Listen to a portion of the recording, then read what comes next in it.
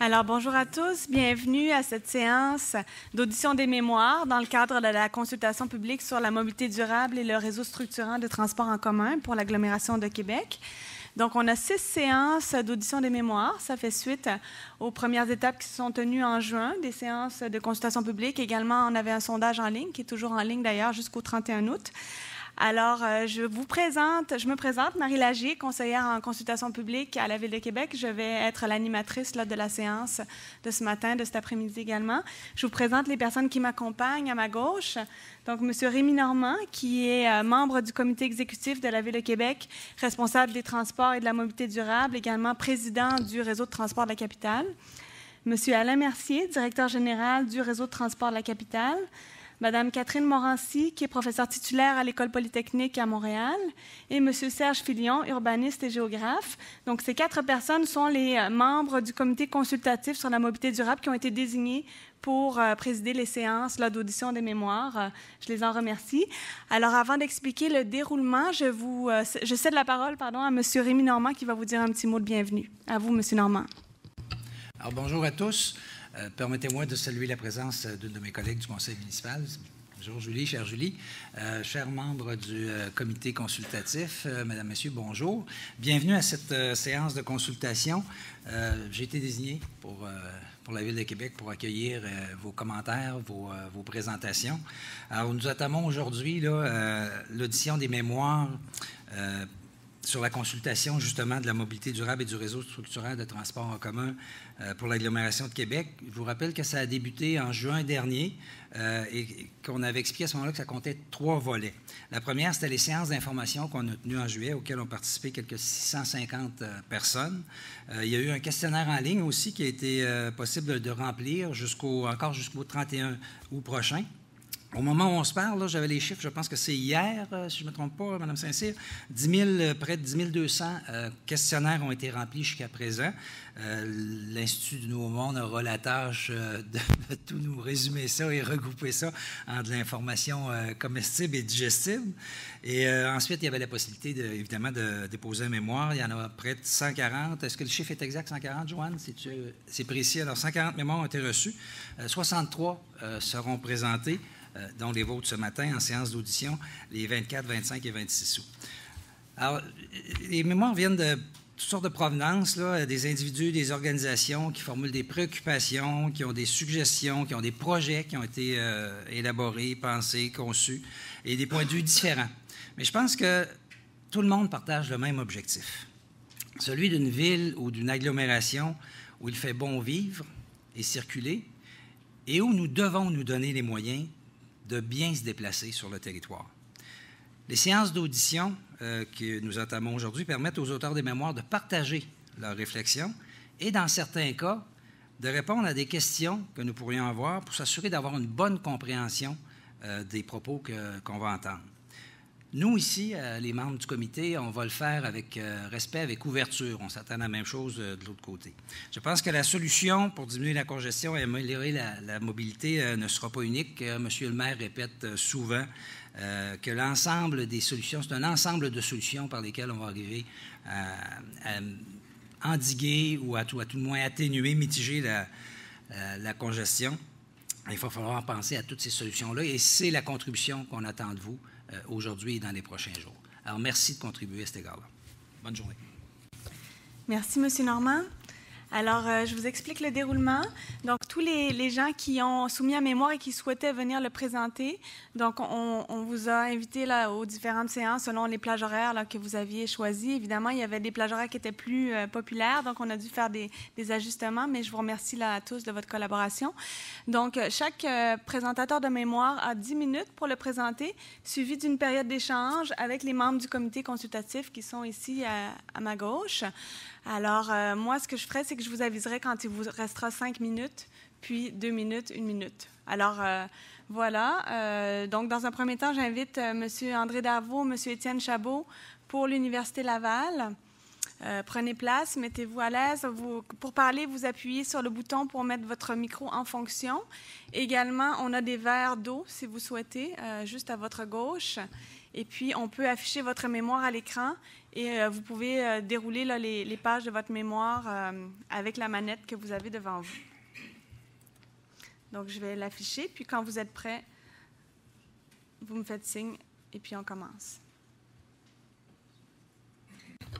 Merci, euh, merci beaucoup. Euh, donc, je suis accompagné aujourd'hui, vous l'avez mentionné, de, M. Étienne Chabot qui a travaillé euh, sur le document. Étienne travaille au comité d'aménagement et de mise en œuvre de l'université et on est accompagné de M. Robert Demel qui est président de, la Caméo. On est également accompagné de M. Pierre Lemay, du vice-recteur exécutif, et de Claudie Tremblay, qui travaille sur le transport durable et au service de sécurité et prévention. Alors, tout d'abord, permettez-moi de vous remercier, euh, de remercier la Ville de Québec de nous recevoir ce matin. L'élaboration de notre mémoire, euh, le mémoire de l'Université Laval, a été réalisée en concertation avec plusieurs intervenants, les assos étudiantes, la CADOL, l'Allier, le service de sécurité et de prévention, la direction des services aux étudiants, le service des immeubles, la Caméo et les différents centres de recherche de l'université. D'entrée de jeu, euh, je dois vous dire qu'il est important pour l'Université Laval de participer à cette importante consultation qui est déterminante pour l'avenir du transport en commun à Québec. L'Université Laval appuie la volonté de la Ville de Québec, et, ça, je désire le dire clairement, d'améliorer la desserte de transport en commun dans la région, de se doter d'infrastructures de transport modernes et de mettre en œuvre différentes mesures visant à faciliter et à encourager l'utilisation du transport collectif et actif. L'université, vous le savez, est l'un des grands générateurs de déplacement de la région. Des milliers d'étudiants, de membres du personnel et des citoyens qui s'y rendent quotidiennement. Selon l'enquête Origine-Destination 2011, le secteur de l'Université Laval et du Cégep de Sainte-Foy est le quatrième pôle de destination en importance après la colline parlementaire, le plateau centre de Sainte-Foy et le secteur Le Bourgneuf, avec 46 220 déplacements à chaque jour. L'université, elle seule, est le plus grand générateur de déplacements de la région, avec plus de 30 000 déplacements à chaque jour. Face à ce défi important, des gestes concrets ont été posés ces dernières années par l'Université, le RTC et la Ville dans le secteur du campus afin d'améliorer la desserte de transport en commun et faciliter les moyens de transport durable. Et je vous donne quelques exemples. Le programme de la bonne bus étudiants et employés, le service de Festibus durant l'été, l'ajout des parcours Métrobus 807 et 804 et la mise en œuvre du projet Destination Sainte-Foy qui a facilité le transit des express à destination de Sainte-Foy. De plus, en 2008, l'Université Laval s'est dotée d'une politique institutionnelle de développement durable qui a été reconnue mondialement. On peut dire clairement que l'université est un chef de file dans le monde de l'éducation dans ce domaine. Un des volets de cette politique concerne les moyens de déplacement durable des membres de la communauté universitaire. Et dans ce cadre, en 2010, l'université a élaboré un plan de gestion des déplacements et depuis ce jour, des dizaines de projets ont été réalisés. Quelques exemples l'installation de bandes de recharge pour véhicules électriques, la sécurisation des traverses piétonnes, l'ajout de 8 km de pistes ou sentiers cyclables répartis sur le campus, des stations communauto, l'installation d'une rue partagée pour les piétons, cyclistes, soit l'avenue des sciences humaines intégrant des espaces publics et des infrastructures cyclistes, la mise en œuvre de places publiques extérieures, carboneutralité de l'établissement depuis 2015-2016 grâce à des mesures de réduction, au stockage forestier de carbone et à l'achat de crédits compensatoires. Donc, comme je le disais, l'université est vraiment un chef de file dans le domaine. L'ensemble des actions menées par l'université et par le RTC ces dernières années a contribué à un transfert de déplacement réalisé en automobile vers le transport en commun. Entre 2006 et 2011, la part du transport en commun est passée de 25% à 32% dans le secteur de la cité universitaire. L'université, bien sûr, souhaite poursuivre dans cette voie. Elle veut faire partie de la solution et faire sa part afin d'atténuer les problèmes de circulation et augmenter l'achalandage du transport en commun à Québec. Pour un établissement d'enseignement d'importance comme l'Université Laval, qui est un acteur majeur du développement économique, social et culturel de la région, les avantages du transport en commun sont multiples. Il importe donc de desservir adéquatement l'ensemble des secteurs de la ville et des environs en minimisant les correspondances à destination de l'université. Dans cette optique, il est nécessaire que la Ville de Québec se dote d'un véritable réseau hiérarchisé, intégré et structurant de transport en commun de grande capacité, plus confortable, plus rapide et à haute fréquence. Et il s'agit ici de notre principale recommandation. Donc, si on avait un examen après, ce serait vraiment matière à examen, je vous le dis tout de suite, à retenir. C'est le message qu'on veut passer aujourd'hui. Des dizaines de milliers d'étudiants, de membres du personnel, de citoyens ont besoin de se rendre à l'université chaque jour pour y pratiquer différentes activités à la fois scolaires, sportives, culturelles ou sociales. Pensons par exemple au PEPS, qui attire un lot important de visiteurs. Et l'on parle de 1,5 million de visiteurs annuellement. Ce réseau de transport en commun structurant devra être assorti de certaines mesures visant à faciliter et à inciter les étudiants et le personnel, et plus globalement les citoyens de la région de Québec, à utiliser davantage de transport en commun. Et voici quelques-unes des mesures que nous proposons. Tout d'abord, des aménagements urbains et un pôle d'échange à l'image de l'université. Un grand nombre de personnes utilisent le transport en commun pour se rendre sur le campus dans le but d'y travailler ou d'y étudier. Or, en raison de sa localisation stratégique et du grand nombre de circuits qui desservent le campus, l'université est également considérée comme un nœud de correspondance important de la ville, où certains utilisateurs du transport en commun sont en liaison vers d'autres secteurs. Dans le cadre de la mise en place d'un éventuel réseau structurant, l'implantation d'un pôle d'échange sur le territoire de l'université sera profitable autant aux membres de la communauté universitaire qu'au développement et au rayonnement de la région. Une attention particulière devra être portée à la planification du réseau, aux mesures de mitigation et à la qualité des aménagements dans le but d'assurer le confort et la sécurité de la clientèle à destination du campus ou en correspondance vers d'autres secteurs. Il vous reste cinq minutes. Merci. Par exemple, aménagement de liens piétons et cyclistes sécuritaires et confortables, des aménagements paysagers, la bonification des espaces publics, et ainsi de suite. Deuxième mesure, l'utilisation des technologies électriques ou hybrides. Malgré les actions réalisées ces dernières années qui ont grandement amélioré la qualité de vie des usagers, il peut encore y avoir un sentiment d'inconfort et d'insécurité en raison du nombre important de véhicules, incluant les autobus, qui circulent sur les rues du campus et qui occasionnent du bruit, de la pollution atmosphérique et d'autres formes de nuisances. D'ailleurs, dans le cadre de sa politique institutionnelle de développement durable, l'université s'est donné comme objectif de limiter la quantité de gaz à effet de serre et des autres gaz nocifs émis tant par l'université que par les membres de la communauté universitaire. La réduction des émissions atmosphériques et des inconvénients occasionnés par la circulation, tels que le bruit et la pollution atmosphérique, doit donc être au cœur des stratégies d'intervention en matière de mobilité durable, notamment par un choix de véhicules de plus grande capacité et privilégiant les technologies électriques ou hybrides. Troisièmement, l'axe colline parlementaire Université Laval. En plus d'être l'axe de transport collectif le plus achalandé de l'agglomération et de relier deux pôles majeurs stratégiques d'activité, parmi les plus grands générateurs de déplacement, on retrouve sur l'axe colline parlementaire Université Laval une forte densité de population étudiante.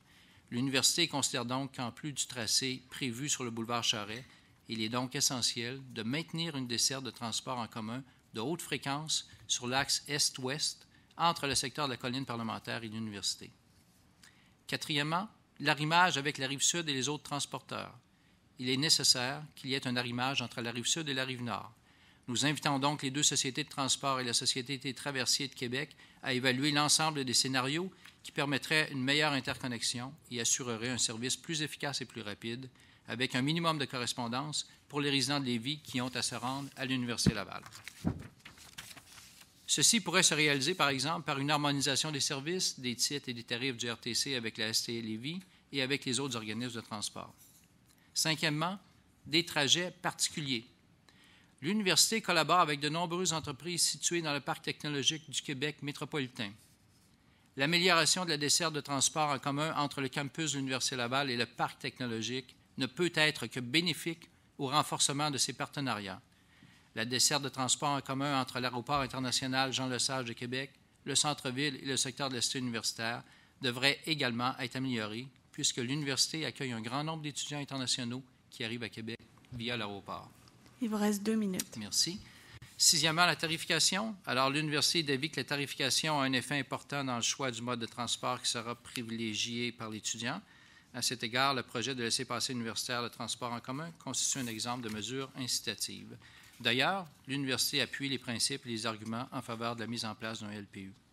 En collaboration avec les assos étudiantes, l'université souhaite poursuivre le travail entamé ces dernières années afin de déterminer les solutions qui permettront d'en arriver le plus rapidement possible à une entente entre les différents partenaires en vue de mener à terme ce projet. Septièmement, l'accessibilité au campus pour les piétons, les cyclistes, les usagers d'autres modes de transport actifs et les personnes à mobilité réduite. Donc, l'université souhaite continuer à travailler en partenariat avec la ville afin de rendre plus perméables, sécuritaires et conviviaux les accès au campus par les voies piétonnes et cyclistes, en particulier les accès par le boulevard Laurier, le boulevard Hochelaga et l'autoroute Robert Bourassa. Huitièmement, et je termine par ça, la vision des déplacements à vélo. L'Université appuie la vision des déplacements à vélo de la Ville de Québec. À la liste des projets prioritaires pourrait éventuellement s'ajouter des tronçons cyclables venant compléter la connectivité vers le campus et les autres lieux d'études et de travail situés dans le quartier Saint-Roch et le Vieux-Québec afin d'assurer une meilleure connexion et une plus grande sécurité pour les usagers. Donc, en conclusion, les différentes recommandations émises par l'Université Laval dans le cadre de cette consultation s'inscrivent, et là je répète ce que j'ai dit au départ, s'inscrivent autour de l'objectif principal de doter la Ville de Québec d'un véritable réseau hiérarchisé, intégré, structurant de transport en commun de grande capacité, plus rapide, à haute fréquence et plus confortable. En tant que grand travailleur, grand générateur plutôt de déplacement de la région, l'Université souhaite continuer à collaborer en concertation avec les assos étudiantes, avec la Ville de Québec, le RTC, afin de mettre en place des infrastructures de transport qui faciliteront et encourageront l'utilisation du transport collectif et actif. Bref, on est là pour travailler en partenariat. Et permettez-moi de terminer sur une note qui me tient particulièrement à cœur. En tant que, développeur des connaissances, l'Université veut également accentuer sa collaboration avec la Ville en mettant davantage à profit l'expertise de ses professeurs, de ses chercheurs et de ses étudiants, afin de travailler à l'amassement des compétences relatives au transport et à la mobilité, développer des meilleures pratiques et mettre en œuvre une vision mobilisatrice pour la région de Québec. Merci beaucoup de votre attention. Merci, M. Darvaux. Merci, M. Chabot. Merci beaucoup. Merci. Oui, euh, euh, allez-y, M. Normand. Oui. Je prends une minute pour euh, saluer la présence d'autres collègues du conseil municipal qui sont arrivés. Alors, M. le maire est là. Je vois Mme Tanguay, Mme Hamelin. J'ai vu M. Dion, je pense, tout à l'heure. Est-ce qu'il y en a d'autres? Non? Alors, Madame Lemieux. Madame Lemieux, moi, je l'avais dit, je l'avais présenté au début. Alors, bien, bienvenue, euh, bienvenue, chers collègues. Madame Hamelin également. Oui, j'ai Parfait. Alors, merci, euh, merci aux membres du conseil municipal d'être présents. Merci, M. Normand. Euh, alors, on est maintenant rendu à la période d'échange avec les, les, représentants de l'Université Laval. On a une période de 5 à 10 minutes maximum pour ne pas prendre de retard sur l'horaire. Donc, j'invite les membres du comité consultatif qui siègent à mes côtés à poser leurs questions s'ils le souhaitent. Monsieur Normand, allez-y. Je veux quand même constater, je veux quand même constater euh, l'ouverture. Euh, je pense qu'on a déjà de très bonnes collaborations. Euh, moi, je le vois plus au RTC, mais je suis certain qu'avec la Ville aussi, il y a beaucoup de collaborations. Alors, on note avec bonheur cette ouverture-là et la collaboration proposée. J'ai juste une petite affaire qui m'a surpris quand j'ai lu le, mémoire, c'est le lien université-parc technologique. Je comprends qu'il y a des échanges, qu'il y a communauté de pensée, une communauté d'activité. Mais est-ce que vous avez des, chiffres, des données qui nous donnent à penser qu'il y aurait un avantage concurrentiel d'installer quelque chose qui pourrait passer par le parc technologique à partir de l'université? On a, euh, puis là je vais parler comme ancien doyen de la faculté de sciences et génie, parce qu'on avait des liens très privilégiés avec le parc technologique. On a, euh, on a plusieurs étudiants qui sont en stage et qui travaillent euh, directement auprès des entreprises du parc technologique, qui comprend déjà plus de 6 000 employés, comme vous le savez. Donc, euh, on a également beaucoup de projets de recherche qui sont partagés avec les entreprises, en partenariat avec les entreprises du parc techno, et ça nécessite des, déplacements assez importants. Je n'ai pas les chiffres exacts, mais, c'est quand, même, majeur. Et euh, bien sûr, on est séparés par une autoroute euh, et ça ne facilite pas beaucoup euh, les échanges. On n'est pas loin, hein? On est vraiment proche. Moi, j'aurais dit que vous êtes reliés par une autoroute plutôt que séparés, mais c'est correct. mais pour les étudiants, on comprendra que ce n'est pas facile de se déplacer. Alors, d'autres questions? On peut y aller dans l'ordre. Est-ce que M. Mercier, avez-vous une question? Ah, allez-y.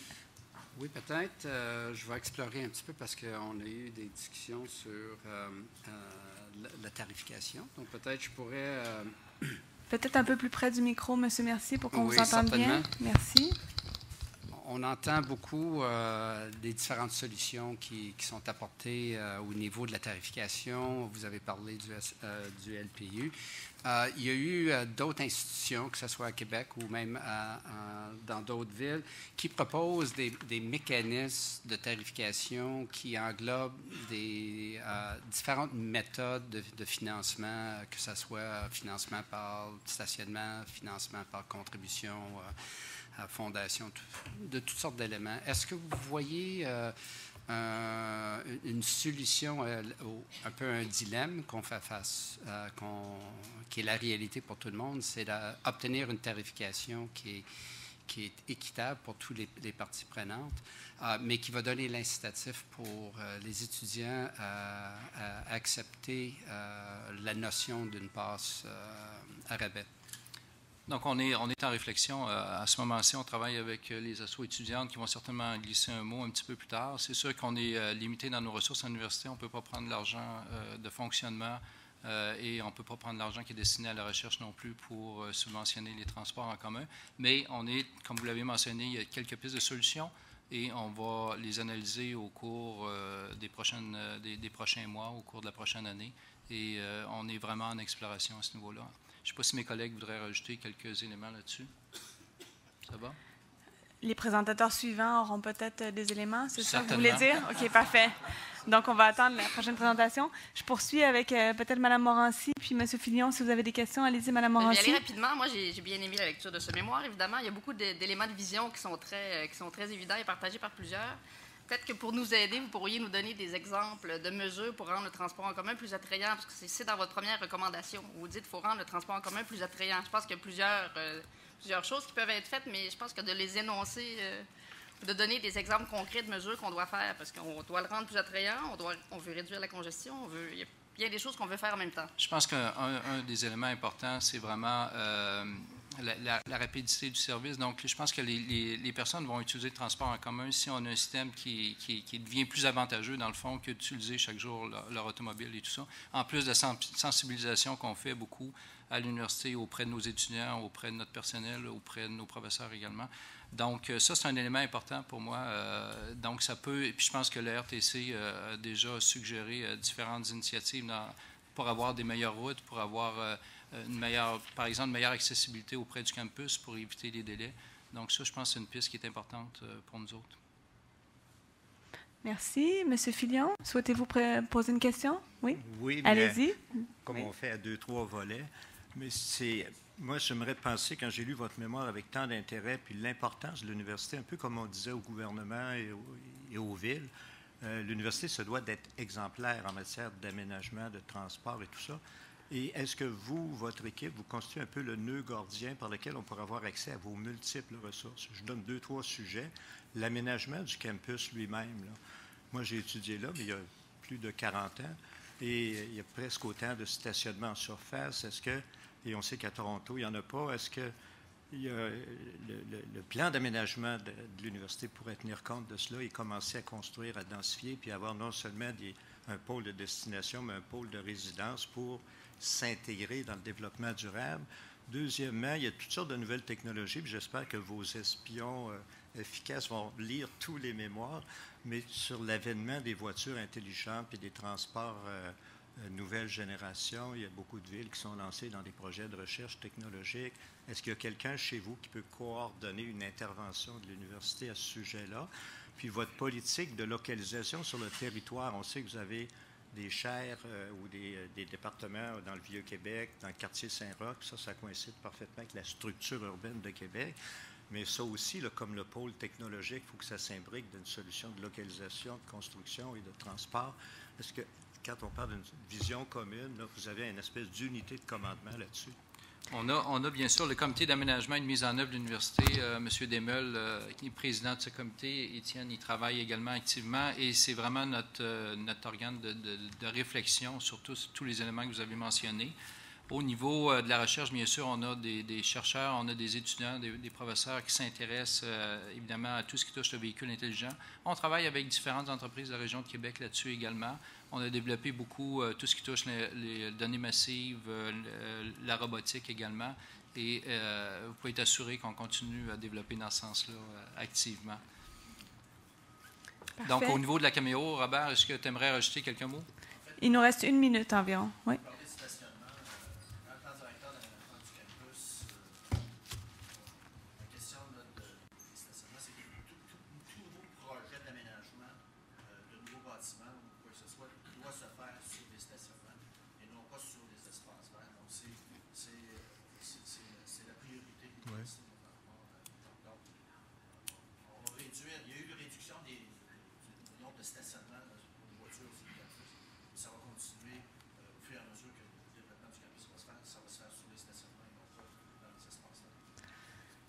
Merci de la précision.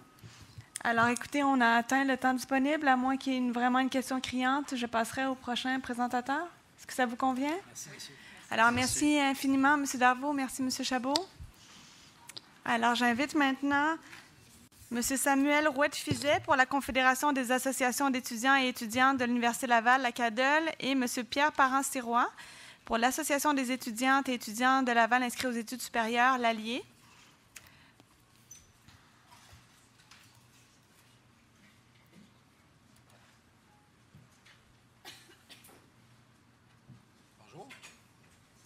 Bonjour.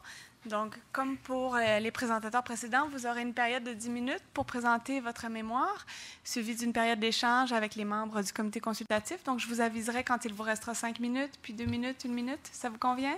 Parfaitement. Vous avez des verres d'eau, ça va? Et puis, euh, également, on affiche votre mémoire. Si vous le souhaitez, vous pouvez aussi euh, passer les pages avec la petite manette que vous avez devant vous. On va laisser les gens admirer la page couverture. Parfait. Bienvenue. À vous la parole. Donc, euh, mesdames, messieurs, bonjour. Je me présente Samuel Roy-Fizet, je suis président de la CADEL. On regroupe euh, environ 88 associations étudiantes sur le campus euh, pour un total de 33 000 membres environ. oui. Donc, pour ma part, je tiens à vous remercier de nous accueillir ce matin. Je m'appelle Pierre Parent-Serrois, comme vous l'avez mentionné. Euh, je représente euh, l'association, je suis président d'ailleurs, l'association des étudiantes et des étudiants de Laval inscrits aux études supérieures. Donc, euh, je parle au nom des 11 000 membres de l'Allier ici ce matin. On est devant vous aujourd'hui pour vous présenter le mémoire qu'on a écrit conjointement dans le cadre des consultations publiques. dans le cadre des consultations publiques, justement, on s'est demandé qu'est-ce qu'en tant qu'association étudiante, on pouvait apporter de plus que euh, par exemple, euh, une proposition de tracé précis ou une proposition d'infrastructure précise. Euh, comment, si on pouvait mettre l'épaule à la roue, puis participer à cette réflexion globale-là? Puis on vient avec le laisser-passer universitaire d'autobus. C'est un projet qui, existe depuis un, petit bout déjà. On va vous en parler plus aujourd'hui. L'objectif du mémoire, c'est de rappeler que les étudiants sont justement prêts à mettre l'épaule à la roue dans le cadre de la réflexion, puis d'une solution qui est plus large que le laisser-passer universitaire quand même. donc, c'est une pierre à l'édifice puis euh, dans le cadre des réflexions globales, puis on pense que les étudiants ont un rôle à jouer là-dedans. Donc, avant de vous présenter le projet en tant que tel, je vais vous faire un bref historique, la question de vous situer. Donc, euh, depuis 2005, la CADEL et l'Allier ont entrepris plusieurs actions afin d'implanter le laissez-passer universitaire. Euh, donc, on a rédigé des mémoires, on a financé des études, on a fait du démarchage politique auprès de la STL et du RTC.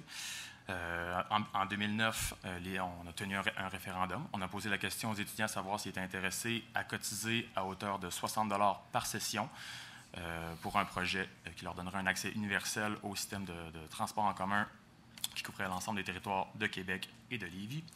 je vous dirais que la réponse a été très significative puisque plus de 75% des répondants se sont positionnés en faveur de ce projet-là, dans un taux, rappelons-le, qui est un taux de participation record.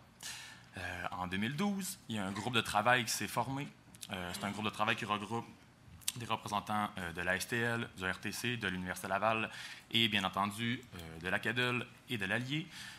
donc, comme vous pouvez le voir, c'est assez manifeste que les étudiants soutiennent le projet de laisser-passer universitaire, se sentent interpellés pour plusieurs raisons, que ce soit environnementales ou économiques. Et donc voilà.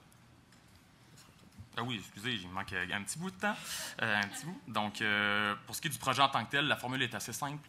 Euh, suite à l'implantation d'un laissez-passer universitaire, on, prélèverait une cotisation directement via la facture des droits de scolarité des étudiants.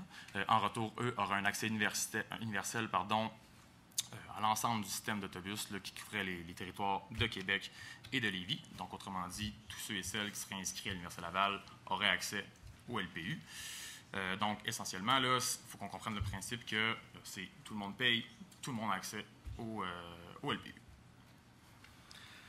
On a quand même ciblé certains avantages qui découlent de l'implantation d'un laissez-passer universitaire dans la ville de Québec. Pas seulement pour les étudiants puis pour l'Université Laval, qui, eux, ont des avantages quand même assez facilement, facilement visibles, mais aussi pour la communauté de l'ensemble de, la ville de Québec. on dénote des avantages. Euh, premièrement, bon, pour la, Société de transport, la RTC, euh, c'est une rentrée d'argent fixe euh, qui, peut être assez significative.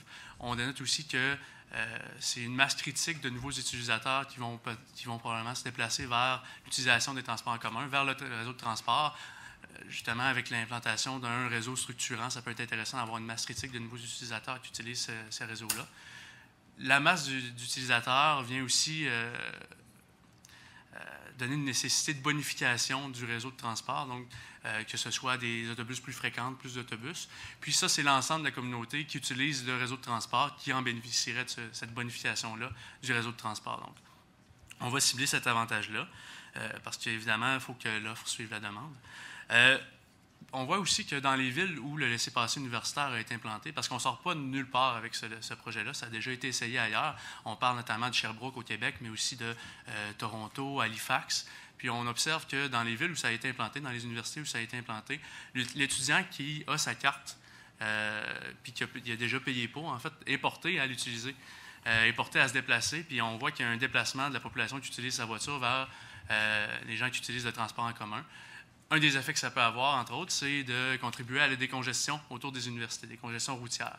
Euh, si on, pense à l'Université Laval, on pense à Robert Bourassa, mais on pense aussi euh, au pont, parce qu'on veut intégrer la Société de transport de Lévis dans tout ça.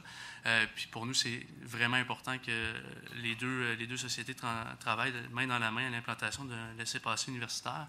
Donc, on observe une décongestion routière autour de ces axes-là, puis ça peut être vraiment intéressant pour l'ensemble de la communauté de Québec. Donc, il y a euh, quand même une panacée euh, d'avantages qui, qui, s'offrent euh, à la Ville de Québec. Il faut se rappeler que la population fait partie de la solution. C'est un projet qui a fait ses preuves ailleurs au Canada, au Québec aussi. Puis, il faut garder en tête que pour que ce projet-là se réalise, ça prend quand même une bonne volonté de la Ville de Québec, de la Ville de Lévis, des sociétés de transport, puis de tout ce beau monde-là, pour qu'ensemble, on réalise le projet. Donc, euh, Il vous reste cinq minutes. Oui, merci. Donc, euh, comme euh, mon collègue le précise, on tient vraiment à réitérer notre désir de travailler en collaboration avec tous les acteurs concernés par l'implantation du laissez-passer universel, universitaire, pardon, dont, dont, la Ville de Québec. on est convaincu que ce qu'on vous présente ce matin, c'est un projet qui est réaliste, qui est structurant et surtout qui, qui, sera efficace dans le temps. Euh, d'ailleurs, on tient à rappeler qu'il euh, y a plusieurs personnes euh, d'influence qui ont appuyé notre mémoire, dont la nouvelle rectrice de l'Université Laval, Madame Sophie Damour. D'ailleurs, si ça vous intéresse, il y a une liste de nos lettres d'appui qui est disponible sur Internet si jamais vous désirez la consulter. C'est ce qui termine notre présentation. merci de nous avoir accueillis ce matin et bien entendu, on est disposé à répondre à vos questions. Merci beaucoup. Merci, M. Roy de Fizet. Merci, M. Parent-Sirois. Donc, on a du temps pour la période d'échange. Alors, je commencerai par M. Normand. Allez-y, M. Normand. Euh, j'entends, ça prend une bonne volonté euh, de la Ville de Québec et du RTC. Euh, moi, je pense que ça prend une bonne volonté des étudiants et de l'université aussi. C'est clair parce que ça fait longtemps, en tout cas, ça fait quatre ans que je suis élu, puis je, suis président du conseil d'administration du RTC. Ça fait quelques années qu'on en discute avec Alain. Et je dis toujours Alain, le problème, n'est pas chez nous, il est de l'autre bord. Euh, il faut que les, étudiants se convainquent entre eux que c'est un bénéfice et il faut qu'ils se convainquent que globalement et collectivement, c'est une mesure avantageuse pour eux autres. D'autres, on va offrir le service, on s'entend, là, on est comme en périphérie de la dynamique. Si on réussit à s'entendre sur un prix, parce que je dis toujours à Alain, la question, c'est le tarif. Si on, a un contingent captif, comme ça, parce que c'est ça que ça va être, là. si on a un contingent captif qui nous amène un, certain nombre euh, de, laissés-passer mensuels vendus d'avance, nous autres, on va ajouter l'offre de service, on va calculer nos coûts, on va essayer de faire un edge en bon français qui va faire en sorte que tout le monde va être heureux. Puis nous autres, ça nous permet d'augmenter la capacité de notre service. Mais à 60 quand vous avez fait le petit sondage en 2009, vous me dites? C'est un référendum un référendum en 2009, c'est ça? À 60 nous autres, on ne fait pas nos frais. Alors, est-ce que vous avez discuté avec vos membres où ça serait le edge? Parce que je sais qu'il y a eu des travaux. Là. Vous faites tout le dossier. Juste savoir jusqu'où vous êtes prêt à aller. Nous autres, on a fait nos calculs. Puis comment vous allez vendre ça à vos étudiants? Comment vous allez vous entendre avec les gens de l'université? Vous dire, on vend ça à tout le monde, puis on va de l'avant? Parce que ça fait 10 ans qu'on en parle. Qu'est-ce qu'il y a à choper pour pouvoir avancer plus dans le dossier? Euh, je dirais que vous avez entièrement raison euh, pour, euh, pour ce qui est des coûts, etc. puis du travail qu'on a à faire également.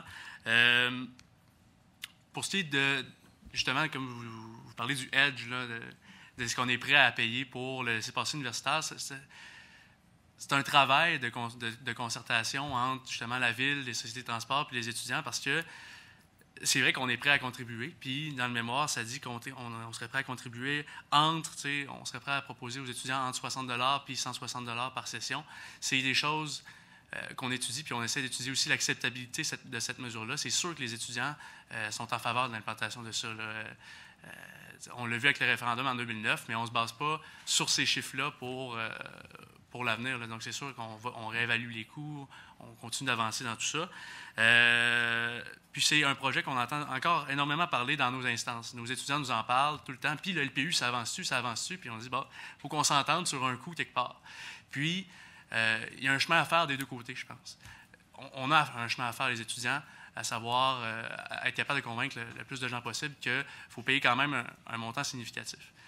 Il y a un, chemin aussi pour aller chercher des fonds ailleurs on, parlait d'université tantôt qui serait peut-être capable d'aller chercher des fonds ailleurs, mais on, peut penser aussi à la Ville de Québec qui a des subventions pour le, transport en commun. Il y a des fonds gouvernementaux qui existent pour ça. On est capable d'aller chercher ailleurs, puis je pense que c'est ça qui est important pour nous. On veut maximiser, c'est sûr, pour nos membres, les, coûts qu'ils ont inversés, parce qu'en tant qu'étudiant, on, se plaint toujours, mais c'est vrai que des fois, on a le budget serré, puis 160 par session, ça peut être cher. Puis je rajouterais juste que, comme je l'ai euh, précisé tantôt, je suis un étudiant en relations industrielles, donc j'ai une profonde croyance envers la négociation. Euh, donc, euh, écoutez, on, est prêt à travailler, puis comme on dit, on est prêt à collaborer, puis à, être flexible, à négocier. Donc, ça va nous faire plaisir de, discuter de ça avec, vous. Pour, trouver une entente, parce que je suis convaincu qu'on peut, en trouver une entente, parce que c'est une situation qui est gagnant-gagnante je vais conclure mon bout en disant que nous autres, on, reste ouverts, on continue à travailler. Parfait, merci, M. Normand. Alors ensuite, il y avait Mme Morancy, mais M. Merci, si vous souhaitez poser une question, pourrait le faire aussi. Après Mme Morancy, allez-y, Mme Morancy. Moi, je voulais juste continuer sur cette question-là parce que... Un peu plus près du micro, vous pouvez le tourner en fait, je vais parler plus fort parce que je suis capable de parler fort. Mais en fait, sur cette question-là, moi, je vois, il y a plusieurs avantages qui sont identifiés, qui sont pas reliés au coût dans le sens où vous dites, ah, c'est parfait, les étudiants peuvent être budgétés, c'est passé dans les frais. Donc, vous n'avez pas eu la tentation, rapidement, voyant que ça avançait pas, que finalement, il y avait des enjeux qui n'étaient pas réglables rapidement, de dire, on va vous charger ce que ça coûte le transport en commun pour ceux qui le veulent, puis ça va être inclus, dans vos frais. Parce que l'idée, c'est que le concept commence à exister, que cette idée de laisser passer existe. effectivement, la notion de mesure d'élasticité, à partir de quel coût on va aller chercher des nouveaux usagers comparativement à ceux qui l'utilisent déjà, n'est pas évidente à mesurer. pour ceux qui font les analyses, pour voir à partir de quel tarif on va aller chercher des nouveaux usagers ou on va juste savoir ceux qu'on avait. Et ça, évidemment, d'un point de vue opérationnel, si ça génère des pertes, bien là, c'est pas évident de, de bonifier le service. Je pense qu'il y a vraiment un enjeu au niveau de l'existence du concept, que le laisser-passer existe puis qu'ensuite, il y a sans doute euh, des travaux à faire pour réduire euh, graduellement le coût. Juste, si je comprends bien ce que vous dites, si je comprends bien ce que vous dites, vous dites qu'on fasse juste euh, facturer le coût que ce que ça coûte normalement à seulement ceux qui le désirent? Vous avez entièrement raison sur le fait que la, réflexion est complexe. Là. on, est, là aujourd'hui parce que c'est complexe et que ça fait longtemps que, que, ça dure. Euh, pour ce qui est du fait qu'on tariferait le coût réel du transport en commun sur la facture universitaire, c'est qu'on vient enlever la notion d'incitatif puis à l'utilisation du transport en commun. Donc, si l'étudiant a seulement à cocher oui, euh, c'est l'étudiant qui, de toute manière, irait, chercher sa passe. On n'a pas de notion d'incitatif, donc on n'a pas tous les avantages qui en découlent, euh, soit euh, la décongestion routière, la bonification du réseau. Puis c'est des, avantages qui sont intéressants. Puis je pense que dans, le contexte où, dans la ville de Québec, la congestion routière, ça s'en vient de plus en plus un enjeu, je pense qu'on veut s'attaquer à ça aussi. Il faut, avoir des meilleurs chiffres. Il faut mieux quantifier la, quantité de nouveaux usagers qu'on va aller chercher. Puis là, j'ai un peu les enjeux que ça implique au niveau de l'estimation, puis mesurer les impacts que ça va sur la congestion si vous voulez avoir des meilleurs arguments pour euh, pousser une diminution des coûts. En tout cas, ça, c'est la compréhension que j'ai. Mais il y a quand même plusieurs avantages. Quelqu'un qui prend le transport en commun fait déjà des économies par rapport à l'automobile. Parce que vous vous indiquez qu'ils vont faire des économies, mais ils en font déjà. donc, ils ne doivent pas être suffisants. Donc, il faut être capable d'évaluer effectivement quel est le coût qui va amener un, qui va faire basculer des gens qui ne l'utilisent pas déjà. ce que je peux vous dire là-dessus, c'est qu'on continue quand même de travailler régulièrement. Puis cet hiver, justement, on a mené une étude en collaboration avec l'unité de, travail pour l'implantation de logements étudiants sur les habitudes de logement puis de transport des étudiants de la Ville de Québec. Les données vont sortir bientôt, puis on, est en train de les analyser, puis on pense que ça va peut-être nous donner des, données intéressantes. On continue de travailler là-dessus, puis c'est sûr qu'on est à la recherche de données. Merci. Monsieur Mercier, vous avez une question? Allez-y. Oui, rapidement. Je pense, euh, à, part l'élément de off et prix, que je pense est naturel dans tous ces, genres de propositions-là, euh, avec vos membres, c'est quoi les ingrédients que les étudiants réfléchissent aujourd'hui pour dire aussi longtemps que le service va être là et le prix va, rentrer à l'intérieur de leurs attentes, c'est quoi la valeur ajoutée pour un étudiant aujourd'hui? Qu'est-ce qui vous dit, aujourd'hui pour dire je serais prêt à embarquer pour quelle raison? J'aimerais juste entendre un petit peu la pensée des étudiants présentement. Oui, je, pense qu'il y, a plusieurs enjeux. Je pense que d'une part, il y a un enjeu euh, environnemental. Euh, le transport en commun, bon, on, est, tous euh, au courant de, des avantages que ça procure au plan environnemental et à l'inverse, l'automobile, on sait très bien les, effets néfastes que ça fait en, termes de, pollution. sinon, d'un point de vue économique, ben, c'est sûr que si on réduit, parce que bon, à 58 si je ne me trompe pas, une part d'autobus mensuel, c'est quand même assez dispendieux pour un étudiant qui n'a pas nécessairement des revenus élevés. fait que si on diminue ça, disons, je dis ça comme ça, à 60 par session, ça devient une, réelle économie. Euh, donc, je pense que, ne serait-ce que pour ces deux enjeux-là, je pense que c'est ce qui interpelle euh, la communauté étudiante à l'Université Laval. J'ajouterais en plus, euh, justement, de, l'incitatif économique, parce que l'incitatif économique est, toujours présent. il y a un incitatif aussi du fait que si le réseau de transport est efficace, puis qu'il y a un beau réseau qui peut être assez confortable. C'est aussi un incitatif pour euh, se transporter de l'automobile euh, vers le transport en commun. On pense aussi aux étudiants qui, par exemple, habitent un peu plus en banlieue. Euh, on peut aller jusqu'au lac Beauport, val c'est un petit peu moins desservi. Si on vient bonifier ces offres de services-là, en plus de, de, mettre un incitatif économique, je pense qu'on peut quand même attirer une certaine quantité de gens. Parfait. On aura du temps pour une dernière question. Monsieur Fillon, oui, allez-y. Une, mini qui va être plutôt euh, une, série de questions, mais un commentaire. Moi, je pense qu'en temps de mise en marché de votre idée, là, elle est excellente. Je pense qu'il faut commencer, c'est un peu l'œuf et la poule. Plus il y aura d'étudiants dans les autobus, plus il y aura du service, plus il y aura du service. Et, je pense que la mission de la collectivité, c'est de rendre, de décloisonner l'université, non pas seulement juste au niveau des barrières physiques, mais les étudiants qui habitent sur le campus ou les étudiants qui habitent près du campus, l'autobus, c'est aussi leur moyen d'aller à des spectacles, c'est leur moyen d'aller dans des cafés, d'aller au restaurant. Donc, c'est agrandir la résidence de l'étudiant par ce moyen-là. Alors, je pense que c'est assez évident de démontrer ça. Je ne parlerai pas des coûts de l'automobile, mais ça n'a rien à voir avec euh, le tarif. Mais euh, aussi, je pense que le gouvernement, des fois, sous-estime son pouvoir structurant sur l'espace urbain. Euh, je, pense, par exemple, ici à Québec, depuis 40-50 ans, on a fait des miracles avec des subventions décroissantes sur la rénovation dans le Vieux-Québec, par exemple, dans les quartiers de Saint-Roch, Saint-Sauveur. Si vous regardez le, coût de ces euh, subventions-là, puis l'impact fiscal que ça a eu sur les revenus de la ville, alors est-ce que été regardé avec les gens des finances à l'université, les gens de la ville et même des gouvernements? D'abord, moi, en, cascade, je dirais que, un peu comme pour l'éducation, tout le monde paye des taxes, même si on n'a pas d'enfants à l'école. Pour le transport en commun et ce certificat gratuit, là, euh, laisser-passer, il me semble que tous les étudiants devraient faire une contribution minimale, parce que je considère que dans 100 ans, ils vont tous avoir utilisé l'autobus. Alors donc, on investirait ensemble dans notre chose, dans notre collectivité. Deuxièmement, comme on fait pour les logements qu'on veut restaurer, on donne un rabais de taxe de 100% première année, 50% 25 Et c'est suffisant pour embarquer des gens dans un projet qu'ils adorent. Alors, et en même temps, bien sûr, maintenir votre contribution directe. Alors, c'est comme une, espèce d'ensemble de, mesures financières, administratives, d'aménagement qui pourraient s'appliquer pour accélérer le processus de transfert.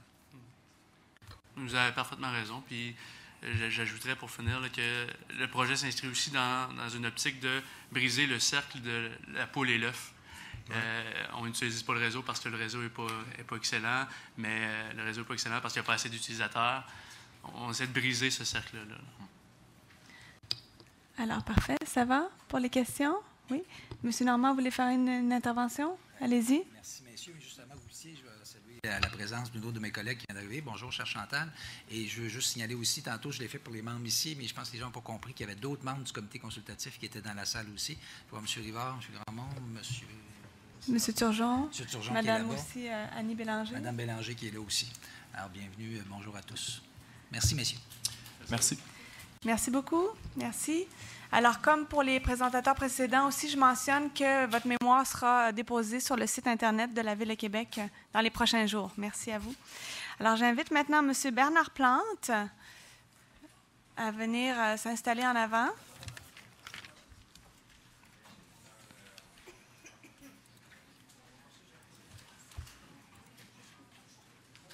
Vous aviez une présentation euh, PowerPoint, on va l'afficher. Et puis, vous avez une manette aussi euh, sur la table euh, qui vous permet d'activer vous-même, d'actionner vous-même les diapos. On va attendre un peu. on va attendre un petit peu. on va permettre aux gens de, de quitter pour reprendre dans le calme.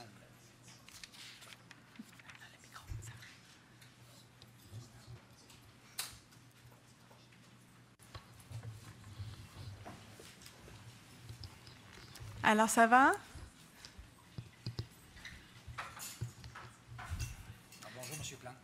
Bonjour, M. Plante. Donc, vous aurez 10 minutes. Je vous aviserai quand il vous restera 5 minutes, puis 2 minutes, 1 minute. Ça vous convient? Parfait, excellent. Parfait.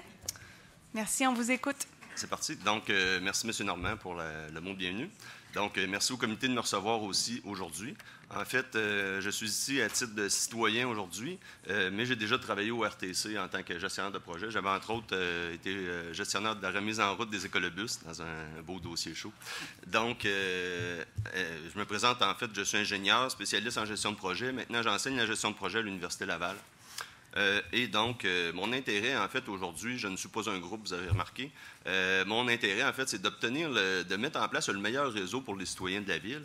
Et en fait, je viens faire une proposition. Puis d'ailleurs, je suis heureux d'avoir l'occasion de discuter avec M. Mercier ce matin avant la rencontre. Puis on a peut-être certains points de, connexion, disons. Donc, je démarre en fait avec la situation actuelle. La situation actuelle, j'étais content de voir ce matin dans le journal qu'il y a eu un sondage du CA, en fait, qui dit que le, facteur numéro un qui fait que les gens euh, hésitent peut-être à prendre le réseau, c'est la complexité. Puis en effet, euh, quand on est un usager pas habitué, euh, de se retrouver avec le réseau de Québec, c'est pas nécessairement facile. Donc, ma proposition va vers une simplification, en fait, du réseau pour le rendre plus efficace et facile à utiliser. ensuite de ça, au niveau du projet de SRB Tramway, euh, je trouve que l'engouement, en tout cas, est un peu mitigé jusqu'à maintenant. Euh, puis je dirais, à mon avis, il faut que ça commence par le milieu des affaires. La journée que le milieu des affaires va y voir un intérêt, puis va dire on est fortement derrière le projet, bien, deux, trois articles dans le journal, puis la population va suivre, à mon avis. Donc, euh, ma proposition va dans ce sens-là aussi. J'étais content d'entendre M. Normand dire que M. Labaume dit que ce n'est pas une solution qui va régler le problème, mais c'est un ensemble de, mesures et de solutions. Ben, c'est un peu aussi ce que je propose. Donc, moi, ce que je veux vous présenter, en fait, c'est une solution globale sur la structure même du réseau, en fait, qui est une alternative possible. Euh, peut-être un plan B au, réseau qu'on avait présentement. Donc, euh, vous voyez, mon, point focal, ça va être de mobiliser les acteurs économiques. premièrement, donc, simplifier. Et également, comment mobiliser les acteurs économiques? Ben, d'en faire un projet. Euh, jusqu'à maintenant, on a fait un projet de transport en commun. Moi, je propose plutôt de le vendre, de, euh, faire une promotion en tant qu'un projet économique. ça va être un moteur économique pour la région de Québec. Donc, euh, on va axer là-dessus. J'y vais en deux volets, deux axes principaux, en fait. Euh, premièrement, si on simplifie, moi je pense que souvent on est, trop proche, on voit les arbres, on ne voit plus la vue d'ensemble. Donc en circulant, ce qu'on peut, en simplifiant au maximum, on peut regarder la ville comme un grand rectangle à couvrir avec deux pôles principaux à desservir, qui est Sainte-Foy et Québec. Euh, pour desservir efficacement ces pôles-là, le plus efficace, c'est la ligne droite, naturellement. Donc, pas que vous pouvez actionner les diapos. Hein, on va y aller comme ça. Euh, ça, va, je vais y aller freestyle. Euh, donc, en fait, on, a un rectangle avec deux pôles à desservir, puis le plus court chemin entre deux points, naturellement, c'est la ligne droite. La ligne droite a plusieurs avantages. C'est que c'est naturellement moins cher à construire parce qu'il y a moins de kilomètres à couvrir, mais aussi par après, c'est plus efficace parce que le temps de déplacement est minimisé. ça, c'est le facteur de compétitivité numéro un pour le transport en commun. Si c'est rapide, les gens vont délaisser davantage leur automobile pour prendre le transport en commun. Donc, la ligne droite, euh, ça tombe bien, à Québec, elle existe déjà, puis c'est Laurier-Grande-Allée. donc entre les deux pôles. On n'a pas besoin de l'inventer, elle existe déjà. De ce que j'en sais, cette ligne-là a été rejetée dès le début des analyses parce que l'emprise au sol, la largeur disponible, en fait, n'était pas suffisante sur la Grande Allée, ce qui obligerait à couper plusieurs arbres centenaires. Donc, ce n'est pas souhaitable. Mais euh, la chose, en fait, c'est qu'avec des recherches, j'ai trouvé qu'un véhicule qui a une emprise au sol beaucoup plus faible, plus de 2 mètres de, moins, en fait, en largeur, qui permettrait de passer sur Grande Allée. Donc, techniquement, cet axe-là serait faisable. Et euh, c'est une des questions que j'ai. En fait, pourquoi ce véhicule-là s'est pas retrouvé analysé dans l'étude de faisabilité? Parce qu'on nous a montré un tramway ou un SRB, mais il y a un véhicule qui est entre les deux qui s'appelle un tramway sur pneus. Donc, euh, ce véhicule-là a plusieurs avantages, montre des pentes davantage euh, abruptes qu'un tramway, etc., qui pourraient vraiment convenir à la Ville de Québec, à mon avis. Mais en plus de ça, c'est que ça ouvre la porte à un autre volet, le tracé sur Grande Allée, qui, à mon avis, en tout cas à ma connaissance, jamais été abordé, c'est la potentiel touristique c'est qu'un projet de tramway, à date, il était pensé comme un projet de transport en commun pour desservir les gens de la ville. Oui, c'est bien, mais si on peut joindre un potentiel pour l'image de la ville, puis un attrait touristique en plus de ça, en passant sur un axe qui est à peu près le plus beau de la ville, hein, ça ne s'appelle pas Grande Allée pour rien, euh, il y a une succession, là, en fait, euh, Parlement, la Grande Allée commerciale, la rue Cartier, le Musée national des beaux-arts, les plaines d'Abraham, le bois de Coulanges, on défile, en fait, dans un tour euh, de touristes. Il y a plusieurs points d'intérêt. Donc, à passer par là, ça rejoint en plus ce que j'entendais tout à l'heure des gens de l'Université Laval, de dire on veut une desserte efficace entre l'université et la colline parlementaire. Bien, je pense qu'il y a plusieurs euh, organismes qui vont vous dire la même chose. Je pense que c'est à peu près tout ce qu'on veut. Donc, la ligne droite est, à mon avis, la plus courte. Puis ça, en fait, ça, ça formerait la poutre même d'assise de l'ensemble du réseau. Euh, puis qui va chercher un potentiel en fait touristique. Donc déjà là, on peut penser à une mobilisation des gens du milieu touristique qui vont dire waouh, on voit un intérêt là, les hôteliers, etc. Oui, merci. Ensuite de ça, euh, ça croise plusieurs artères commerciales. Donc, euh, la rue Miran, qui n'est pas très loin, la rue Maguire, la rue Cartier, etc. Présentement, les artères commerciales, il n'y a pas de service direct dessus, puis on est dans une situation de population vieillissante. Donc, de pouvoir éventuellement mettre un service de navette, quand on parle d'une autre mesure, euh, peut-être des navettes de plus petit volume, peut-être éventuellement électriques ou hybrides, qui passeraient à haute fréquence, en fait, à la porte des commerces. Là, je pense qu'on va aller chercher l'ensemble des commerçants et des gens d'affaires qui vont dire Waouh, vous nous amenez nos clients à la porte, puis vous venez les rechercher à la porte. Puis les gens âgés ou en perte de mobilité, etc., vont être capables d'aller magasiner, faire leur, commission sur les artères commerciales facilement. Donc, ça, c'est quelque chose qui pourrait venir se greffer euh, autour de ça. Donc là, on est capable de mobiliser les gens du milieu touristique, on est capable de mobiliser les commerçants qui vont y voir un attrait. Donc là, ça, dévie un peu l'attention du fameux projet de transport en commun où on est un peu dans un débat stérile de ça coûte trop cher, on n'a pas les moyens, c'est une compétition à l'automobile, on dirait qu'on ne s'en sort pas de ce débat-là. En fait, j'amène un peu des arguments politiques aussi pour, pour vendre le fameux projet. Alors voilà pour la poutre d'assises du réseau, qui est le premier axe. Le second axe, euh, que, je vois, en fait, c'est que jusqu'à maintenant, quand on regarde le réseau actuel, il a été développé beaucoup autour des métrobus, il y a 25 ans. Donc, euh, on est allé dans les secteurs à haute densité, Limoilou, Beauport, tout ça. Donc, ça penche un peu vers la droite. Puis quand on regarde le projet, le tracé actuel, on veut relier Pointe-aux-Lièvres d'Estimauville. On est encore un peu dans la même ornière, en fait, je dirais. Euh, moi, à mon avis, il faut vraiment redresser euh, le réseau de ce côté-là parce que depuis 25 ans, ce qui s'est passé, c'est un développement euh, assez important du secteur ouest, nord-ouest et de Le Bourgneuf, qui présentement sont plus ou moins bien desservis. Donc, l'axe que je propose, c'est un axe, euh, en fait, c'est pas si simple d'en trouver parce que ça prend une pente assez douce pour passer de la haute ville à basse-ville. Ça tombe bien, on a une pente douce à Québec, euh, qui est justement, si on part par Belvédère, on descend la pente douce, on prend Marie de l'Incarnation, tourne sur Amel, puis on monte Pierre-Bertrand jusqu'à Louis XIV, mais on est capable de ramener les gens rapidement dans un autre axe perpendiculaire. Donc, en fait, on construit un T, purement et simplement. Puis Pierre Bertrand, mais c'est un axe central. Ça donne justement que le garage du RTC est à côté de Pierre Bertrand. Ça doit sûrement pour être une bonne raison. Donc, voilà, c'est un, parcours central qui permettrait d'équilibrer en fait la desserte pour aller mieux chercher les gens de l'Ouest. Puis, ça simplifie, ça permet vraiment de venir faire un, un en fait de l'ensemble de la région. Donc, ça équilibre la chose parce que sur l'axe vertical, il est possible de penser de venir faire croiser plusieurs axes métrobus. Donc, on a déjà René Lévesque, Chemin Sainte-Foy et Le Bourgneuf, mais on pourrait éventuellement penser d'en mettre sur Amel et en mettre aussi sur Charret. Donc, en mettant euh, éventuellement un métrobus sur Charret, puis en venant croiser un, tramway sur Marie d'Incarnation Charret, le potentiel de, revitalisation du secteur Charret, qui est quand même important, je pense, autour de ce projet-là, est maintenu, en fait. Donc, on ne passe pas directement sur Charret, mais on le croise, puis ça va se développer autour de toute façon. Donc, Il vous reste deux minutes. Merci. Donc, ça, c'est un argument euh, important. Puis, en fait, en desservant Charest et Amel, on peut peut-être penser éventuellement aussi à répondre à une demande des chambres de commerce qui date depuis longtemps de desservir davantage les parcs industriels dans ce coin-là.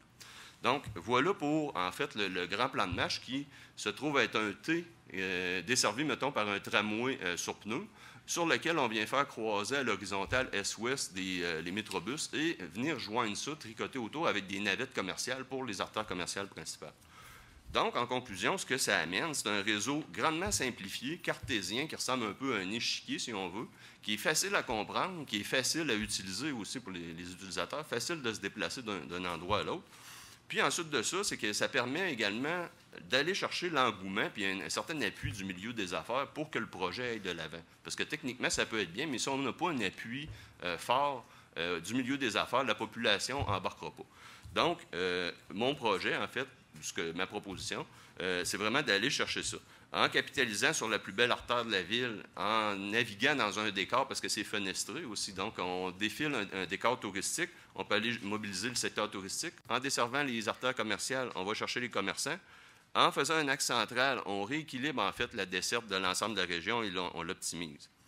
Il vous reste une minute. Parfait. J'ai terminé.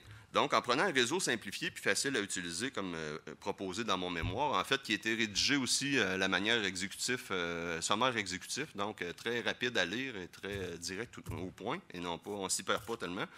donc, en fait, le but, c'est de venir simplifier puis de venir créer un engouement autour du projet pour que la question cesse d'être est-ce qu'on a besoin ou pas du projet pour arriver à la question de quand est-ce qu'il est prêt le fameux réseau, parce qu'on a hâte de l'avoir. Merci de votre attention.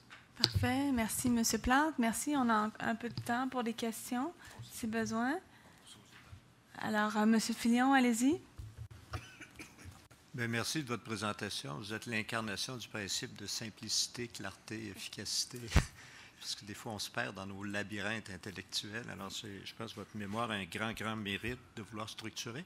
Dans votre exercice, avez-vous mis ça en relation avec la structure urbaine que l'on recherche? Derrière la structure du réseau de transport, par exemple, le schéma d'aménagement de la communauté urbaine, de la, communauté métropolitaine maintenant de, Québec. Comment arrimer les deux? Parce que c'est comme évident que le réseau structurant de transport fait la ville, mais que la ville fait le réseau structurant. Puis on sait que les délais entre l'un et l'autre, ça peut s'étendre de 40 à 50 ans.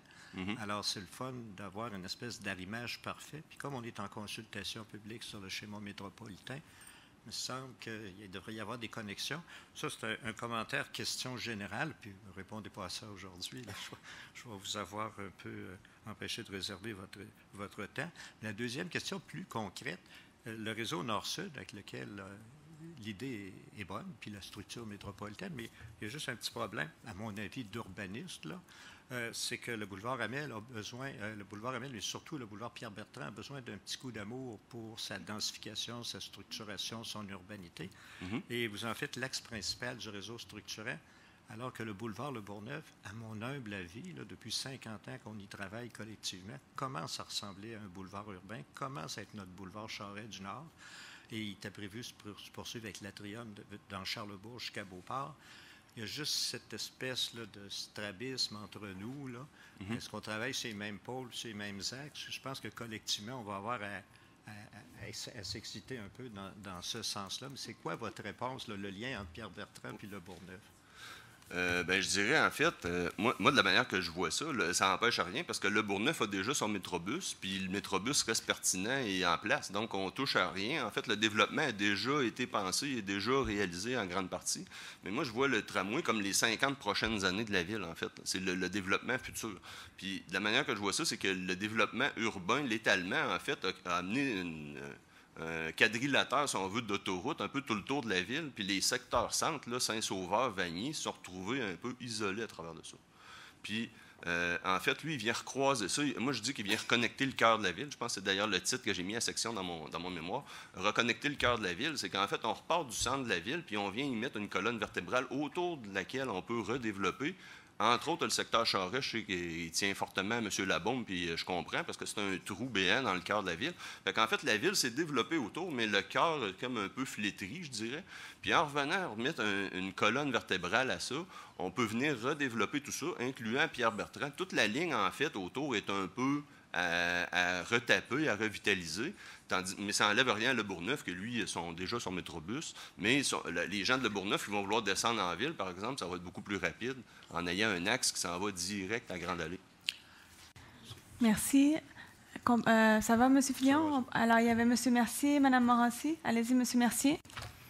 Bonjour, M. Plante. Euh, comme ancien collègue, euh, Bernard, une petite question pour toi. Un des éléments que, dans la réflexion qu'on a vu, c'est, je me mets un petit peu dans, la tête du ministère des Transports qui reçoit, imagine, qui reçoit cette idée-là d'investir sur, sur Pierre Bertrand. Euh, le gouvernement du Québec a investi beaucoup d'argent euh, dans le réseau autoroutier avec, une, euh, avec la philosophie d'intégrer le transport en commun pour supporter les deux grands axes de Robert Bourassa et, et, l'autoroute Laurentien pour devenir un genre de boulevard urbain, même dans l'entrée à Saint-Roch. Mm-hmm. Un des éléments, c'est est-ce que ces investissements-là deviennent désuets et, la connectivité, dans le sens que où est-ce qu'on met notre argent? Et est-ce qu'il y aurait un argumentaire à, démontrer que la valeur, le rajout de valeur pour la population générale?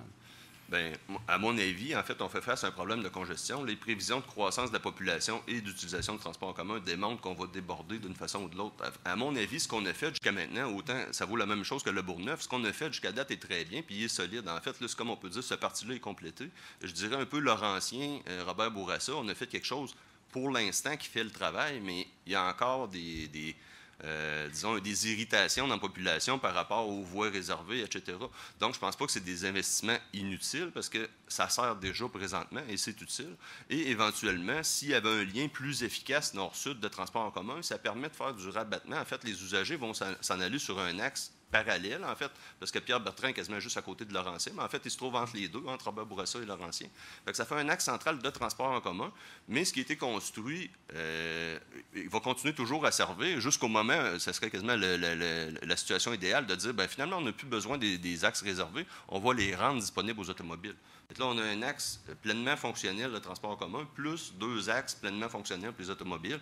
Euh, la fluidité, euh, on a une capacité élevée. En fait, il faut penser vraiment, moi je vois, ça comme le projet à partir d'aujourd'hui pour les 30 à 50 prochaines années. Donc, ce qui est fait jusqu'à maintenant est, bien, est adapté à la situation actuelle, mais je pense que l'ossature qu'on va créer euh, dorénavant, qu'il faut repenser, va marquer la ville pour les 50 prochaines années. On n'aura pas deux chances de se reprendre. Puis en fait, si on avec quelque chose de simple comme ça, les investissements qui ont été mis sont utiles mais ils vont donner une capacité excédentaire, en fait, qui vont venir en périphérie du système central. Euh, juste pour dire, hier, euh, peut-être pour vous prendre plus par surprise, on s'en est parlé un petit peu. Euh, hier, on a dévoilé un axe nord-sud sur Pierre-Bertrand pour connecter le, secteur nord-ouest vers le Bourgneuf, vers, vers le descente sur Pierre. Pierre Bertrand, euh, je pense qu'on se rejoint sur le point que c'est le temps maintenant de connecter ce secteur-là. Donc, euh, effectivement. on va dire qu'on s'est inspiré un à l'autre sur. oui, c'est ça. Ben, en, fait, vous, me surprenez totalement parce que je n'étais pas au courant. Donc, euh, j'apprends que c'est ça. je, suis content en fait de voir que le RTC et moi, on se rejoint. Ils, ont fouillé dans les tiroirs, dans vos vieux tiroirs, puis ils ont trouvé ça. oui, c'est ça. ça. Ils ont trouvé plein de choses dans nos vieux tiroirs. Mais je pense qu'on est tous d'accord, ça prend un petit peu d'amour sur Pierre Bertrand. Là, ben, c'est ça, effectivement. Mais ben, en, fait, la colonne vertébrale de transport lourd, en fait, un tramway, ce que ça permet, c'est de revitaliser tout ce qui va autour. Puis je pense que c'est quelque chose qui est recherché par M. Labombe. Je pense que je sens ça depuis le début. Là. On veut retaper, en profiter pour revitaliser les quartiers qui vont être en périphérie. Puis on a l'occasion, je pense, de le faire avec tous les quartiers en fait qui sont traversés par cette ligne-là, à partir de, de, Belvedere jusqu'à Charlebourg. Je, vous arrête, M. Plante, hein. pour qu'on puisse, euh, pour, que Mme Morancy puisse poser sa question avant qu'on passe aux intervenants suivants. Allez-y, Mme Morancy. aller rapidement. Euh, bon, votre, mémoire est beaucoup axée sur l'offre, hein, l'offre de transport, simplifier l'offre, euh, essayer d'avoir des lignes droites, ainsi de suite, mais j'aurais, je, me questionnais sur euh, le fait, est-ce que vous avez tenté de mettre la demande là-dedans pour voir euh, combien de points de rupture étaient amenés dans les trajets habituels? Parce qu'on peut bien, je comprends l'idée d'avoir un service qui peut être attractif d'un point de vue touristique, mais pour les déplacements quotidiens, si on essaie de mettre la demande sur ce type de réseau, combien de gens auraient à faire des correspondances supplémentaires, combien de gens auraient des trajets il y a une plus forte tortuosité, donc parce que ça ne répond pas nécessairement à ce qu'on appelle, nous, les lignes de désir. Je m'en vais ici, je m'en vais là-bas. Si je fasse des grands détours, évidemment, peut-être que le réseau, d'un point de vue off, est attractif, mais il n'est peut-être pas attractif d'un point de vue structure de la demande actuelle. Fait que je trouve que c'est l'exercice, j'imagine, qui devrait être fait avec un réseau comme ça pour voir quel est l'impact sur les déplacements actuels. Oui, bien, premièrement, je, je, suis tout seul. Mon équipe n'a Oui. pas pu travailler là-dessus, j'en ai Oui. pas. Euh, donc, euh, donc, effectivement, il y a une limitation à ce niveau-là, je l'accorde. Sauf que, à mon avis, un quadrillé qui est un échiquier, c'est facile de se déplacer de deux cases vers la droite, quatre vers le haut, etc., euh, en, en utilisant le, le- l'optima- le- le- le déplacement optimal là-dedans. Fait qu'en fait, à mon avis, encore là, on a construit le réseau à date jusqu'autour des lignes au- puis on tente souvent de régler les problématiques en disant, ben finalement, il y a beaucoup de demandes de là à là, on va faire une ligne de là à là, mais on Oui. zigzague partout dans la ville, puis personne ne s'y retrouve. Fait qu'en fait, moi, je pense que on, on de- on aurait avantage à peut-être pas dire on va vous connecter direct, mais on vous fait un une grille, là, puis déplacez-vous dans la grille au besoin en choisissant si c'est le tramway qui est le plus rapide, allez-y en tramway. Si c'est un métrobus, allez-y en métrobus. Si c'est un véhicule standard, prenez le standard. Les gens vont refaire leur habitude, mais un touriste qui va arriver ici va regarder la carte, va dire Ah, le réseau il est simple. Un nouvel usager va dire Ah, le réseau il est simple. Je fais deux, euh, deux coins de rue par là, puis 12 dans l'autre sens, je suis rendu. Donc, plutôt que de dire c'est quelle la ligne qu'ils ont étudiée, qui allait répondre à la demande générale. Moi, mon besoin, là, je m'en fous de la demande générale. Moi, je vais aller de là à là, je regarde la ligne, je fais ça ou je fais ça. C'est Mais en facile. même temps, on vise quand même des, des- des trajets rapides. Puis on sait très bien, quand on regarde la littérature, la pénalité qui est associée à des correspondances. Donc, quand on fait un métro, par exemple, à Laval, l'impact numéro un, c'est de vider les bus parce que les gens vont stationner au métro pour ne pas faire la correspondance. Donc, il y a quand même un risque associé au fait d'in- d'induire des ruptures dans les trajets. Les trajets directs sont très appréciés par la clientèle régulière. Donc, il faut vraiment réfléchir au niveau de- des impacts que ça peut avoir sur les trajets. Effectivement. Mais Alors, merci. Merci, Madame Morassi. Merci, Monsieur Plante. Ça va? On passe aux prochains intervenants parce qu'on, si on ne veut pas prendre de retard sur l'horaire, ça vous va? Merci beaucoup, bon, Plante. Votre mémoire sera versée sur le site Internet. Merci bien. Merci. Alors, j'invite euh, maintenant Madame Louise Brunet pour la MRC de la Jacques-Cartier. Et je crois que Madame Brunet, vous êtes accompagnée de deux personnes. Je vous invite à les présenter.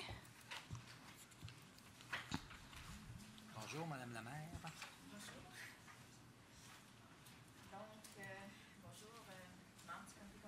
Votre, votre micro, Madame la maire. Madame- Madame la maire. Votre micro, s'il vous plaît. Alors, bienvenue. Vous aurez 10 minutes pour faire votre présentation. On affiche votre mémoire à l'écran. Si jamais vous voulez euh, le présenter aussi avec les images, vous pouvez le faire avec la petite manette. Donc, moi, je vous aviserai quand il vous restera 5 minutes, puis 2 minutes, 1 minute. Ça va? Merci. D'abord, euh, nous vous remercions de, nous permettre de vous présenter notre mémoire. Je me présente Louise Brunet, préfet de la MRC de la Jacques-Cartier. Je suis accompagnée aujourd'hui de Mme Sandra Boucher, directrice générale et secrétaire trésorière par intérim, et de Mme Valérie Blanchet, conseillère en transport. Compte tenu du temps qui nous est accordé, vous me permettrez d'entrer dans le vif du sujet. À titre de composante de la communauté métropolitaine de Québec, comme l'est aussi la Ville de Québec, il est essentiel que nous travaillions ensemble à une meilleure mobilité et que nos services de transport respectifs puissent collaborer afin d'assurer une desserte efficace.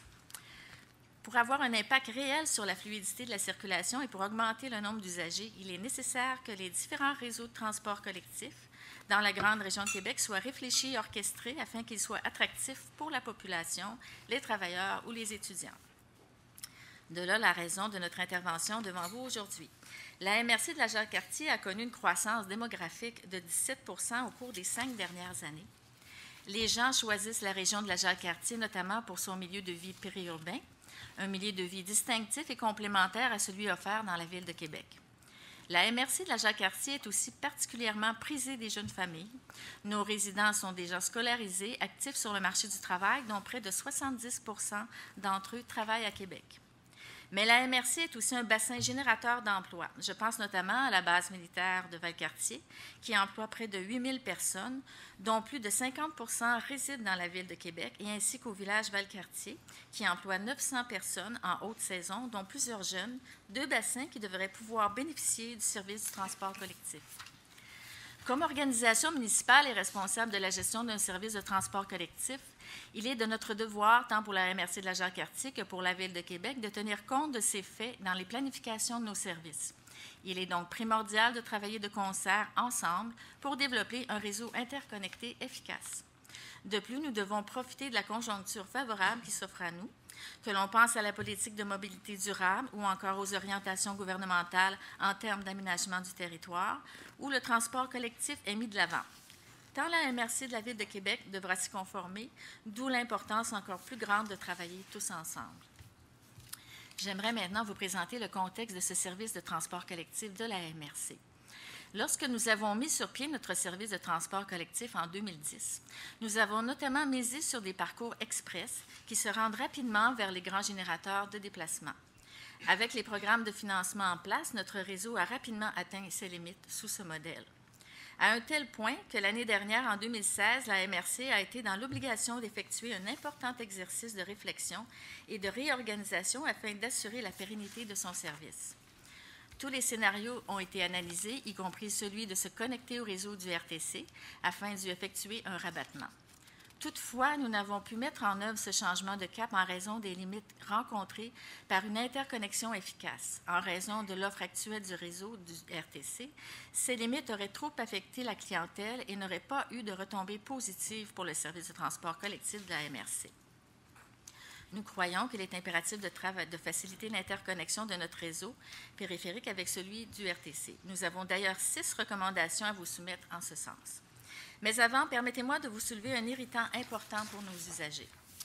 En attendant que les conditions gagnantes soient réunies pour, une interconnexion efficace, un règlement de la Ville de Québec de la période pré-fusion limite les réseaux périphériques comme le nôtre à ne desservir qu'un maximum de sept arrêts les usagers sont en raison frustrés de devoir souvent marcher de longues distances entre l'arrêt qui nous est autorisé et leur lieu de destination. De plus, comme l'interconnexion est inexistante pour plusieurs secteurs de la couronne nord, notamment dans l'ouest, par exemple la ville de Sainte-Catherine de la Jacques-Cartier, cette restriction de sept arrêts nous oblige à faire des choix quant aux services offerts. Ainsi, plusieurs personnes choisissent de maintenir leur déplacement en automobile car le service n'est pas offert ou ne permet pas, dans un temps convenable, de se rendre à destination. De plus, compléter leur déplacement avec le RTC et devoir se procurer un titre métropolitain beaucoup plus cher alors que notre autobus passe devant leur lieu de travail sans pouvoir y effectuer, d'arrêt devient un frein au développement euh, du transport collectif. Maintenant, revenons aux six conditions gagnantes pour favoriser une interconnexion efficace. D'abord, la localisation des zones de transfert est à revoir. Il nous apparaît essentiel d'aménager des zones de transfert qui soient situées à des endroits stratégiques aux limites de l'agglomération de Québec. Il est important d'en localiser notamment dans l'ouest de l'agglomération pour notre clientèle y accédant par la route de Froissambeau il serait opportun d'en localiser au nord de la ville, dont à val et à Loretteville, pour permettre d'offrir éventuellement un service à nos citoyens de Shannon et de Saint-Gabriel de Valcartier et ainsi pouvoir desservir nos bassins générateurs d'emplois. Une zone efficace dans le nord de Beauport serait stratégique pour nos citoyens de Sainte-Brigitte de Laval. Il vous reste cinq minutes. Le terminus du zoo nous semble relativement bien positionné pour Stoneham, Tewksbury, Lac de l'Âge, Lac Beauport, mais qui gagnerait à être réaménagé et agrandi afin de faciliter l'accès à plus de véhicules dans sa boucle. Ensuite, l'efficacité des parcours doit être améliorée. Des parcours express plus directs doivent partir de ces zones de transfert afin d'éviter à la clientèle un long circuit dans les secteurs banlieues de la ville de Québec. Nous proposons un service qui partirait des zones de transfert préalablement identifiées et qui, après un ou deux arrêts sans agglomération de Québec, accéderait directement aux principaux pôles de destination. Pour être rapide, ces circuits gagneraient à circuler sur des voies réservées. Nous devons travailler sur leur acceptabilité sociale afin de développer un réseau efficace en temps de déplacement. Troisièmement, les destinations des parcours express à partir des zones de transfert doivent également être revues. En plus des secteurs de Sainte-Foy, de la colline parlementaire, il est important de proposer une offre efficace pour vers d'autres pôles de destination tels le Bourgneuf. Une meilleure connectivité entre ces pôles faciliterait assurément la mobilité de dans toutes les directions. Quatrième proposition, les horaires à partir des zones de transfert doivent être harmonisés. Ce faisant, l'interconnexion avec les réseaux périphériques serait facilitée. Une arrivée synchronisée par ces rabattements nous permettrait à nous, utilisateurs, d'aussitôt repartir avec le RTC. Notre cinquième recommandation concerne la tarification métropolitaine qui doit être revue afin de la rendre plus attractive. Si la MRC optait pour une interconnexion connexion systématique de son réseau sur celui du RTC, nos usagers devraient se procurer le laissez-passer métropolitain. Bien qu'il donne accès à tous les services de transport collectif de la région de Québec, il représente actuellement une hausse mensuelle de près de 50 par usager. Leur imposer ce titre se traduirait inévitablement par une perte de la clientèle et représente un coût additionnel qui est assuré par la MRC. En effet, le laissez-passer métropolitain coûte maintenant 134,65 une augmentation de 6 cette année, alors notre laissez-passer est au montant de 87 Or, le coût de ce titre métropolitain pour certains secteurs est plus dispendieux qu'un stationnement et pour d'autres secteurs se rapproche du coût mensuel. Comme le temps de transport n'est pas optimal, il est de notre avis essentiel que le coût demeure un incitatif. Connaissant l'élasticité de la clientèle face à un transfert de véhicule ou face à une augmentation du coût de son titre, l'offre de service doit être réellement attractive pour passer au-delà de ses premières réserves. Le gain de temps doit être significatif afin que l'investissement en vaille la peine. Notre sixième recommandation est le thème de ce mémoire. Travailler ensemble à une meilleure mobilité pour une interconnexion mieux pensée et plus efficace. Nous, croyons qu'il est essentiel que la MRC de la Jacques-Cartier, au même titre que les composantes de l'agglomération, soient impliquées dans l'exercice de planification. La Ville de Québec et le RTC doivent considérer les municipalités périphériques comme des sources potentielles d'utilisateurs. Je profite de l'occasion pour vous signaler l'entière collaboration de la MRC de la Jacques-Cartier dans cette démarche. Il vous reste deux minutes. Merci. En mettant simultanément en œuvre les conditions gagnantes pour une interconnexion efficace et en misant sur un réseau rapide et adéquatement déployé, nous pourrions tous offrir à nos citoyens un service dont nous pourrons collectivement être fiers. Merci de votre temps et nous sommes disposés à répondre à vos questions. Merci. Merci beaucoup. Merci, euh, Madame Brunet. Merci à vous. Alors, euh, on a du temps pour les échanges. Monsieur Normand, vous souhaitez commencer? Oui, Allez-y. Euh, ce qui ressort, je pense, globalement, c'est qu'on a besoin d'un meilleur arrimage et d'une meilleure connectivité. ça me semble être une évidence la Ville de Québec subit, je ne le dis pas avec un, mauvais jeu de mots, là, subit euh, la présence, les déplacements des gens qui viennent de la périphérie, pas juste de, euh, la périphérie nord, mais on peut penser que la rive sud et l'ouest, euh, l'est aussi sont, des gens qui viennent transiter chez nous. Donc, c'est des, gens qui transitent par le territoire de la Ville de Québec. Et donc, on a avantage tout le monde à trouver ces meilleurs points de connexion et cette meilleure, ce meilleur arrimage-là. Au niveau du tarif métropolitain, là, je comprends que si on fait un petit calcul rapide, je reste à, Beauport, par exemple, et que je regarde, le, je regarde le prix du tarif métropolitain, je fais le coût du stationnement.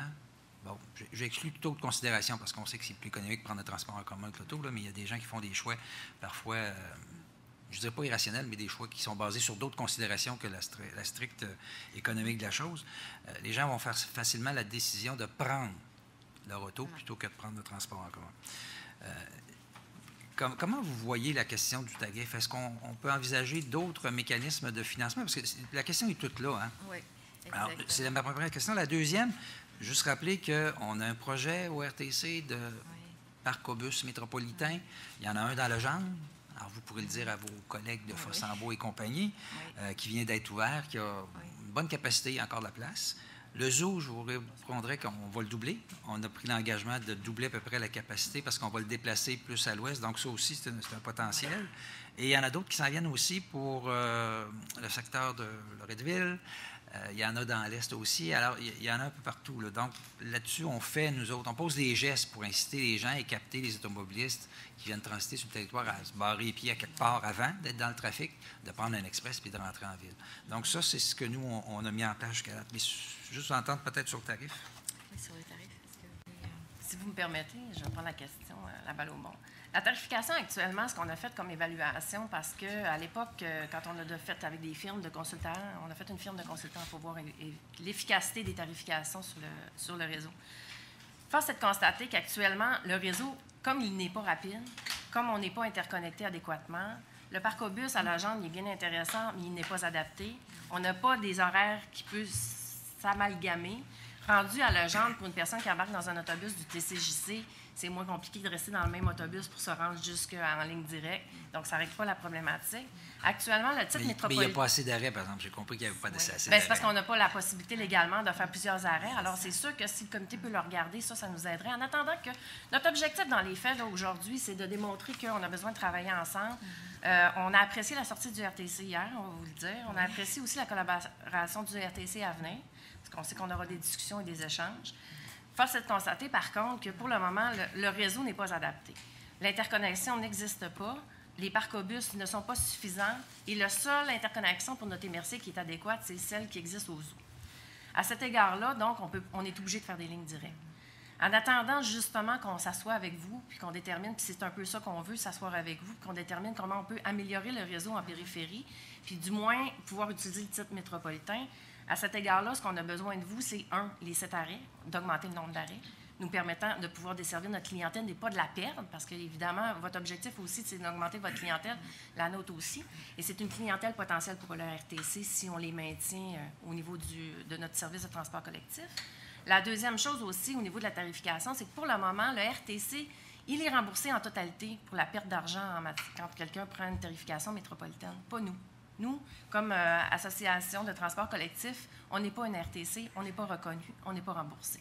Donc, ça nous coûte des frais. Ça coûte des frais aussi pour le citoyen. Et à au nouveau tarif de cette année, quand quelqu'un regarde la tarification du centre-ville mensuel, puis que la tarification est moins élevée, ils vont faire le choix de prendre leur véhicule pour deux raisons.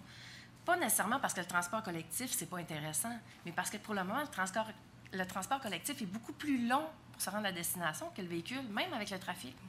Et dans le contexte actuellement du, problème de trafic et de la congestion routière, particulièrement sur les grands axes qui viennent puis qui nous descendent sur la couronne nord, on a une grosse problématique. C'est la même problématique avec l'Ouest, particulièrement avec l'Ouest, la route de Fontainebleau, parce que, euh, veut pas, ils sont obligés de prendre Charret. Rendu à Charret, le seul lieu d'interconnexion avec la RTC il est rendu au sol, puis on a déjà parlé aussi avec la RTC. Rendu au sol, je suis rendu sur le territoire.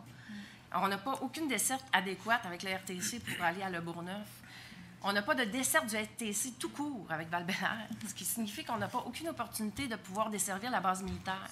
La RTC a déjà offert un service avec la base militaire, mais la base militaire ne la prend plus parce que c'était très dispendieux. Même chose pour, la, euh, pour Valcartier. Valcartier a fait des gros investissements, vous le savez, puis c'est un, beau joyau pour la région. Puis quand on parle de la région, nous, on parle de la région large. Euh, on n'a pas de système de transport collectif qu'on peut déployer parce qu'on n'a pas d'interconnexion avec la Ville de Québec. Ce qui fait en sorte qu'à 900 jeunes en moyenne, en saison estivale, 900 personnes qui travaillent, avec l'hôtel maintenant qui est en permanence là, ils ont besoin d'un service de transport collectif et c'est sur notre territoire, mais on n'a pas de possibilité de pouvoir s'interconnecter avec le vôtre.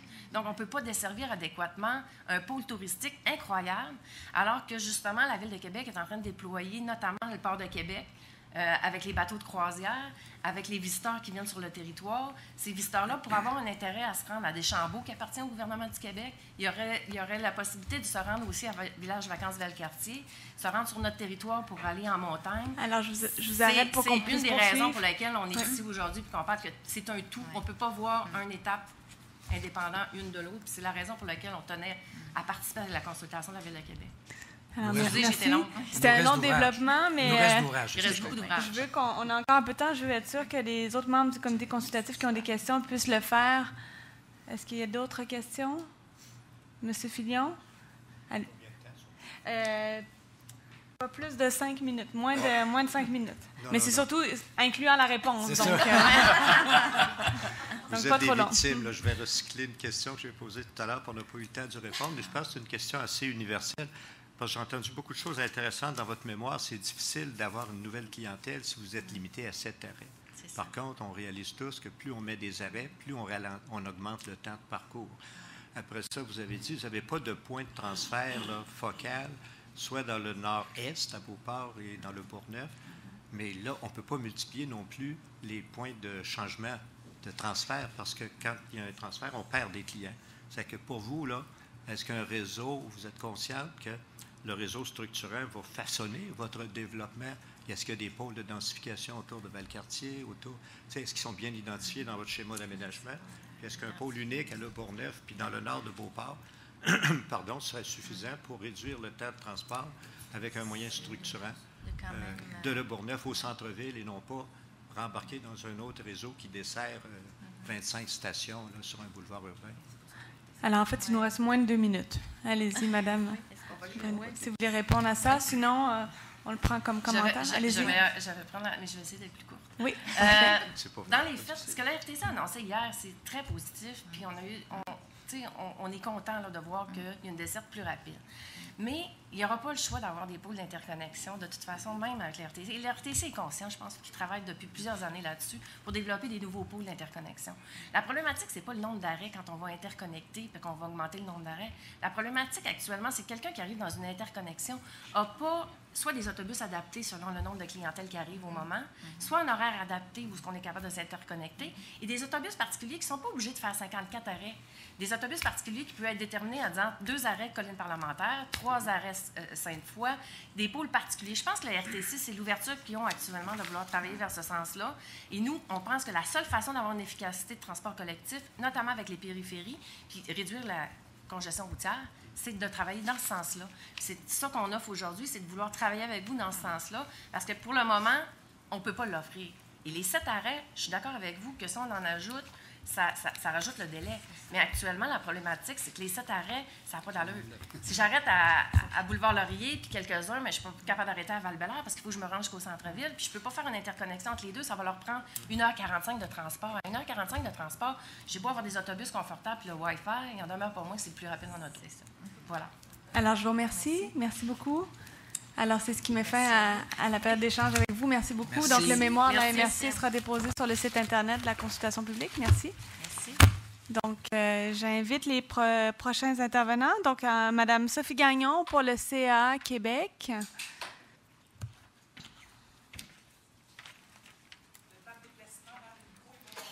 Non, bien sûr, vous avez le temps. Oui.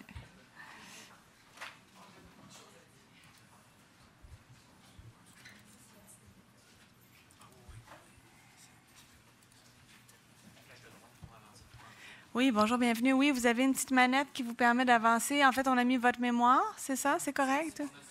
Vous, vous aviez une présentation? Attendez, on va aller voir. Ah oui, OK, je l'ai. Non, non, non. Ne vous inquiétez pas. OK, c'est ça? OK. Alors, bienvenue. Euh, peut-être, Mme Gagnon, nous présenter la personne qui vous accompagne. Et puis, je vous aviserai ensuite quand il vous restera cinq minutes, puis deux minutes, une minute. Parfait, merci beaucoup.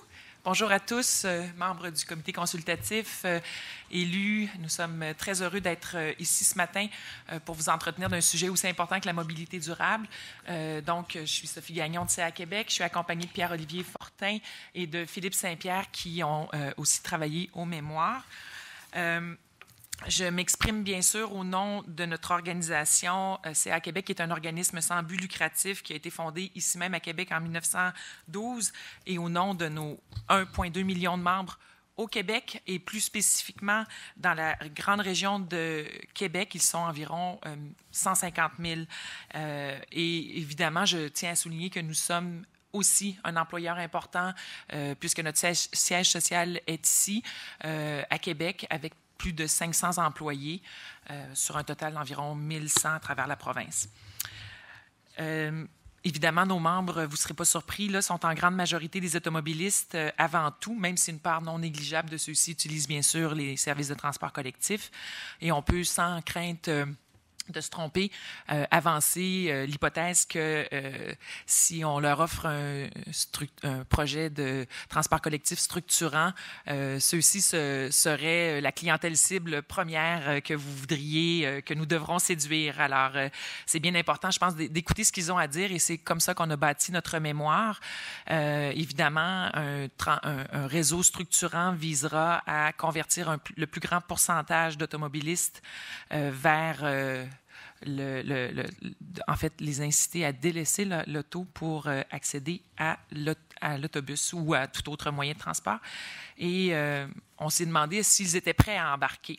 Je vais avoir des éléments de réponse euh, dans quelques instants à cet égard. Mais d'entrée de jeu, je vous dirais que notre euh, mémoire se divise en trois parties. Notre présentation, euh, on va d'abord faire une brève présentation de notre, notre, position sur la mobilité durable. Ensuite, on veut vous livrer les faits saillants d'un récent sondage qui a été mené auprès de nos membres de l'agglomération de Québec. Et on va terminer en résumant les principales recommandations de notre mémoire. Il y en a dix. On va s'attarder principalement sur six. Alors, euh, tout d'abord, euh, vous ne serez pas surpris d'entendre que CA Québec est très en faveur d'une mobilité qui soit la plus durable possible. Et ça va de soi pour nous, même si on est une organisation qui offre traditionnellement euh, beaucoup de produits et services aux automobilistes.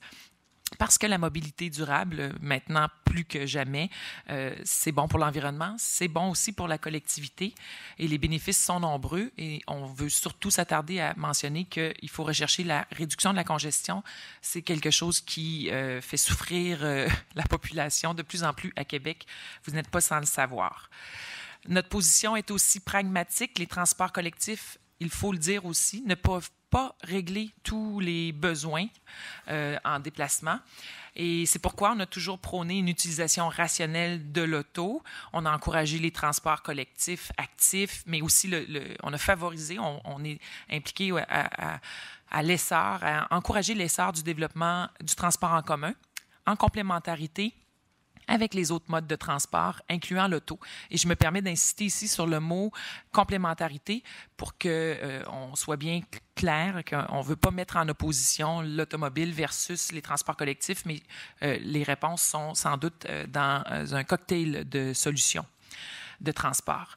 On a tendance également à trop l'oublier. C'est pour ça que CA Québec estime important de le rappeler chaque fois que nécessaire, chaque fois que possible. Les automobilistes ont versé en 2016, à titre d'automobilistes, plus de 1,5 milliard de dollars en taxes et en contributions directes parce qu'ils sont automobilistes et pour le strict financement d'initiatives de transport collectif. Donc, euh, et je parle même pas des trois. En fait, au total, c'est 4 milliards qu'on verse comme automobiliste pour les routes, l'entretien, etc. Mais si on regarde juste le financement euh, du transport collectif, c'est pas rien là, et euh, c'est pour ça qu'on on, est en droit de s'attendre à ce qu'il y ait des améliorations concrètes et qu'on s'intéresse à leur position là-dessus.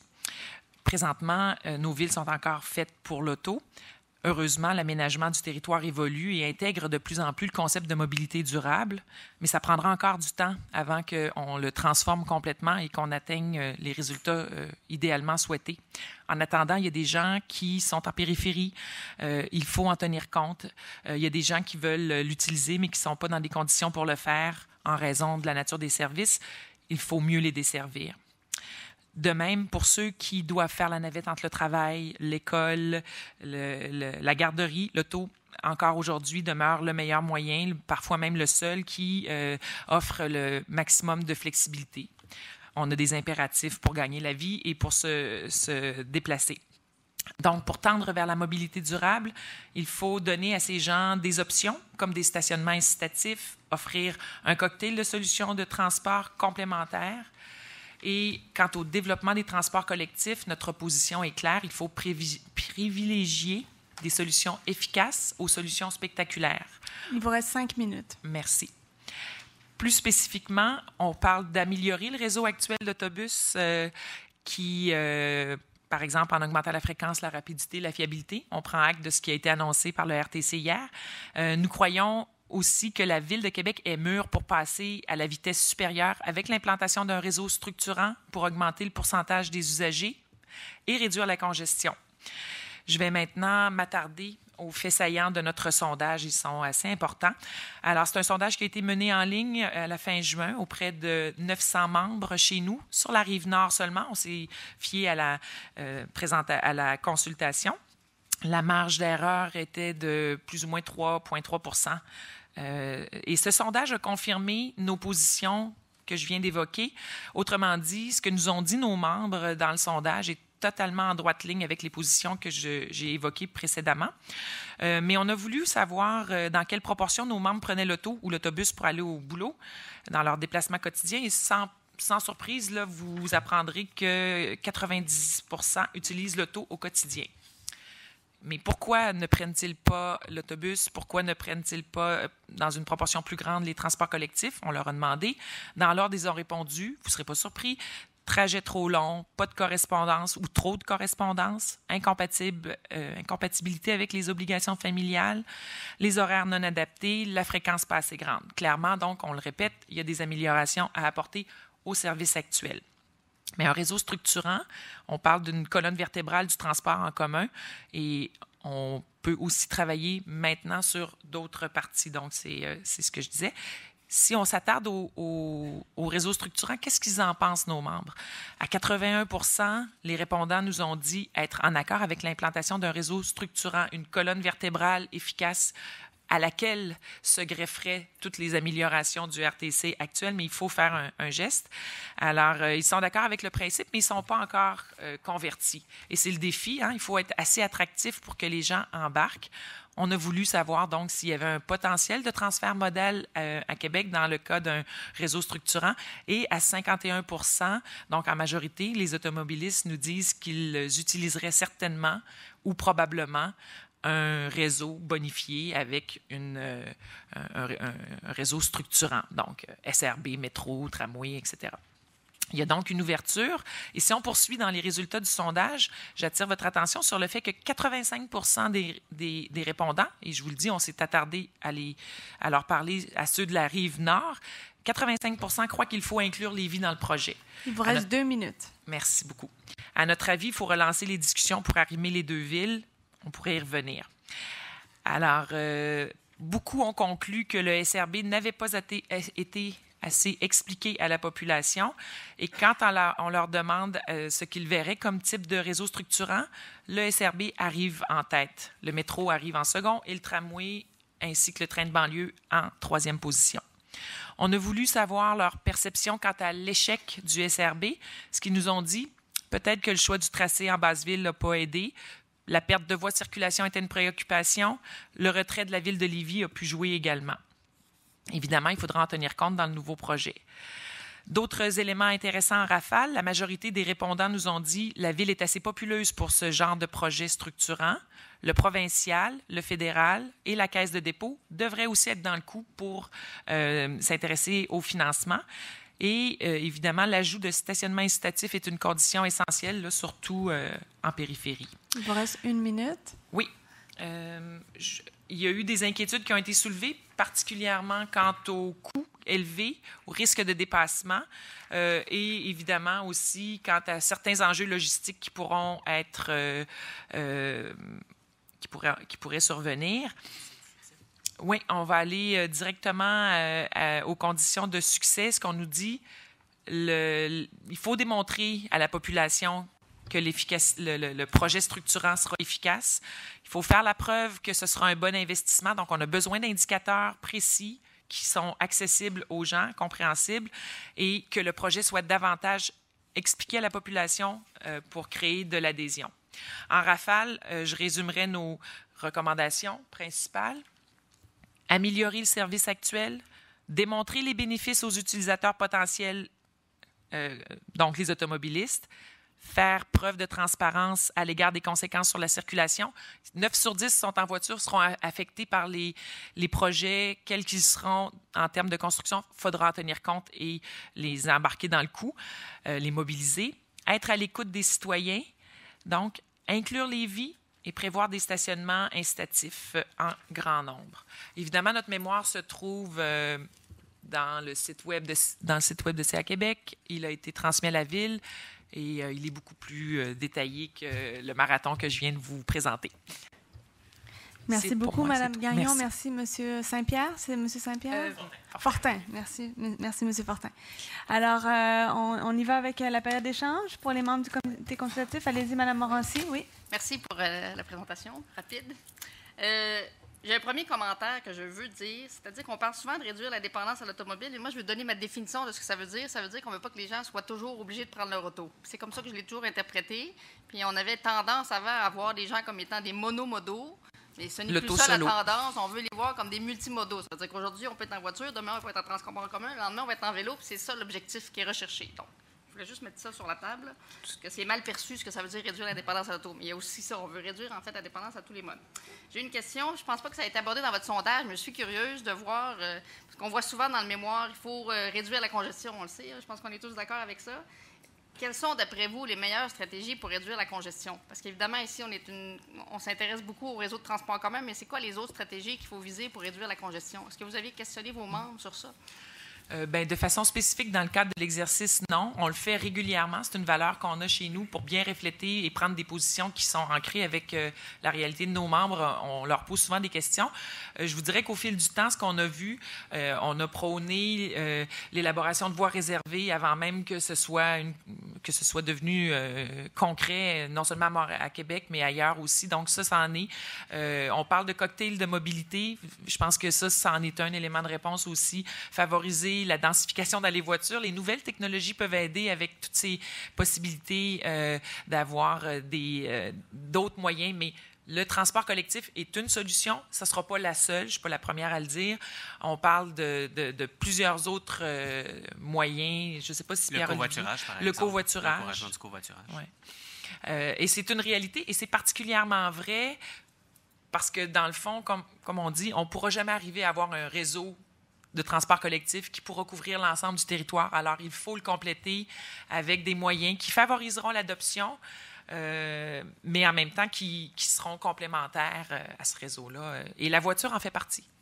Je vais juste compléter avec ma deuxième question, qui était les meilleures stratégies maintenant pour rendre le transport en commun plus rapide. Parce qu'on l'entend, tout le monde veut un transport en commun rapide, avec le moins de correspondance possible. Mais vous n'êtes pas nécessairement, vous pas nécessairement prononcé, sur un réseau ou sur une, offre à mettre en place? ben, en fait, on s'était prononcé en faveur du SRB euh, en 2015. On avait à l'époque mentionné l'importance de créer l'adhésion populaire, de vendre le projet, euh, d'y aller à fond. Ben, c'est sûr que là, euh, reculer en arrière et on avance, euh, on l'espère à un moment donné. On est prêt, c'est ce qu'on vous dit. Les gens se disent prêts à aller vers un réseau structurant et je pense que c'est la prochaine étape. Alors, oui, à l'amélioration du réseau actuel, mais on parle d'un. Ce qui manque en ce moment, là, c'est un, l'épine dorsale d'un réseau. C'est, je pense, l'objet de la, de la consultation et on espère, c'est sûr, on n'est pas des experts, nous, pour vous dire passez-le sur le boulevard Laurier, passez-le sur le Bourgneuf il va falloir des, des pôles euh, multimodales, des gares, comment vous l'avez appelé dans le... Des pôles d'échange. Des pôles d'échange, très importants, des stationnements incitatifs. je pourrais toutes les, les énumérer, ces conditions gagnantes-là, mais en ce moment, là, ce dont il est question, ce dont on a besoin, c'est d'un, d'une épine, d'une colonne vertébrale à notre réseau. Continuer à améliorer le réseau actuel, mais ça prend quelque chose. Mais là, arrêtons d'en parler puis faisons-le. Si je voulais résumer, mais bon. Parfait. Merci. On a le temps pour une autre question. Monsieur, ah, Monsieur Filion d'abord, ensuite Monsieur Mercier. Allez-y, Monsieur Mercier, alors. Oui, euh, brièvement, j'avais juste, je voulais comprendre l'interprétation. Euh, il y avait un genre de méfiance des projets spectaculaires, je pense, euh, le mot qui était utilisé. En même temps, on veut de la répétitivité. Pourriez-vous nous expliquer, dans la, dans la tête du monde qui ont répondu... C'est vraiment pas contradictoire. On va vous le, préciser. Je vais essayer de, bien l'expliquer. En fait, euh, il faut se reporter à l'époque où on parlait tramway, euh, SRB, SRB, tramway, métro, euh, tunnel. Il y a eu beaucoup, beaucoup de propositions. Je n'irai pas jusqu'à dire farfelues, mais peut-être certaines au-delà des capacités qu'on aurait de payer. On dirait pour nous que le SRB, puis là, je ne veux pas embarquer sur quel tracé ou quoi que ce soit, mais on a trouvé à l'époque, euh, en 2015, que ce moyen-là était quand même un moyen qui était à la fois, qui avait toutes les chances d'être à la fois efficace sans non plus coûter aussi cher que euh, peut-être un tramway.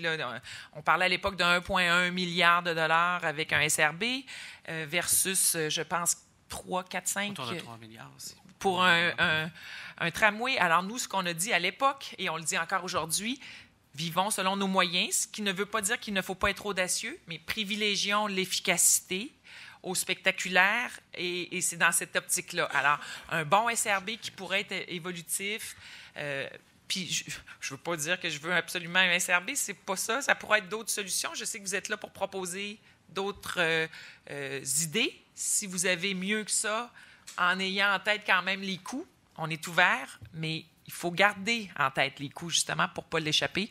Puis, c'est ça.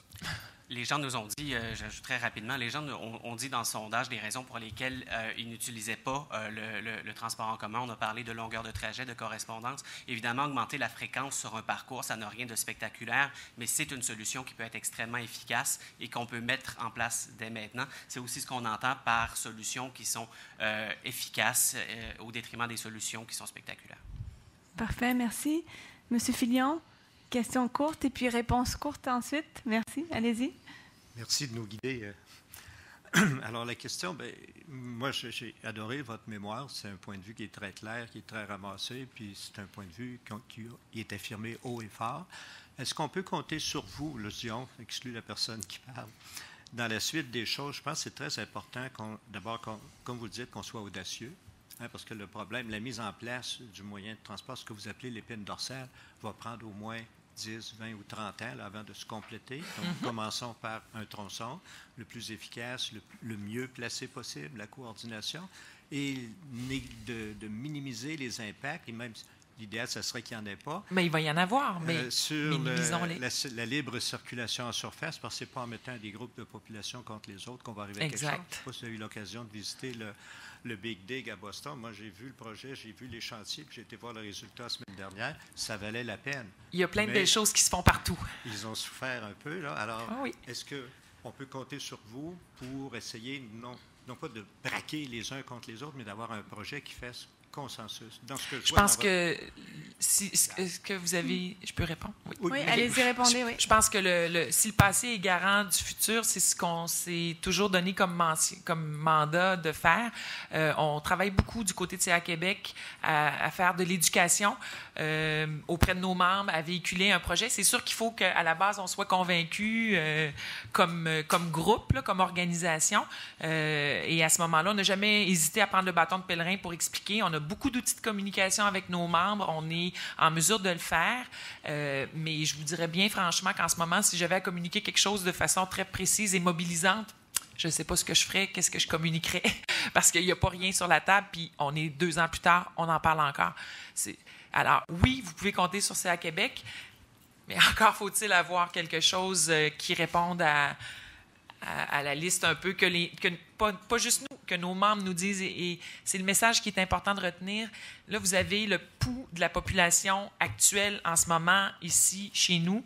On nous dit euh, euh, qu'ils sont prêts à le faire, mais qu'on a besoin de faire une vente. J'ai bien aimé le propos de M. Plante quand il me parle de créer de la mobilisation la communauté économique euh, est, serait certainement à interpeller. Mais en ce moment, là, je vous dirais que on a hâte de savoir, puis on va s'atteler. On a parlé euh, aussi beaucoup qu'on ne voulait pas opposer les modes, hein, euh, les, modes collectifs, les modes euh, individuels. Donc, il va falloir continuer à travailler dans ce sens-là, dans ce sens-là également. Évidemment, il y aura des, des, inconvénients pendant la construction, des compromis à faire, mais tout ça, on, souhaite que ce soit expliqué, que les compromis et, les, et tout ça soit minimisé, mais on ne veut pas travailler en opposition. Juste pour terminer, en conclusion, ce que je dirais, c'est que c'est pas tant les inconvénients que euh, la crainte des coûts, des dépassements de coûts, des échéanciers et du manque d'informations qui euh, pourrait être un écueil. Alors, euh, je pense qu'il faut mettre les choses dans, le, dans la juste proportion. Si les, les, automobilistes ont un projet concret, mobilisant, qu'on leur explique, qu'on leur vend et qui les amène plus loin avec une perspective et qui sont capables de voir les indicateurs de succès, ils vont embarquer puis ils vont les vivre, les inconvénients. Parfait. Alors, merci beaucoup. Merci, Mme Gagnon. Merci. M. Fortin. Alors, écoutez, on va prendre un cinq minutes de pause toilette. OK? Euh, je vais bien chronométrer le temps et ensuite on reprend, oui, ou pause café. Ensuite, on reprend avec le regroupement des intermédiaires taxis. Alors, merci beaucoup. Votre mémoire sera versée sur Internet.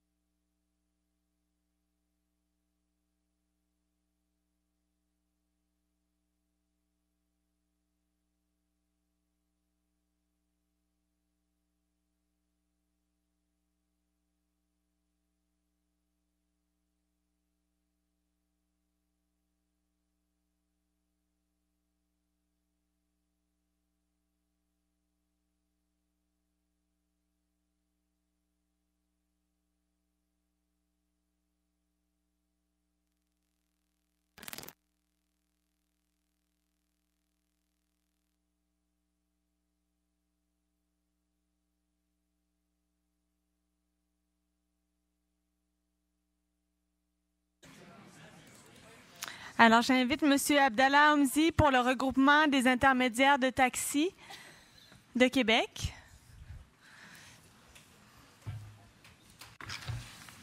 Bonjour, M. Omsi. Juste avant que vous commenciez, je voudrais signaler la présence d'une autre de mes collègues qui vient d'arriver du conseil municipal, euh, Mme Corriveau, conseillère du district Pointe-Sainte-Foy. Bonjour, Anne. Bonjour, bienvenue. Alors, M. Hamzi, peut-être nous présenter à la personne qui vous accompagne. Et puis, comme pour les autres présentateurs, vous aurez 10 minutes. Je vous aviserai quand il vous restera 5 minutes, puis 2 minutes, 1 minute. Puis, vous avez la manette aussi pour actionner euh, vos diapos. Bienvenue. OK. Bonjour. Bon, je me présente en premier. Euh, mon nom est Abdallah Amsi. Je suis président de Taxi Coop 5 de 551 enfants et je suis le porte-parole du RITQ. J'ai à ma droite euh, M. Mathieu Ginot. M. Mathieu Ginot est le concepteur de notre application Taxi Coop et c'est notre conseiller en technologie. Moi, je suis le chauffeur de taxi, c'est lui la technologie. Bon, euh, je commence par nous présenter. Taxi Coop 5 de 5, 51 enfants existe depuis 1945. Présentement, nous détenons 408 permis de taxi à Québec. Et notre force, c'est nos regroupements avec les autres coopératives et intermédiaires.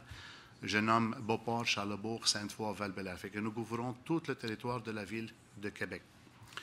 Ensemble, nous regroupons pas loin de 600 permis. Euh, ces permis-là, ces véhicules-là sont en majorité hybrides, 80 Nous avons fait le virage hybride. Puis euh, présentement, nous travaillons fort avec le gouvernement pour arriver à une solution aussi électrique. L'industrie taxi, en général, dans la ville de Québec, fait pas loin de 2,5 millions de courses par année. Notre centrale téléphonique, c'est une centrale euh, euh, unique pour tout le monde et elle est très technologique. Par rapport à l'industrie taxi, nous sommes les plus technologiques dans la province et nous sommes fiers à souligner ça. Il y a quelques années, euh, en 2013, nous avons commencé à développer notre application Taxi Coop, dont nous sommes très fiers. Et nous avons réussi à s'adapter aux besoins du client. Nous avons même demandé un projet pilote pour abolir les agglomérations par application. Tout ça dans le but unique, c'est qu'on ne soit pas égoïste, on regarde c'est quoi l'intérêt du client et comment on peut desservir le client de façon très rapide et euh, à moindre coût. Notre application, présentement, il y a 40 000 téléchargements et euh, nous sommes disponibles dans plusieurs villes. Nous sommes disponibles à Lévis, à Chicotémi, à Montréal, à Laval, bientôt à Gatineau, puis on ne sait pas où est-ce qu'on s'en va avec ça. Euh, il y a beaucoup d'intérêt pour l'application. La beauté de notre application, c'est qu'on est capable de voir le déplacement en temps réel, on est, on est capable de voir la marque du véhicule, le chauffeur, son nom, sa photo et tout ce qu'il y a là-dedans. On peut évaluer même le service, que ce soit la propriété du véhicule, que ce soit euh, le service donné par le chauffeur. Euh, le client, il est capable d'évaluer ça en temps et lieu. Même avant même de commander la course, le client est capable de faire l'estimation automatique avant d'embarquer dans, la voiture. Et ce qui est très important, c'est qu'on a développé dernièrement ce qu'on appelle la réservation à 30 jours d'avance. Normalement, cette situation-là n'existait pas, fait qu'on était euh, en avance dans ce projet-là, puis on l'a développé, toujours dans le but de servir la clientèle. On voyait c'est quoi les besoins, pour s'adapter aux besoins. Où est-ce que tout ça a commencé? le service de transport adapté de la capitale que vous connaissez, partie de RTC. En 2012, les, responsables sont arrivés avec une vision en disant à l'industrie taxi, nous aimerions optimiser nos tournées et nous, nous aimerions que l'industrie taxi soit au rendez-vous, ce qu'on a fait. C'est vrai qu'on a commencé la répartition automatisée en 2008 dans l'industrie taxi, sauf que en 2012, on n'avait pas les logiciels qui étaient compatibles avec le STAC dans le temps. Nous avons investi. En dedans de deux mois, on était au rendez-vous, puis on a développé l'application. Juste pour vous donner une idée, c'est quoi le changement et pourquoi je le mentionne. Avant, on recevait des fax, des papiers, des, feuilles de route où est-ce qu'on avait, par exemple, trois embarquements, trois débarquements à la fin de la tournée. La beauté de la chose, c'est que nos chauffeurs, par exemple, se trouvaient à Lobourneuf, on les appelait par téléphone, ils venaient jusqu'à Limolo, chercher le papier, remonter à Saint-Émile pour commencer une tournée. Ce qui était extrêmement du millage, ce qui était coûteux pour les chauffeurs de taxi. Et ce n'était pas rentable, puis ça prenait du temps. ça dépend du trafic, qu'est-ce qu'il y en a. Alors, en faisant ça en collaboration avec la STAC, on a aussi rendu la vie du chauffeur de taxi meilleure et avec une rentabilité meilleure pour le chauffeur de taxi. Ce succès-là nous a amené en 2014 à ce que tous les intermédiaires de la Ville de Québec se regroupent ensemble sur le même central qui est à Taxi Coop 5 enfants et de donner le service à ce contrat-là. Sachant très bien pourquoi je nomme la STAC parce que le contrat de transport adapté, c'est le client, le plus gros client de l'industrie de taxi. Puis il faut qu'on soit au rendez-vous. On le savait, puis on l'a fait. Alors, en regroupant tout le monde sur la même centrale, on a réussi à abolir ce qu'on appelle les, agglomérations pour le transport adapté. On a réussi à améliorer la rentabilité et on a réussi à, baisser le temps de réponse et surtout les plaintes. Ce genre de contrat-là nous amène pas loin de 250 000 déplacements tournés par année et pas loin de 700 000 euh, déplacements de personnes. Vous avez les chiffres, vous les connaissez par cœur, mais pour les gens qui ne connaissent pas ça, approximativement. Pourquoi nous sommes là et quel genre d'opportunités que l'industrie taxi peut offrir? Premièrement, je ne peux pas ne pas passer à côté de l'expertise. Plusieurs décennies d'expertise en déplacement de personnes. Ça, c'est l'industrie taxi le fait. Il vous reste cinq minutes. Oui. C'est un déplacement sont très, très flexible et peu coûteux. Sauf que nous croyons que la euh, complémentarité du taxi et du transport municipal est sous-exploitée. C'est pour ça qu'on arrive à dire qu'aujourd'hui, nous proposons le taxibus, un, projet pilote de taxibus qu'on appelle taxibus 2.0. C'est quoi le taxibus 2.0? Parce qu'il existe déjà le taxibus. Le taxibus 2.0, ça veut dire qu'on est capable de compléter le dernier kilomètre, puis le premier kilomètre pour, faire, pour servir dans l'autobus, euh, après l'autobus. On peut remplacer les autobus lorsque l'usage est faible. Et je dis bien faible, parce que nous, on, on se voit comme complémentaire à l'autobus et non prendre la place. Pourquoi on a appelé Taxibus 2.0 et qu'est-ce qu'on peut faire présentement? Actuellement, pour ceux qui connaissent, il y a des, genres de bouts de ligne que le taxi fait, que ce soit à Charlebourg, que ce soit à Sainte-Foy, que ce soit à Valcartier. Ce genre de taxibus, il est géré de façon indépendante. Chaque intermédiaire à lui-même, il le gère de sa façon. Suite à notre expertise dans le transport adapté, nous croyons qu'on est capable de rentabiliser et avoir les chauffeurs à la bonne place au bon moment pour qu'ils soient capables de répondre rapidement. Ce n'est pas correct que, par exemple, euh, à Québec, on appelle un chauffeur qui est à Sainte-Foy pour venir faire un taxibus, alors que le véhicule, par exemple, de Charlebourg est à Valcartier. On est capable d'optimiser. Le plus important, c'est de diminuer le millage à mort. Alors, il faut regrouper euh, euh, ce, genre de taxibus détournés ensemble.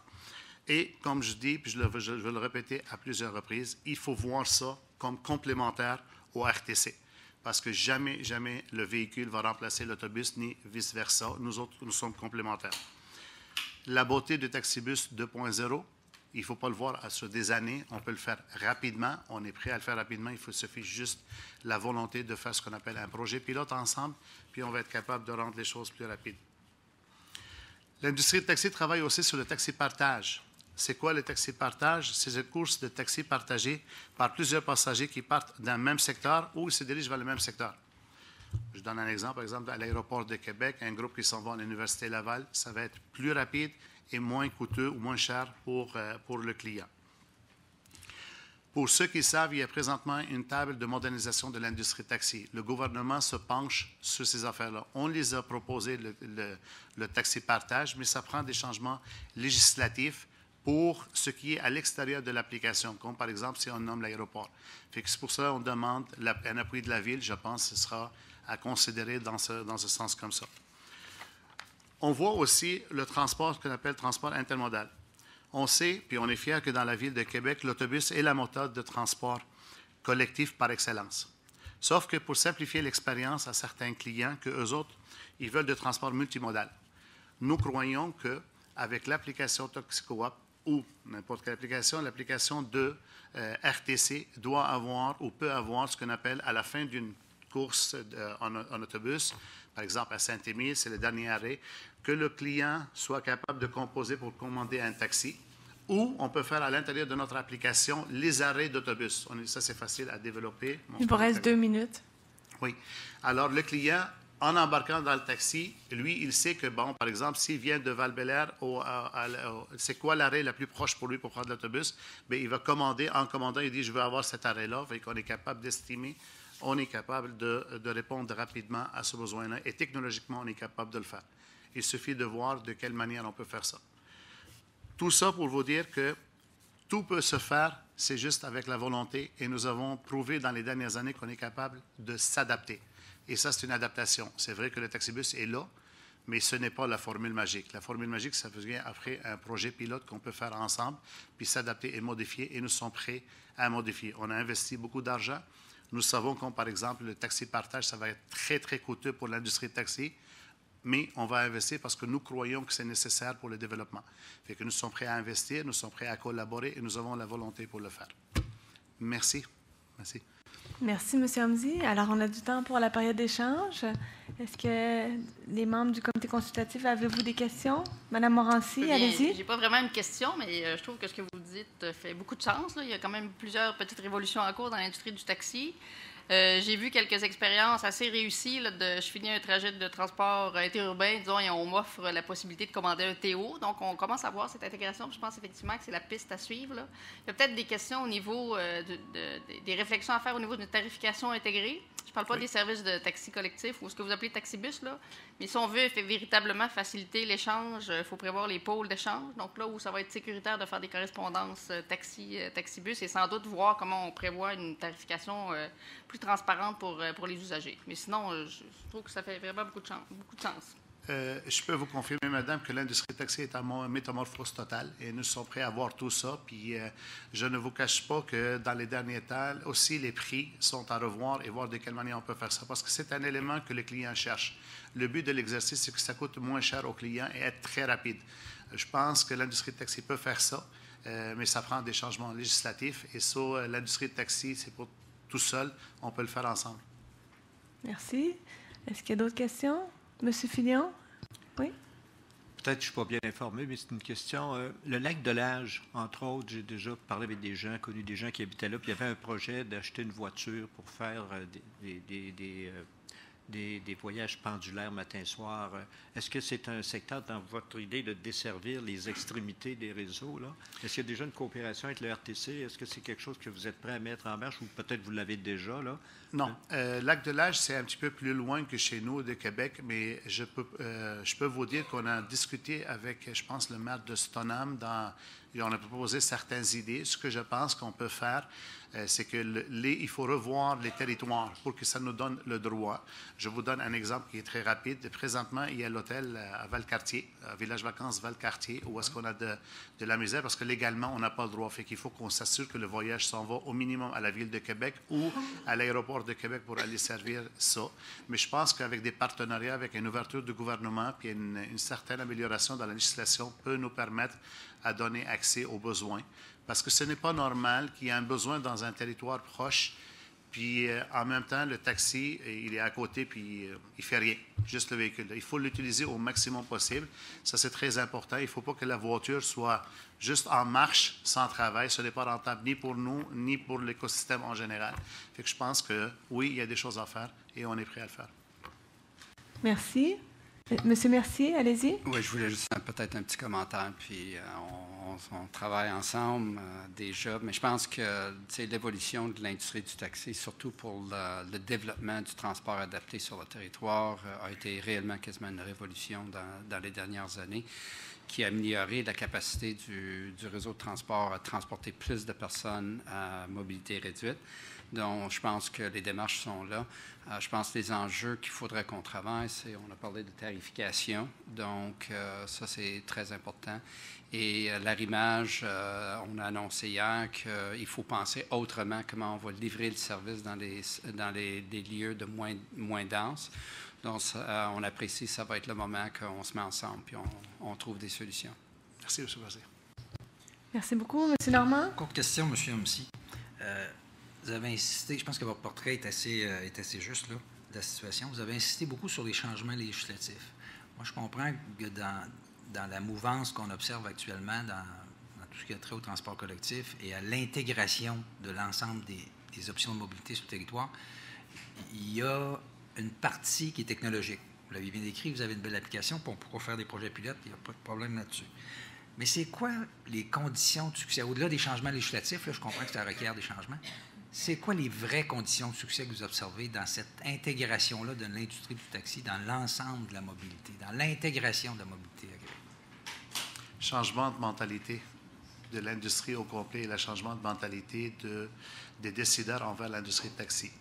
il faut arrêter de voir le chauffeur de taxi comme quelqu'un qui est juste sur le coin de rue, puis il attend comme de quoi prendre un taxi, puis il s'en va. Puis il faut que le chauffeur de taxi aille voir plus loin que les agglomérations qu'on est en train de faire, puis aille voir plus loin que le voyage qu'il est en train de faire présentement. Il faut qu'on voit ça dans, dans un système complet que ce soit, euh, par exemple, je donne un exemple, l'hybride, la voiture hybride. Au début, l'industrie de taxi a été réfractaire à ça, puis ça coûtait cher, puis je ne sais pas trop quoi. Quand il y en a un qui a commencé avec ça, on s'est dit, bon, ça a l'air que c'est rentable parce que les, réparations sont beaucoup moindres et l'essence, les dépenses d'essence est beaucoup moins. Dans le, contrat de transport adapté spécifiquement, à Taxi Coop 525 519 ans, le plus gros détenteur de permis, on avait 27 réguliers, chauffeurs réguliers. Aujourd'hui, on dit pas loin de ça on dirait que dans l'industrie taxi, il y a toujours une, crainte euh, du changement ou de l'évolution. Fait que nous, nous sommes là en tant que représentants pour dire ce changement-là, il ne faut pas avoir peur de ça. Au contraire, il est nécessaire, puis il faut qu'on le fasse. C'est aussi simplement que ça. Il faut faire une chose à la fois, mais il ne faut pas voir comme le changement comme c'est une crainte. Aujourd'hui, ce qui nous empêche, certains chauffeurs de taxi se basent sur la législation. Oui, mais je n'ai pas le droit de faire ça. Mais pourquoi je veux me déplacer? Et pourquoi j'irai faire un, un DPS par exemple, à Beauchâtel ou à saint c'est pas grave. Il faut trouver à amener l'argent et le travail, la rentabilité. Plus qu'on amène des contrats en banlieue, plus que le chauffeur, ça va être plus rentable pour lui. Et au lieu qu'il se déplace à faire du millage à mort, c'est le changement de mentalité que l'industrie de taxi doit faire en premier. Merci, M. Hamdi. Ça va? Courte, M. Fillon. Allez-y. Oui, juste Dernière une question. Qui s'adresse au RTC et à vous. Êtes-vous en, ligne directement, par exemple, quand on abandonne un, bout de parcours, disons, sur le chemin du Foulon, est-ce qu'automatiquement on envisage le, partage, le taxi, euh, le taxi-bus? Est-ce qu'il y a, parce qu'on sait quelques mois d'avance, des fois, les abandons de parcours qui ne sont pas rentables ou qui sont. Euh, question. Euh, simple. Alors là, c'est une question pour un autre. Ouais.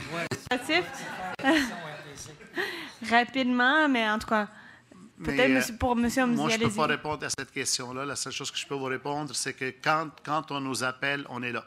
Fait que s'il nous appelle, on va être là. Parfait. Merci, Merci, beaucoup. Merci. Alors, votre mémoire sera déposée sur le site Internet euh, de la Ville. Merci. Alors, euh, j'invite les prochains intervenants. En fait, on m'a indiqué un changement là, pour les personnes qui présentent pour les cégeps de Limoilou, de Sainte-Foy et le cégep Champlain-Saint-Laurent. Donc, c'est M. Louis Groux directeur général du Cégep de Limoilou, et qui est accompagné de M. Gabriel Boivin, président de l'Association des étudiants du Cégep de Sainte-Foy. C'est bien ça, je n'ai pas fait d'erreur dans vos noms? Parfait. Merci, bienvenue. Bonjour. On va afficher votre mémoire.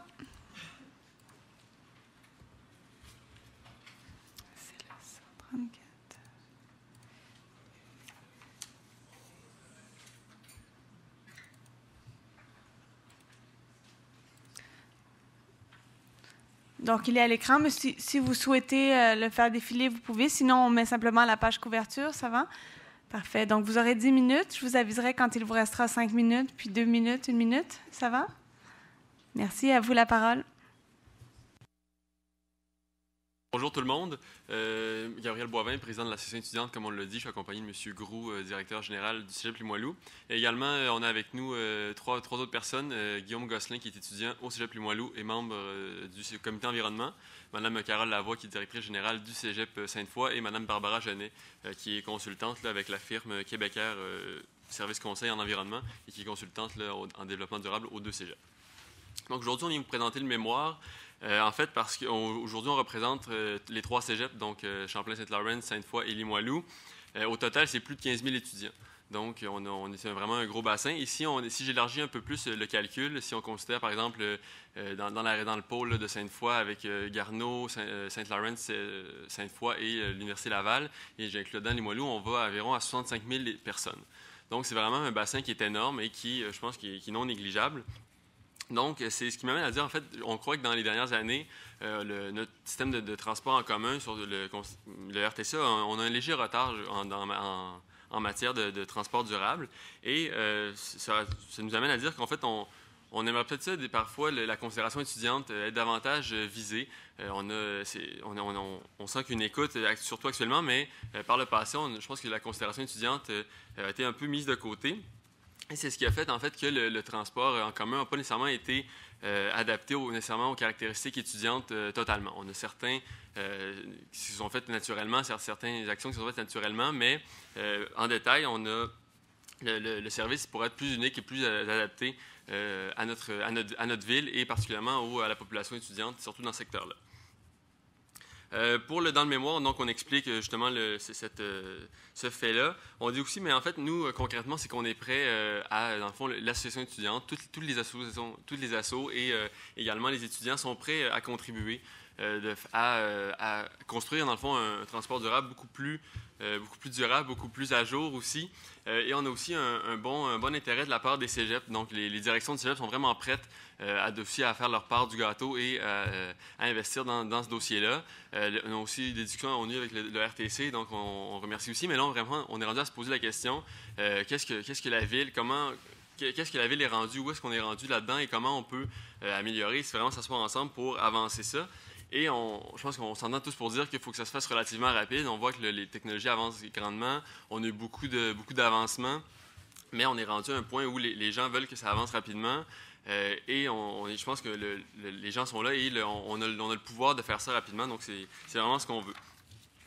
Euh, si on tombe plus dans, les, euh, dans, les modalités, donc, nous, on, veut, évidemment, ce qu'on veut, c'est quelque chose de financièrement accessible. Donc, c'est vraiment quelque chose, on est rendu là. C'est notre première, une première demande, interrogation. Euh, on, sait les étudiants, parfois, ne sont, sont, pas tous très nantis. Parfois, on l'aide parentale, mais ce n'est pas, pas chose euh, courante nécessairement. Donc, on veut vraiment quelque chose de financièrement accessible. Et comme je le disais, les cégep les étudiants sont prêts à, cotiser et à, s'investir là-dedans, mais on veut vraiment... Euh, comment la ville, comment la ville est prête, dans le fond, à investir dans, cette, dans, dans, la jeunesse, dans cette accessibilité-là, qui, somme toute, est une accessibilité aux études, parce qu'on ne se la cachera pas. C'est, oui, c'est, plus, plus petit, mais c'est quand même une accessibilité aux études qui, qui, est facilitée dans ce cas-là. Sinon, évidemment, on veut quelque chose qui est facile d'utilisation. Donc, euh, actuellement, on a, un bon réseau qui euh, somme, toute assez rapide, assez sécuritaire, oui, euh, mais on, pense que ça pourrait être amélioré. On a, par exemple, des fois des choses plus, adaptées aux horaires des, collèges. Donc, nous, on commence les cours, grosso modo, à 8 h le matin, on termine à environ aux de 18 h. par exemple, quand un autobus arrive à 18h07 le soir, les étudiants ont parfois des difficultés à le prendre et c'est, pas très avantageux, surtout ceux qui vivent en, plus en banlieue et qui ont par fois une heure d'autobus à faire. Si tu manques l'autobus, il repart juste dans une demi-heure, mais ça, ça, retarde l'heure du souper, puis des fois, les parents attendent à la maison. Donc, euh, donc je dirais que c'est vraiment ça qu'on, euh, entre autres, qu'on, voudrait améliorer. Le matin aussi, c'est la même chose. Euh, parfois, l'autobus, les cours commencent à 8 heures. l'horaire est quand même assez, assez serré dans, dans, tous les collèges, donc c'est, ça, c'est une belle adaptation qu'on aimerait aussi. Et aussi, évidemment, augmenter, peut-être la fréquence. On a, un bon réseau actuellement sur toutes les lignes principales, mais il y a des fois des, des secteurs ou des axes qui sont un petit peu moins bien desservis ou surtout moins couramment.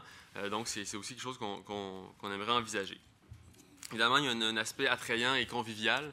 Euh, c'est quelque chose qu'on recherche tout le temps. On a, vu apparaître des stations chauffées, euh, des stations par exemple avec le, Wi-Fi aussi. On aimerait ça, je pense, continuer comme dans, cette lancée-là. Dans, certaines villes, dans certains endroits, on a vu par exemple le, Wi-Fi dans les autobus. quand, on a, quand, on a, un trajet de 35-40 minutes, des fois, c'est agréable de pouvoir avoir un, accès. On sait qu'aujourd'hui, tout le monde est, là-dessus et même s'il y en a qui avancent des, travaux dans les autobus, donc c'est quelque chose qu'on aime, qu'on aime bien.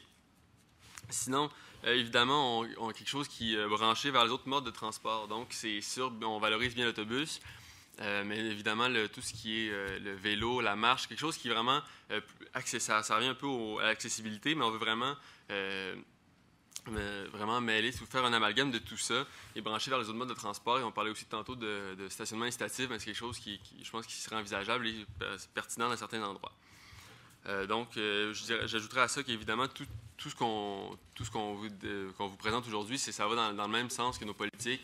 Autant du sujet que de l'association, nous, on a des positions également qui, euh, qui prônent l'accessibilité, dans le fond, au, transport, au transport durable et qui est l'avancement de ça. Et c'est la même chose du côté des collèges. Il vous reste cinq minutes. Parfait, merci. Donc, euh, j'aimerais aussi, on, on, parlait, moi j'utilise l'application Nomade, pardon, donc, euh, qui est très bien, qui, on, a, on a vu tantôt un exemple d'application aussi euh, pour les taxis. On, sent qu'il amélioration, donc on s'est mis à jour, on a suivi l'application Nomade, était une très bonne, moi je considère, je compare une des, en tout cas une très très bonne, et ça serait agréable d'avoir plus une valorisation de ça. Les étudiants ne sont pas nécessairement euh, au fait, par exemple, qu'elle existe ou qu'elle est très pratique comme ça, qu'ils peuvent avoir accès rapidement euh, quel autobus est le mieux pour se rendre à tel endroit, à quelle heure il passe, euh, quand est-ce qu'il passe, est-ce qu'il s'en vient dans deux minutes, est-ce qu'il faut que je cours pour le prendre ou je peux marcher. Donc, c'est vraiment tout ça qui qu'on trouve bien, mais qu'on aimerait ça qu'il y ait plus de communication, surtout dans les, centres d'enseignement, mais aussi envers la population. Donc, c'est vraiment nous ce qu'on recherche là, en, tant que, en, cégep et aussi en tant que population étudiante. Donc, ça, ferait, pas mal le tour du mémoire. Euh, voilà. Parfait, merci. Merci. Alors, on a du temps pour les échanges. Alors, est-ce que Madame Morancy, vous souhaitez commencer? Merci pour la présentation. Moi, j'étais membre des associations étudiantes euh, au Cégep Sainte-Foy, donc euh, je vous trouve très bon. Merci pour la présentation. C'est vraiment très apprécié. En fait, j'avais, on avait peut-être une petite question, je pense, l'ensemble du comité. On se demandait quand vous vous parlez des revenus issus des stationnements. Est-ce que vous vous référez spécifiquement aux revenus des stationnements sur vos cégeps ou sur, de façon générale, les stationnements? Ben, euh, le scénario. Est-ce que je sur le bouton? Oui. Le scénario qu'on a, qu'on a regardé, entre autres, avec M. Mercier, c'est une contribution de nos stationnements. Et on, essayait de trouver une, façon, parce qu'on a regardé des scénarios assez précis et on avait différents scénarios, une façon pour euh, réduire le coût de la bonne bus. On n'a pas présenté de scénario sur un laissez-passer universel. Mm. Euh, parce qu'on trouvait que la bouchée était peut-être un peu grosse pour l'ensemble des étudiants et euh, les budgets de collège qui, euh, comme plusieurs des budgets, ont connu des compressions dans les cinq dernières années. L'argent qu'on reçoit, c'est de l'argent pour la mission première du collège, c'est de l'argent pour la formation, la diplomation. Donc, on se disait, revenu de stationnement, si on additionne à ça une contribution des étudiants, en disant ben, les étudiants, l'ensemble des étudiants pourraient contribuer à différentes hauteurs et venir réduire la bonne bus et fidéliser des étudiants dans un mode de transport qui serait, bien évidemment, on parle de flexibilité, rapidité et ainsi de suite, mais aussi accessible sur le plan euh, financier. On pense qu'on aurait une solution gagnante. Et euh, les trois collèges, quand on, s'est réunis pour regarder ces scénarios-là avec M. Mercier, on disait qu'il n'y a pas de, plus beaux projets en commun que le transport en commun, et c'est vers euh, cette voie-là. Et peut-être une parenthèse là-dessus, parce que euh, je trouve que euh, dans toutes ces discussions-là, on a souvent des discussions en lien avec l'équité envers les autres groupes de la population.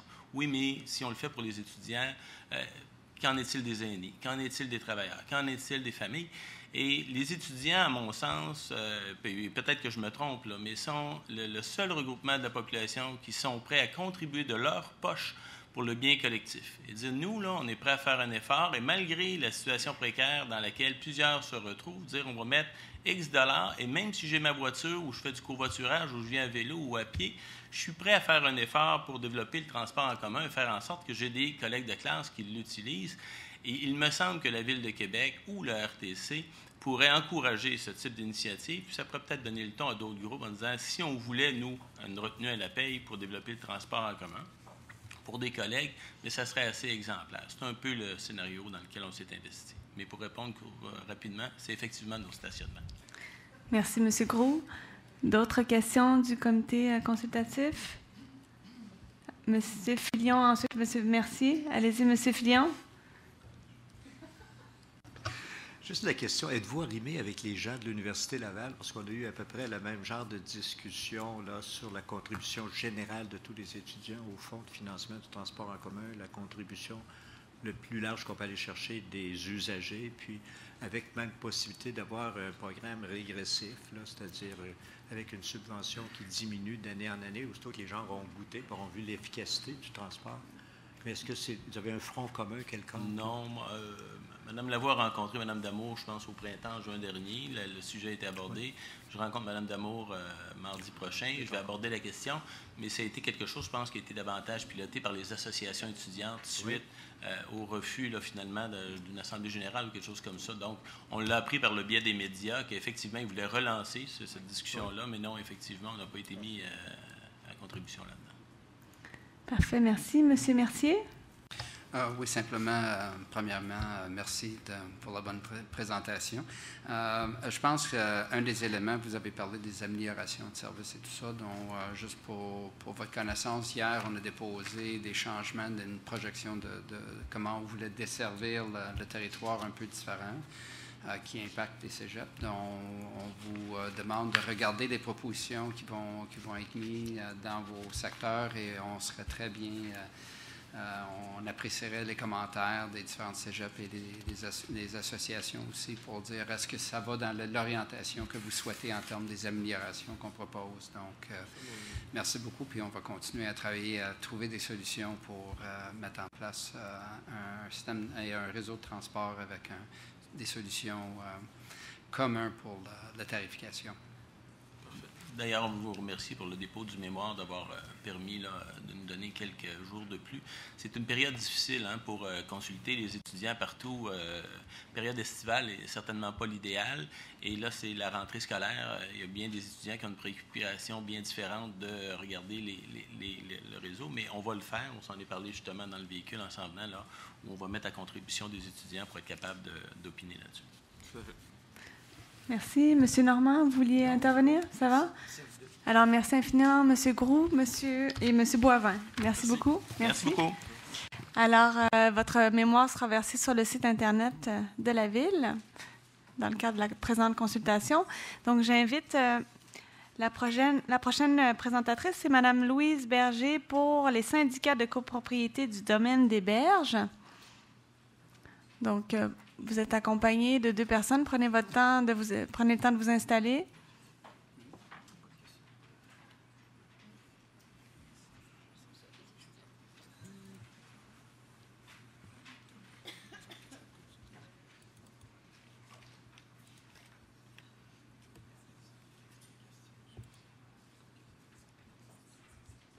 Donc, j'ai affiché votre mémoire et puis au moment où vous le souhaitez, on pourra aussi afficher les photos que vous nous avez demandé là, de, de présenter. Merci beaucoup. Bienvenue. Alors, je me présente, Louise Berger, et, euh, et puis juste une parenthèse pour vous dire que j'ai un petit problème de bégaiement, puis que des fois, comme je suis un petit peu stressée, ben, je pense que ça va peut-être sortir. Sentez-vous très à l'aise. Merci beaucoup. Alors, je suis accompagnée par ma collègue Dana Pescarou et par Madame Ginette Delaunière.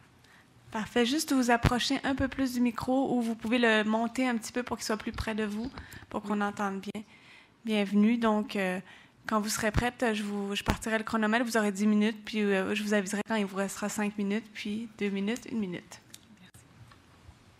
Bonjour. Merci beaucoup de nous, permettre de faire cette présentation devant vous aujourd'hui, de présenter notre mémoire. Donc, au nom des trois syndicats de copropriété du domaine des berges, euh, nous, nous, vous remercions donc de nous donner l'opportunité de présenter nos demandes dans le cadre de cette consultation publique et de présenter notre réalité bien particulière euh, qui euh, qui concerne plus particulièrement l'aménagement d'un pôle d'échange rue de la Pointe-aux-Lièvres. Et là, nous avons eu l'occasion à la dernière consultation publique le 7 juin dernier avec quelques copropriétaires euh, résidents du domaine des berges de rencontrer notamment euh, Monsieur le directeur général euh, du RTC et qui nous a assuré que une rencontre serait euh, réalisée avec euh, les résidents de ce secteur-là dans le contexte de la construction du pôle d'échange. Euh, puis, c'est pourquoi nous avons entamé, nous avons participé à cette démarche avec un mémoire pour vous présenter notre réalité particulière, puis aussi pour entamer les échanges et, poursuivre la, la, communication en ce sens-là. comme vous pouvez le constater sur la photo, s'il vous plaît, première photo, le domaine des berges est, enclavé. Oui, voilà, c'est bien celle-là. Le domaine des berges est, avec ses trois, phases, de copropriété, la phase 1, 2, 3, sont situés dans le secteur de la Pointe aux Lièvres, là où euh, le RTC prévoit la construction euh, d'un euh, pôle d'échange. notre nos copropriétés sont enclavées ici dans ce secteur-là, entre la rue des embarcations, le terrain du RTC, l'édifice de la Croix-Rouge et ici on retrouve la rue de la Croix-Rouge. Euh, il y a aussi la passerelle, donc la passerelle Adrien Pouliot qui est située à cet endroit-là, qui fait le lien entre le parc Victoria et le parc linéaire de la rivière Saint-Charles. De l'autre côté, on retrouve tout simplement le parc linéaire de la rivière Saint-Charles ici. C'est un secteur urbain. Nous sommes, nos, nos, propriétés privées sont dans un secteur résidentiel. Puis, nous sommes euh, très préoccupés par la présence de cet ouvrage public qui, euh, qui s'annonce à nos portes. Euh, et, bon, après ce, premier topo, comme vous le voyez, c'est un endroit qui est très passant. Il y a beaucoup de piétons qui essayent de passer, de prendre des raccourcis sur notre propriété pour se rendre euh, pour se rendre vers le quartier Limoilou, en haut. Et euh, nous, sommes, nous sommes très impactés par ce, problème-là. Beaucoup de piétons qui essayent de passer. Euh, maintenant, il y a une clôture entre les deux propriétés et cette clôture-là va être démantelée à certains endroits. nous voulons préserver notre quiétude, bien entendu, puis nous subissons présentement beaucoup d'inconvénients dus au chantier de démolition qui se retrouve au numéro 155, 155, 165 de la rue de la Pointe-Lièvre. Euh, nous avons subi beaucoup de bruit, de la pollution sonore, visuelle, atmosphérique, un achalandage accru de piétons, de cyclistes, même d'automobilistes qui veulent emprunter euh, notre terrain. Il faut savoir que nous avons des stationnements qui sont devant les numéros des, immeubles 340, 380, 390 et qui sont contigus au terrain du, RTC. Il y, a, beaucoup de, personnes qui essaient de passer par là.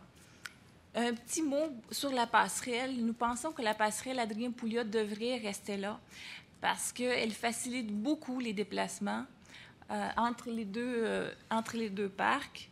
Et aussi, au niveau du verdissement, nous sommes en faveur de garder ce, verdissement-là du secteur. Nous-mêmes, avec les trois copropriétés, nous entretenons nos arbres, nos arbustes, nos fleurs. C'est un coin très prisé, en fait, euh, un exemple de zone euh, urbaine euh, très, très verte, une véritable oasis de verdure au sein de la ville. Puis nous aimerions préserver tous ces, tous ces acquis-là que nous entretenons et que nous mettons, nous mettons beaucoup d'efforts financiers et humains pour, pour la préserver. Maintenant, je laisse euh, la parole à Mme Louise Berger, qui est vice-présidente du syndicat de copropriété de la phase 2, euh, et elle abordera la question de l'implantation d'une clôture entre les deux propriétés. D'accord. Puis il vous reste cinq minutes. Oui, bonjour. Alors, outre le transport en commun lui-même, ce qui est important de regarder aussi, c'est la façon dont les pôles d'échange, dont le développement va se faire, entre autres au centre-ville, euh, qui est dense et que l'on veut encore le densifier. Alors, nous avons donc une, proposition d'aménagement de murs végétales qui s'étendrait sur toute la bordure de la cour arrière de notre nouveau voisin, le RTC. Le RTC qui compte construire juste derrière chez nous ce qui devrait être le plus gros terminus du centre-ville de Québec. Avant de vous présenter donc notre belle proposition de mur végétal, c'est important pour nous de vous dire qu'il faudrait qu'une clôture au moins temporaire soit installée dès la fin du chantier de démolition pour éviter justement l'affluence des piétons sur nos terrains.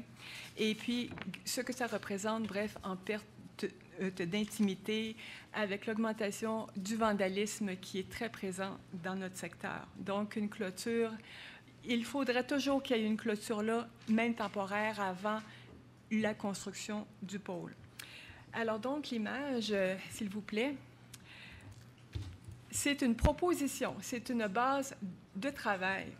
Alors donc, notre proposition au RTC et à la Ville de Québec d'un concept de mur végétal, eh bien, ce serait gagnant pour tout le monde parce que ça répondrait donc à la sécurité et au respect de l'intimité des résidents du domaine des berges.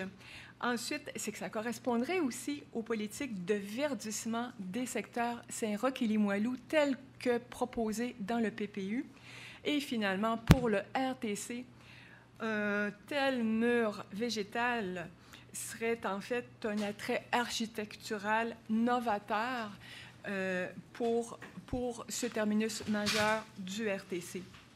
Ce qu'on propose en fait, c'est que, que le RTC et la Ville de Québec fassent de notre, de notre proposition de mur végétal un projet pilote susceptible d'être adapté à d'autres aménagements et développements dans la Ville de Québec. Euh, alors donc, cette, cette superbe clôture construite par une compagnie, par une compagnie québécoise qui s'appelle Les Écrans Verts, c'est un mur végétal et qui est en plus végétalisable, comme on le voit ici. Il est en fait anti-poussière, sert d'écran visuel. Euh, lorsqu'on doublerait cette clôture et en y mettant de la laine de roche acoustique entre deux euh, bref, entre deux rangées, ça deviendrait un mur anti-bruit impeccable. Et puis, euh, donc, ça procurerait pour les résidents la sécurité, ça découragerait les graffitis, comme on en retrouve tellement souvent. Il vous reste deux minutes. Oui. Et puis ici, donc, c'est un mur anti-bruit tel qu'on le retrouve à Brossard et c'est économique, durable, esthétique. Ça dure 40 ans. Il faudrait juste modifier, en fait, la réglementation pour euh, faire considérer comme un terminus, au point de vue le réglementaire, comme, euh, comme forte nuisance, juste pour dire qu'on pourrait avoir une hauteur suffisante pour nous protéger. Et il euh, faut, rappeler que le terrain du RTC a été dézoné pour accueillir des commerces, ce qui pourrait donc justifier que ça soit appelé une forte nuisance pour avoir la clôture qu'on voudrait. Donc, ce qu'on demande, c'est que le RTC, dans son développement du terminus de la Pointe-aux-Lièvres, euh, rende en fait son environnement en fait attrayant et bien intégré dans les quartiers résidentiels parce qu'il ne faut pas oublier qu'on veut densifier le centre-ville. Et pour ça, il faut non seulement retenir les résidents en leur procurant une sécurité et une esthétique, mais il faut en fait pouvoir attirer aussi les nouveaux résidents en rendant les transports, leur environnement, bref, attrayant, puis qu'on ait le goût de vivre et de prendre les transports. Alors, je cède la parole à Alors, il vous reste moins d'une minute, mais allez-y, c'est correct. Oui. En conclusion, en fait, euh, c'est qu'en marge de la réflexion sur la mobilité euh, durable, euh, on considère qu'il est nécessaire, de, quant à un choix de société, on n'est pas juste les compromis ou les inconvénients, les dommages collatéraux, on est des voisins vraiment immédiats et les seuls, je pense d'ailleurs. Donc, en attendant le début des travaux de la construction d'un pôle d'échange, l'ensemble des syndicats de, de du domaine des berges, le comité qui a, a conçu le présent mémoire, qui a émis des idées, euh, voudrait qu'on donne suite à la proposition qui, qui est faite ici par les représentants du RTC. On a été présent aux, consultations publiques du 7 juin, on l'a déjà exprimé. Euh, on l'a exprimé encore ici, disant que le plus tôt possible, euh, on, devrait consulter le syndicat des, copropriétés des résidents du domaine des berges avant que le projet de pôle d'échange soit à l'épreuve concept et qu'il soit finalisé. Euh, puis peut-être quelques recommandations, c'est-à-dire d'installer une clôture, un mur protecteur, comme on a mentionné, euh, renforcer la présence policière dans la zone environnement, environnant le pôle d'échange, d'accentuer la délimitation des zones privées publiques pour l'utilisation de design urbain et architectural appropriés et d'améliorer la signalisation municipale dans ce secteur. Grosso modo, ce sont les recommandations et on espère que vous ne nous oublierez pas prochainement. Merci beaucoup. Alors, merci, Madame Delaumière, Madame Pescarus et Madame Berger. C'est bien ça? Merci. Alors, on a du temps pour la, période d'échange, si besoin. Avez-vous des questions? Oui, Monsieur Normand. Dans le fond, on n'est pas dans le cœur euh, de la consultation, mais on est en périphérie. Tout ce que vous soulevez comme problématique, c'est une problématique d'aménagement euh, du territoire et d'urbanisme. C'est essentiellement ça dont vous, nous faites part. Euh, Madame Berger, m'avez-vous dit que vous aviez un problème de bégaiement? Oui. Parce que je ne l'ai pas noté. Merci. Merci euh, l'adrénaline. euh, ce que je comprends, c'est qu'il y a des préoccupations à court terme. Là, la démolition, ce qu'on me dit, c'est que c'est sur le point d'être terminé. Alors, il y a des préoccupations à court terme pour isoler le secteur. Nous, on va prendre, euh, en passant, la RTC est un bon citoyen corporatif. Je vais juste vous le dire comme ça. Alors, on va prendre soin du terrain, on va gazonner ça, on va s'assurer que ce n'est pas, euh, pas un top pierre. On s'entend? Bon. Vous m'avez exprimé des, des, préoccupations par rapport à la sécurité, l'isolement du secteur du chantier ou de ce qui reste de chantier par rapport au reste. On va prendre les mesures appropriées pour vous sécuriser à cet, à cet aspect-là à court terme. Pour le reste, j'aime bien ça, voir des solutions, mais j'aime aussi qu'on se penche aussi sur les problématiques. Mais l'important de ce que je décode de votre message, c'est qu'on s'assoit avec vous, qu'on vous mette dans la boucle pour développer notre concept au bon moment, pas après, pas au bon moment. Alors, on va faire ça avec vous. Je vous en donne assurance aujourd'hui. Euh, je vous permettez, juste parce qu'à quelque part, on entend parler de l'efficacité du réseau, les solutions, les améliorations. Nous, on est, comme vous dites, dans les aménagements, on est les voisins, les seuls d'ailleurs, c'est pour ça qu'on est ici. Euh, euh, c'est un excellent projet, sauf qu'on veut aussi que l'esthétique et que la sécurité soient là. Donc, c'est pour ça qu'on vient maintenant, même si on est, on est conscient qu'on est en périphérie du projet, on veut faire partie de, justement... On a très bien compris. On a très bien compris. C'est parfait. Puis vous aviez participé aux consultations sur le PPU Saint-Roch, d'ailleurs, et puis on vous avait invité justement à participer euh, au, présent de consultation. Merci beaucoup. Merci beaucoup. Merci beaucoup. Merci. Alors, euh, pas d'autres questions, ça va? Alors, à ce moment-là, c'est ce qui met fin à votre présentation. Merci beaucoup. Votre mémoire sera déposée sur le site Internet. Merci. Alors, on poursuit avec M. Paul Michaud pour le syndicat de copropriété Le Gutenberg. Alors, prenez le temps de vous installer, M. Michaud.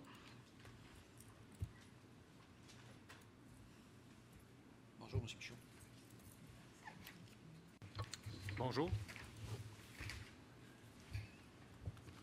Est-ce que vous aviez un support informatique ou c'était où Juste la page de présentation. Votre mémoire? OK, parfait.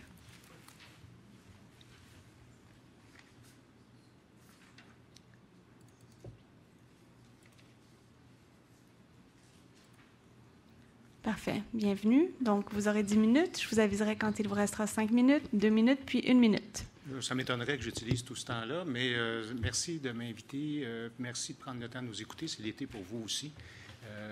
on a trouvé ça un petit peu plus difficile de se consulter.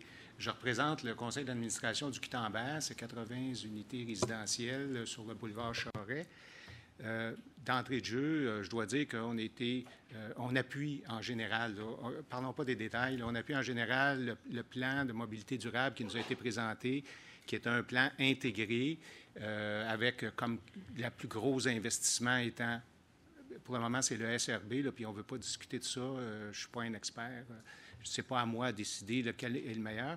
On s'entend pour dire, pour nous, ça s'inscrit. On a participé depuis trois ans euh, de façon très active à la consultation sur le PPU qui fait que le quartier Saint-Roch, le PPU va favoriser une croissance importante du cadre bâti euh, les hauteurs, les, dimensions, le genre de logement. On s'attend à plusieurs centaines de nouveaux logements. D'ailleurs, les tables à dessin actuellement, que ce soit de Kevlar, de, GM, développement ou autre, euh, ça fonctionne à plein, à plein rendement et tout le monde veut commencer le premier. Donc, il va y avoir éventuellement, dans les prochaines années, quelques milliers de personnes supplémentaires qui vont s'installer dans Saint-Roch.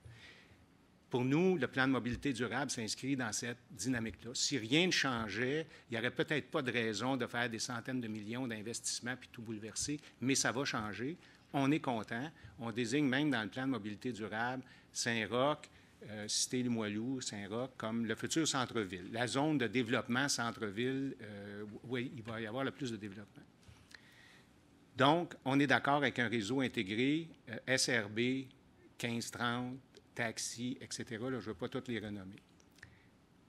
Où on est plus euh, inquiet, c'est dans l'ordre des choses, et peut-être qu'on n'a pas raison. Il nous semble qu'actuellement, on peut difficilement marcher. Un centre-ville, tout le monde marche. C'est ça la définition d'un centre-ville. Moi, je ne resterai pas au centre-ville en auto. Actuellement, on est deux résidents et on a deux voitures parce qu'on n'a pas le choix. Euh, la marche au centre-ville, c'est un parcours d'obstacles. La plupart des rues ne sont pas déblayées à l'année. Ce matin, j'ai fait deux kilomètres pour venir ici. Ça a pris 22 minutes. La journée est idéale, il fait beau, il y a un petit vent, c'est frais, c'est parfait. 25% du temps, je l'ai compté, 25% du temps, j'ai été obligé de marcher au centre de la rue. Je ne pouvais même pas marcher sur des trottoirs. Quand vous partez d'en bas et vous montez à travers Saint-Jean-Baptiste, il n'y a aucun axe possible. Je ne pouvais pas venir en vélo. C'était D'abord, ça monte, ça, ça, va. Je peux toujours vivre avec ça, je vais être plus en forme. Mais c'est impossible d'utiliser la marche ou le vélo de façon intelligente, sécuritaire, en continu, par le plus court chemin. On peut le faire en faisant des détours. Il nous semble que s'il y a des investissements à faire, c'est le premier investissement à faire. Ça fait, vous le savez mieux que moi, là, ça doit faire 20 ans qu'on en parle. Comment, comment se peut-il que ça soit à peine mentionné quelque part dans, dans tous les documents que j'ai lus, by the way, euh, il faudrait favoriser la marche, by the way, il faudrait favoriser le vélo. Ça ne marche pas. Si je, si je suis obligé de m'acheter une voiture, actuellement on a deux voitures, parce que ma femme étudie à Lévis, puis moi, mon travail m'amène à l'extérieur de la ville. À partir du moment où j'ai une voiture, puis qui fait mauvais, puis que j'ai un problème, bien, je ne prendrai pas le transport en commun, j'ai ma voiture. Il faut me décourager d'avoir la deuxième voiture. Et pour ça, il faut avoir un réseau intégré. Marcher, ce n'est pas le SRB qui est le début. C'est la marche, c'est le vélo, c'est les autobus. Là, je ne répéterai pas ce que les gens ont dit ce matin, ça, ça me semble. Et j'ai beaucoup aimé l'intervention du taxi. Ce matin, ça m'a pris 21 minutes. Si j'avais pris ma voiture, que j'étais descendu du sixième étage au stationnement, sortir du stationnement, s'en venir ici, trouver un stationnement, puis me rendre ici, ça m'aurait pris 22 minutes. Alors, si je peux marcher, pourquoi je ne marcherais pas? Donc, on pense que les investissements doivent d'abord porter sur, sur le, transport actif, ce que je viens de nommer. Puis c'est à peu près ça le sens de mon intervention. Là, je ne vous répéterai pas tous les obstacles qu'on a. C'est impossible. De... Il y a une place, je pense qu'il y a un dallo pour les vélos euh, sur. Euh, L'escalier de la chapelle, oui. C'est la seule place. Hein. Fait que si je veux monter en haut, il faut que je fasse le détour. C'est impossible, ça ne marche pas. Et ça ne coûte rien et le rendement est impeccable. Le rendement, pas juste le vélo, la marche, le rendement est impeccable. On marche, ça prend 11 minutes au kilomètre. Il n'y a pas de raison que les deux premiers kilomètres, je ne sois pas capable de le faire de façon sécuritaire, en continu, 12 mois par année. Il n'y a pas de raison. Les trottoirs ne sont pas déblayés, il n'y a pas de raison. Ce matin, c'est les poubelles. Ce matin, là, c'est la journée des poubelles dans Saint-Jean-Baptiste. Fait que vous marchez dans la rue parce que les poubelles sont sur le trottoir. Il vous reste cinq minutes. Bon, j'ai pas mal fini. Alors, nous, on dit la priorité, c'est la marche, c'est le vélo et c'est toutes les autres fonctions de partage, que ce soit du taxi, de l'autopartage. Les autobus, euh, s'il vous plaît, euh, actuellement, le réseau qui va vers la périphérie comme Lévis, euh, on ne peut pas vraiment s'en servir. Ma femme qui étudie à Lévis, par exemple, bien, elle est obligée, quand il fait beau, elle marche, elle prend le traversier, puis de l'autre côté, qu'est-ce qu'elle fait? Ou bien, s'il ne fait pas beau, elle, prend, paye un autobus, elle paye un traversier, puis elle paye quoi l'autre bord? Fait qu'à un moment donné, tu prends ta voiture. Tant que ce n'est pas intégré, c'est la voiture qui est roi et maître. On peut bien dire ce qu'on voudra ici. Alors, il faut renverser la culture. Je n'ai pas grand-chose d'autre à dire. Félicitations, je trouve que c'est quand même un bon plan. Je voudrais qu'on inverse les priorités. Parfait. Merci, M. Michaud. J'en profite pour vous dire aussi qu'il y a des vélos électriques en démonstration dans le parc Saint-Roch que vous pouvez utiliser pour monter la côte en vélo.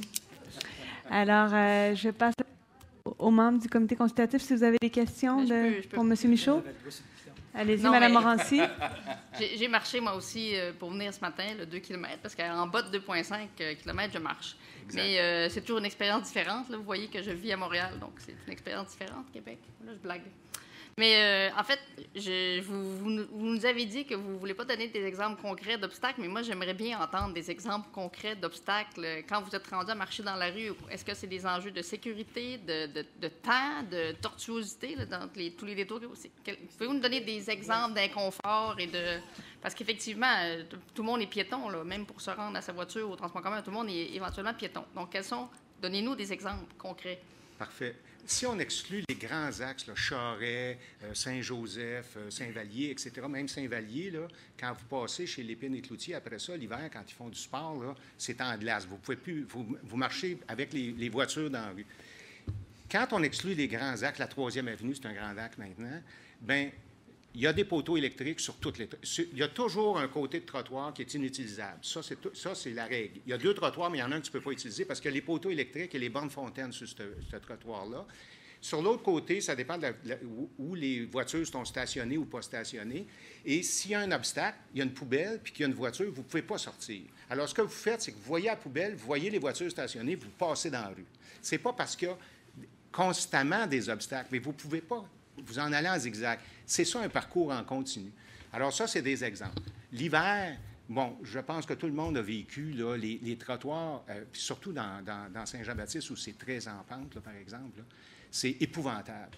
Il y a souvent zéro pied linéaire où on peut marcher sur le trottoir. Mais les rues sont très bien déglacées. D'ailleurs, je dois dire que celui qui a le contrat de dégager les escaliers, là, on devrait lui donner le contrat de dégager les trottoirs, parce que les escaliers sont dégagés. Toujours. Je n'ai jamais vu personne se plaindre de tomber dans l'escalier. Mais quand il arrive en bas de l'escalier, par exemple, moi, j'ai 67 ans. Si je me brise une hanche, là, je suis faite pour le restant de mes jours. Je n'ai pas le goût de ça. J'ai le goût de, marcher pour rester en forme. Je n'ai pas le goût de marcher pour m'estropier. Alors, ça convient-tu comme euh, réponse? C'est très clair, merci. D'autres questions? Ça va? C'est clair? Parfait. Monsieur Normand? Une précision. Euh, la question des dallos. C'est pourquoi il y en a juste un? Il y a une raison très physique et très rationnelle à ça. C'est que pour rencontrer certains critères de sécurité, à la fois pour le cycliste qui veut monter ou descendre son vélo et pour les autres usagers de, l'escalier, il y a des limitations en termes de, de volée d'escalier, de hauteur de marche, de pente. Alors, il y a toutes sortes de contraintes qui sont liées à un dallo comme celui-là. La chapelle, vous le voyez comme moi, c'est un escalier qui n'est pas trop pentu. Les autres, ça ne rencontre pas les critères minimaux pour être tout le monde sécuritaire. Il suffit que quelqu'un monte avec son vélo dans ça, puis l'échappe, puis bon, il va arriver des problèmes. Alors, on est en train de repenser justement comment on peut favoriser l'utilisation de plus de DALO, mais en fonction d'une reconfiguration des escaliers. C'était un élément d'information que je voulais vous donner. Vous me faites penser à quelque chose. Est-ce que je peux me permettre de vous demander votre opinion sur des liens mécanisés pour monter, tant pour des cyclistes que pour des piétons? Ah bon Dieu. Si on est prêt à investir pour un SRB, puis d'exproprier des immeubles, puis de bâtir à coût de centaines de millions, je vois pas le scandale à dépenser quelques centaines de milliers de dollars pour permettre au monde d'aller de bas non, mais est-ce que donc c'est quelque chose qui est perçu comme étant positif pour un... Absolument. Euh, puis votre réponse, M. Normand, je la comprends, mais à chaque fois qu'on m'explique pourquoi le trottoir n'est pas dégagé, ça ne le dégage pas. Pourquoi mon vélo ne peut pas monter, ça ne le fait pas monter. Ce qui fait que j'ai une, une, deuxième voiture que je n'ai pas vraiment besoin. Ah, si c'est une priorité, je peux vous aider. Je vais aller m'asseoir avec vous autres, on va le régler. Si ce n'est pas une priorité, bien, il y a des objections. Donc, quand on donne une solution, quelqu'un trouve des objections à la solution, puis là, bien, ça nous mène à rien. Ce qu'on dit, c'est si c'est une priorité, la marche, le vélo et les autres modes de transport actifs, les problèmes, ça se règle. Actuellement, il m'explique qu'il ah, y a une bonne fontaine, on ne peut pas déglacer ça l'hiver. Tout le tour de la bonne fontaine, il n'y a plus de trottoir. Il n'y a plus de trottoir, fait tu marches dans la rue. C'est vrai, il y a une bonne fontaine. On fait quoi, là? Vous nous dites, marchez pas, il y a une bonne fontaine? Non. Je m'excuse, je ne m'adresse pas à vous, je parle en général, M. Normand, je m'excuse. Je suis sûr que vous avez à quoi de plus dur mais je ne l'ai pas pris personnel, faites-vous en pas. mais mais, mais c'est ça une priorité. Moi, je suis un homme d'affaires. À chaque fois qu'on a rencontré un problème, puis que quelqu'un me donnait des solutions, puis que moi, je trouvais des objections à des solutions, bien, on ne les réglait pas, le problème. Quand on, quand on se met là, on dit, on va régler le problème de la bonne fontaine puis du poteau électrique. Ça se règle, ces affaires-là. Je ne peux pas croire. Ça se règle. ça coûte moins cher qu'un tramway, puis ça coûte moins cher qu'un métro. Le premier 2 à 3 kilomètres, ce qui veut dire 20 à 30 minutes de marche, je devrais pouvoir choisir de le faire à, pied. Puis en vélo, c'est le premier 5 à 10 kilomètres que je devrais pouvoir choisir de le faire. Je ne ferai pas de vélo en hiver. Moi, je ne ferai pas ça. Mais j'en ferai 8 mois par année, par exemple. Parfait. Merci, M. Michaud. Donc, je vous invite à essayer les, les, vélos électriques au Parc Saint-Roch, près de chez vous. Mais, mais euh, je comprends. Je l'ai essayé, c'est pour ça. mais moi, ce n'est pas le vélo électrique. C'est je ne peux pas monter en haut. Je n'ai pas de voie d'accès. C'est ça. Je comprends. OK. Merci beaucoup, M. Michaud. Merci. Donc, euh, j'invite euh, le prochain présentateur à venir s'installer en avant. Donc, c'est M. Olivier colomb pour le regroupement des organismes des personnes handicapées de la région 03 le ROP 03. Bienvenue. Prenez le temps de vous installer. Est-ce que vous êtes accompagné de M. René Binet? Mémoire 1 et mémoire 2. Bonjour. Parfait. Parfait. Donc, excellent. Merci. Donc, bienvenue aussi à M. René Binet pour le regroupement des personnes handicapées visuelles. Bonjour Olivier. Bonjour M. Binet. Donc, on commence par la présentation de Olivier Colondéram. Parfait, OK. Prenez votre temps, c'est bon.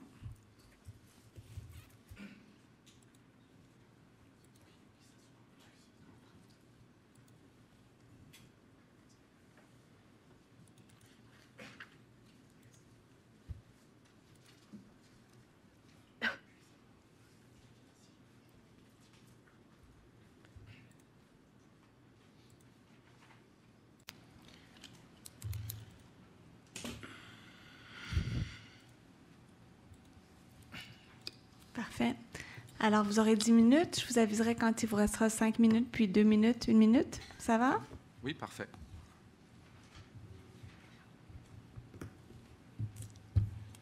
Euh, donc bonjour. En premier lieu, vous avez pu certainement constater, si vous avez lu attentivement notre mémoire, la présence de quelques coquilles. Le mémoire a été déposé à 11h59 le, dimanche soir, donc euh, cela explique. Euh, j'essaierai de vous renvoyer une version corrigée qui ne changera pas le fond pour qu'elle puisse être déposée sur le site de la ville la semaine prochaine. Donc, en mise en contexte, notre regroupement et plusieurs de ses groupes membres travaillent depuis de nombreuses années avec la ville de Québec et avec le RTC dans le sens de la mobilité durable. Donc essayer de favoriser un ensemble de modes alternatifs à la voiture. Euh, vous comprendrez que pour les personnes handicapées, en raison de leurs limitations, puis en raison de leur financement, la voiture est un choix que plusieurs d'entre elles déjà euh, n'ont pas depuis, euh, depuis longtemps. Donc je vous dirais, malgré le travail qui a été fait au fur et à mesure des années, ce qu'on constate, c'est que ce n'est pas suffisant puis qu'il serait vraiment temps qu'il y ait quelque chose de massif qui soit fait. C'est marrant, puis je, comprends le monsieur précédent ne voulant pas tomber pour pas se retrouver ayant des limitations, on le comprend, et je peux vous dire que les personnes qui en ont déjà, elles non plus ne veulent pas.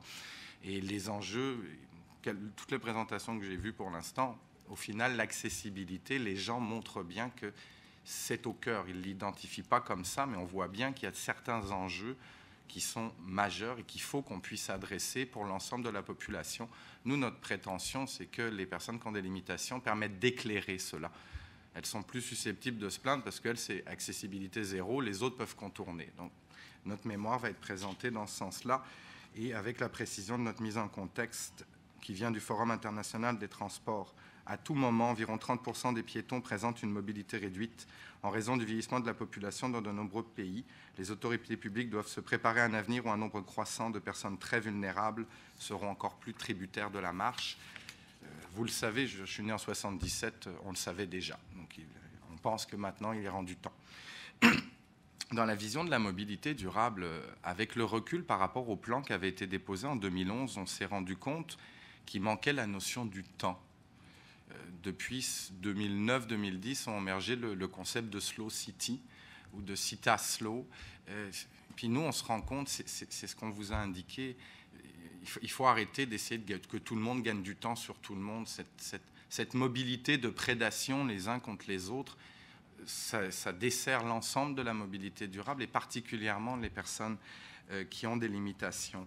Nous, on propose la mise en place d'une structure qui dépasserait le RTC, la ville, mais une structure publique de type bureau du temps, bureau du temps et de la mobilité, comme cela a été essayé dans d'autres villes, qui essaierait de regarder cette mobilité durable, notamment en s'assurant de ne pas en échapper euh, Québec. Et je le mêlais avec la ville de Bordeaux. Euh, ce que Bordeaux s'est aperçu avec sa mobilité durable, c'est qu'elle desservait les femmes, par exemple, parce qu'elle est faite dans une vision qui tenant moins compte des rôles sociaux ben, les femmes sont désavantagées. Euh, les personnes qui ont des limitations, les aînés, les réseaux ont tendance à viser la masse. C'est correct, c'est ça. Il faut réduire les gaz à effet de serre, il faut essayer d'être rentable. Le résultat, ben, c'est qu'il y a une catégorie de la population qui n'embarque pas, qui n'a pas les moyens d'embarquer facilement dans cette mobilité durable. On pense qu'une structure comme un bureau du temps et de la mobilité ben, permettrait peut-être cette, cette entente nécessaire à la mobilité durable on vous l'a euh, cité, vous pourriez regarder aussi les, slow cities. Les personnes handicapées sont au cœur de la démarche des slow cities parce qu'ils se rendent bien compte que sinon, puis vous le savez, Monsieur Mercier, Monsieur Normand, c'est le transport adapté et au coût et avec les difficultés que cela pose. Au niveau de l'aménagement du territoire, dans la vision de, de piétons en premier, on vous a mis des exemples positifs. Ça a bougé. Il y a plein de choses qui se font à la ville, au RTC, puis ça avance, mais au niveau des piétons, on le voit, les exemples donnés par la personne précédente, je pas besoin de rentrer. Malheureusement, le cheminement entre un point A et un point B, s'il y a quelque chose au milieu, la personne dit Moi, je descends dans la rue. En fauteuil roulant, on ne saute pas dans les rues. Une personne aveugle ne peut pas faire comme elle veut. Il y, a, énormément de ces petites euh, irritants qui embêtent tout le monde, mais handicapent les personnes qui ont des limitations. Pour nous qui nous semble devoir être adressé, puis de manière massive. On, voulait faire aussi un point sur cette vision d'innovation. C'est cool les copier-coller sur Internet à Stockholm, à Vladivostok, je ne sais où. Mais comment ça se fait qu'à chaque fois quand on en parle, on oublie que dans ces endroits-là, les personnes qui ont des limitations se mobilisent puis disent ça marche pas. Les rues partagées, et je pense, Madame Morancy, vous avez encadré euh, un, très bon étudiant euh, sur, ces enjeux-là de code de la rue, montrent que à chaque fois, on en échappe. C'est bien pour 90%, mais le 10% qui déjà pouvait pas, ben lui, il peut encore moins. Donc là, on propose certaines recommandations. La plus, il la vous reste 5 minutes. la mixité piéton, vélo, appareil électrique. Allez vous balader le long de la rivière Saint-Charles, il y a des accidents. On a fait des espaces alternatifs mixtes ça fait comme n'importe quel espace partagé, au plus fort la poche. Et les cyclistes, c'est une population très, variée, comme les personnes handicapées. Il y en a qui vont à 50, d'autres à 30, d'autres à 20. Les personnes qui ont des limitations, vous voyez des fois des quadriporteurs dont la vitesse vous impressionne. Ils sont achetés au privé, vont à 25 km/h, les autres c'est 10. Ça, ça nous préoccupe pour éviter de voir. J'écoutais en Hollande où il y a une part très forte pour, pour les modes alternatifs. Ils en arrivent que leurs infrastructures sont saturées de modes alternatifs. Et ça ça va de partout. Ça nuit au tramway. Là, on, voit quelque chose vraiment où il faut aller travailler. les traversiers piétonniers, ensuite, je ne reviendrai pas sur l'ensemble de nos recommandations que vous avez. Mobilité par la proximité, ça c'est. nous, on y croyait beaucoup, puis la ville essaye. On a vu dans Limoilou sur la, la canardière qui est en train d'être transformée. Moi, j'ai participé aux travaux. il y a des gens qui sont allumés à la ville, ça a travaillé, mais les commerçants n'embarquent pas la ville est là beau les inciter, essayer de les soutenir, c'est du privé, puis le privé, ben, il regarde, comme tout à chacun, je dirais, midi à sa porte. Et le résultat, ben, la porte n'est pas accessible. Donc ça, pour nous, c'est un enjeu qui est, important. Il y a tout, le réseau de la santé en transport adapté, c'est flagrant. L'organisation du réseau de la santé fait en sorte que ça génère plein de déplacements il y a un moment, c'est chacun se débrouille, ben oui, mais qui récupère? C'est le RTC, c'est les citoyennes et les citoyens, puis c'est le transport adapté. Il y a un moment, il faut que ce réseau-là ben, soit conscientisé aux, impacts qu'il a sur les autres. Il faut arrêter de pelleter dans la cour des municipalités. A le transport adapté, que vous assumez le fait que le ministère vous le pèle, plus le ministère de la Santé, ça commence à faire beaucoup. On espère que ce qui s'en vient au niveau du ministère, euh, au niveau de la mobilité durable, va aider à, mais je vous avoue qu'on a pour l'instant de grands doutes. Participation communautaire, une des clés. Ben, nous, on essaye, on vous l'a dit. Oui, c'est vrai que des fois, on est tannant. Mais comme vous le savez, c'est que ça fait 40 ans que ça dure. Ça fait qu'il faut qu'on aille de l'avant, puis qu'il faut qu'on soit capable de comprendre c'est normal que c'est normal qu'on se prenne la tête. C'est normal que vous ayez vos enjeux, chacun, nous les nôtres. Ça fait partie d'une démocratie. C'est d'être capable de vivre. Et des fois, nous, on l'a vu au conseil d'administration du RTC, ça se gère. Des fois, les gens, mais ils sortent, mais ça se gère, ça se comprend. Il faut qu'on continue cette philosophie-là, que les gens se sentent à l'aise de dire ce qui ne va pas, puis par contre qu'ils soient à l'aise aussi pour recevoir les réponses, les explications, puis se dire ça je l'avais pas vu. Il faut plus euh, de transparence. Il faut continuer à soutenir euh, l'expertise du, personnel. Tarification sociale, vous avez une mémoire là-dessus. On ne rentrera pas dans le détail. On a mis un certain nombre de recommandations qui visent directement le RTC au niveau du service clientèle. Nous, on pense qu'il serait temps, puis on sait que ça touche la ville, mais il faut arrêter le numérique. Ça pose des problèmes, ça exclut encore une fois des gens.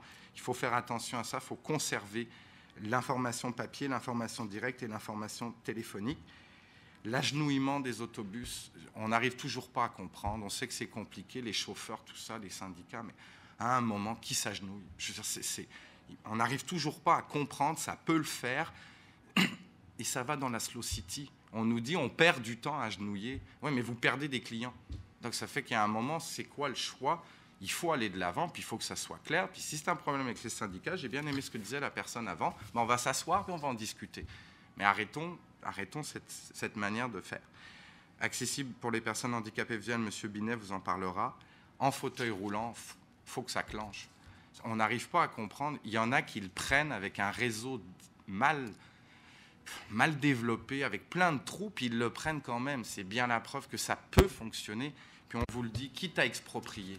Je pense, il ne faut pas avoir peur à un moment euh, de, le faire. Normalement, il devrait me rester 30 Il vous reste une minute. Ah, c'est bon.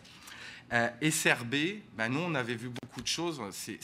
C'est très plaisant de voir des, experts ville et RTC qui sont capables de vous allumer sur des choses parce qu'ils savent c'est quoi l'accessibilité. Ça, on veut le conserver, mais on aimerait aussi un bilan. C'est planté le SRB, mais que les gens voient vraiment ce qui a été fait, puis que ce soit dans des formats accessibles, puis qu'ils comprennent que c'était un travail sérieux, le tracé, tout ça, puis qu'on sorte de la, de la médiacratie, c'est-à-dire de la gestion démocratique par les médias. C'est un non-sens. Et puis en plus, ça consomme du papier, ce qui n'est pas très développement durable. Formation à l'utilisation du transport collectif. C'est plate, il reste juste Mme Morin et les autres sont partis. Ils n'ont pas entendu celle-là. oui. Mais au niveau de la formation à l'utilisation du transport collectif régulier, il y a toute une expertise dans le réseau de la santé. Il faut la mobiliser. Puis là encore, on comprend que ça leur prend du temps. Mais faire un formulaire de transport adapté, c'est une demi-heure. Former quelqu'un, c'est peut-être deux jours. Mais le résultat à moyen terme, il est majeur pour l'autonomie, pour l'écologie, pour tout le monde il faut le faire. On sait que vous les essayez, mais il faut vraiment, encore une fois, mettre un coup. Transport adapté, un essentiel, vous le savez. Ne vous désengagez pas. Tant pis pour le ministère, on pousse, tout le monde pousse, mais c'est une nécessité. Taxi accessible, Monsieur Abdallah le, connaît bien le problème, il n'y en a pas. Moi, personnellement, je n'ai pas de voiture et je prends très peu le RTC. Je fais tout à pied ou en taxi. Les personnes en fauteuil n'en ont pas. Il y a un moment, là encore une fois, faire un choix. Puis le dernier, c'est peut-être notre originalité. Nous, on défend aussi les personnes handicapées qui ont une voiture. Ils peuvent même pas repérer c'est où. L'application copilote que la ville a lancée est une très belle manière que les gens tournent moins pour trouver une place, puis optimisent leur déplacement, y compris en voiture. Il ne faut pas l'éliminer, la voiture. Mais pour les personnes handicapées, elles sont où les places? Et même la politique très généreuse de la ville de Québec, d'autres villes nous appellent, ils nous l'envient. Euh, moi, je la connais, j'en ai pas besoin. Ce qu'il faut, c'est que les gens soient au courant et ça va dans le sens de plusieurs. Il faut plus informer la population, mais en respectant le fait qu'ils ne sont pas tous sur Twitter. Merci. Merci, M. Colondéram. Merci. On a quelques minutes pour les échanges. Est-ce qu'il y a des, questions, M. Euh, Normand? merci de la présentation. Après, j'ai lu le, mémoire, je me suis dit, ouf, Olivier, il a fait sa shopping list de Noël. Ça y est. Après ça, j'ai réfléchi, je me suis dit, non, c'est pas ça. Puis quand vous parliez d'investissement massif, d'intervenir de façon massive, ça rejoint ma deuxième pensée sur le sujet, c'est-à-dire qu'il reste beaucoup de travail à faire. Ma question est toujours la même, hein? on a échangé plusieurs reprises là-dessus. Où on prend l'argent, puis combien ça va coûter tout ça? On sait qu'on a fait, vous l'avez souligné à juste titre, là, puis je, vous en félicite, on, on, a fait des efforts au RTC, à la ville, etc. Mais à un moment donné, il va falloir que d'autres instances participent. Et je sais que vous le faites vous faites les représentations qu'il faut. Mais comment on va arriver à déclencher? C'est quoi l'élément déclencheur dans votre tête à vous autres, dans vos réflexions? Ça serait quoi l'élément déclencheur? Je, vous donne un exemple. Euh, exproprier une bande de terrain de 50 cm sur le terrain de quelqu'un, ça ne doit pas coûter si cher que ça. Euh, et ça rend l'arrêt accessible. Il n'y a pas besoin d'un financement supérieur. Le déglaçage et le déneigement, depuis le temps qu'on travaille dessus, là, on se rend compte que oui, là, il y a des coûts importants. Par contre, on n'a pas l'impression que là-dessus, il y a du financement provincial. Euh, donc, l'enjeu, il, est. Puis nous, c'est ce qu'on explique quand, on, quand les individus nous interpellent. Il n'y a pas de volonté de mal faire de personne. Par contre, ce qu'on a dit au ministère à quelques reprises, et on vous le dit, c'est nous, ce qui nous préoccupe quand même, c'est de tout, quand les investissements vont descendre, la question c'est est-ce que c'est prévu pour améliorer l'existant? Est-ce que c'est prévu pour les conditions de travail de tous les gens qui travaillent là-dedans? On le voit qu'année après année, le RTC, l'aglo remet de l'argent. Mais quand on regarde où va l'argent, ben, il sert à soutenir en, partie le développement euh, des conditions de travail du personnel. Donc, tant mieux pour eux. Mais sauf que quand vous dites il est où l'argent, c'est là aussi on voit une complexité, c'est quand l'argent arrive, où est-ce qu'il est affecté? là, il y, a une, quelque chose où nous, on, a, les regarde, les programmes du, gouvernement, eux, ils, ont la même, ils nous disent la même chose que personne n'a d'argent, de toute façon. Alors on, se dit, puis on travaille avec la ville et le RTC comme ça, à améliorer les choses qui coûtent peut-être pas si cher, mais qui font une différence, on pense que là, déjà, il y a quelque chose qu'on peut gagner. Les communications, quand il y a eu l'histoire du guide horaire papier, au-delà de, tout le flafla, on, parle d'un montant de 200 et quelques mille dollars par année. La solution alternative qui a été mise, au final, le 200 000, il est, resté au RTC, ça n'a pas coûté quelque chose de plus. On pense qu'il faut aller, et, c'est ça aussi le sens des slow cities il faut arrêter de, Des fois, on dirait que la population, ici et ailleurs, ce qu'elle pense, là, il y a un visionnaire qui va arriver, l'argent va pleuvoir, tout le monde, et, bien entendu, tout le monde va payer sauf moi. Et ça aussi, il va falloir que les gens s'habituent au fait, on a beaucoup, j'ai beaucoup apprécié pour les étudiants de dire, mais ils veulent contribuer. Nous, on pense que la population aussi à Québec, elle est peut-être prête à contribuer. Je vous apprendrai pas, Amsterdam, je veux dire, le prix du stationnement est pas mal plus élevé qu'ici. Il y a beaucoup de villes qui ont fait ce choix-là. Et je comprends, on entend Monsieur le maire, je ne veux contraindre personne, j'essaie de collaborer avec tout le monde, mais il y a un moment, il n'y a pas qu'à l'université puis au cégep qu'il y en a des stationnements. Là, il y a peut-être quelque chose à réfléchir. On sait que c'est jamais feng shui, surtout à deux mois d'une élection. Mais concrètement, on pense que là, il y a quelque chose qu'il faut adresser. Il y a des endroits, il y a des plaques sur les vélos, ça existe aussi. Je veux dire, il y il faut réfléchir. Puis si les gens, c'est vrai qu'ils veulent embarquer, ben, il me semble, je ne vais pas aller dans un restaurant, je paye 5 piastres l'assiette et m'attendre à manger au Saint-Amour. Y a un moment, il faut que les gens comprennent. Et ce n'est pas juste, euh, comment dire, les, élus, malheureusement, vous n'avez pas n'avez pas de partout de l'argent. Nous, on pense que là, il y a quelque chose. Travailler sur des solutions peu onéreuses. On le voit, les bandes cyclables, ça coûte peut-être pas si cher que ça, en tout cas, on n'a pas l'impression essayer d'aller sur des choses qui sont peut-être moins fortes. Mais dernière, moi, quand j'étais fonctionnaire en France, il y a quelque chose que, qu'on me faisait souvent remarquer. Ce qui est compliqué avec une population, c'est que quand on fait plein de petites choses, elles sont invisibles. Et la population veut des grands projets, veut. Ben, des fois, il faut peut-être être capable de dire c'est plein de petites choses qui font votre quotidien de qualité. C'est la même chose pour la mobilité. Alors, je vous arrête, M. Colonderam, pour qu'on voit s'il y a d'autres questions du comité consultatif. Allez-y, Mme Morancy, oui. Quand, j'ai lu, euh, j'ai eu mémoire, évidemment, la question du bureau du temps. Euh, moi, le, seul exemple que je connais, c'est Bordeaux avec l'Agence des temps. Mais est-ce que vous pouvez me donner plus d'exemples de ce que ça fait, qu'est-ce que ça fait, quelles sont les transformations? C'est des exemples de, de stratégies ou... Il y en a, pour, pour, ce que je comprends, moi j'ai plus regardé la, situation française, parlant mal mm. l'allemand et, les, autres, les, autres, langues. Euh, en France, ça, ça s'est développé un peu de partout maintenant, notamment grâce à l'impulsion du, ben, du, palier euh, national. Mm.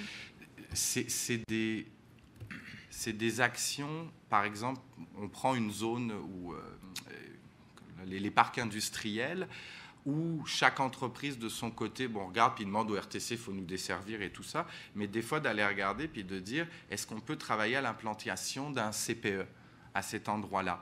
Euh, Des fois, c'est compliqué, il y a des CPE dans beaucoup de gros ministères et organismes, malheureusement, pour vivre dans Limoilou, il y a plein de CPE, c'est pas facile d'en avoir un quand on ne travaille pas ni au ministère ni dans l'organisme public. Là, ça peut être d'aller agir en concertation.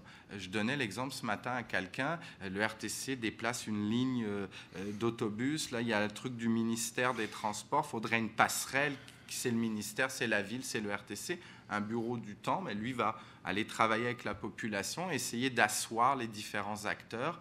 C'est des démarches qui sont très lentes, hein. mais d'avoir ce soutien, puis d'avoir une, comment dire, une autorité qu'on ne peut pas dire, ah, toi, tu es vendu au RTC, tu vas alimenter, tu es vendu à l'un, à l'autre, et d'avoir cette, organisation qui est capable d'entendre. Je vais vous donner un exemple pour nous qui est catastrophique. Le RTC l'a vécu et nous l'a dit très clairement, je pense, pour la, 807. On développe des résidences pour aînés semi-autonomes au fin fond des bois. Tant mieux. On se dit, on va toutes les mettre en transport adapté le jour où ils seront handicapés. Et puis après, on chiale parce qu'il n'y a pas de transport adapté. Qui accrédite ces résidences? Il y a un moment, un bureau du temps, nous on a essayé, on avait essayé avec le transport adapté et le RTC, fin de non-recevoir du CRDI en déficience intellectuelle, plus de 50% des déplacements en transport adapté. On comprend, ils veulent sauver leur budget, s'optimiser. Mais à un moment, ça pollue, ça coûte cher, mais eux, bah, ce n'est pas eux.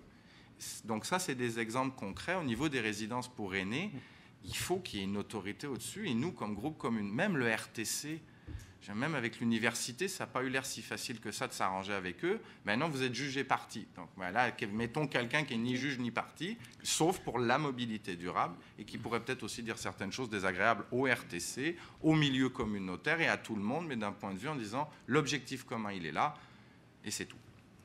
Merci. Euh, Monsieur Mercier, vous vouliez faire une intervention ou ça va?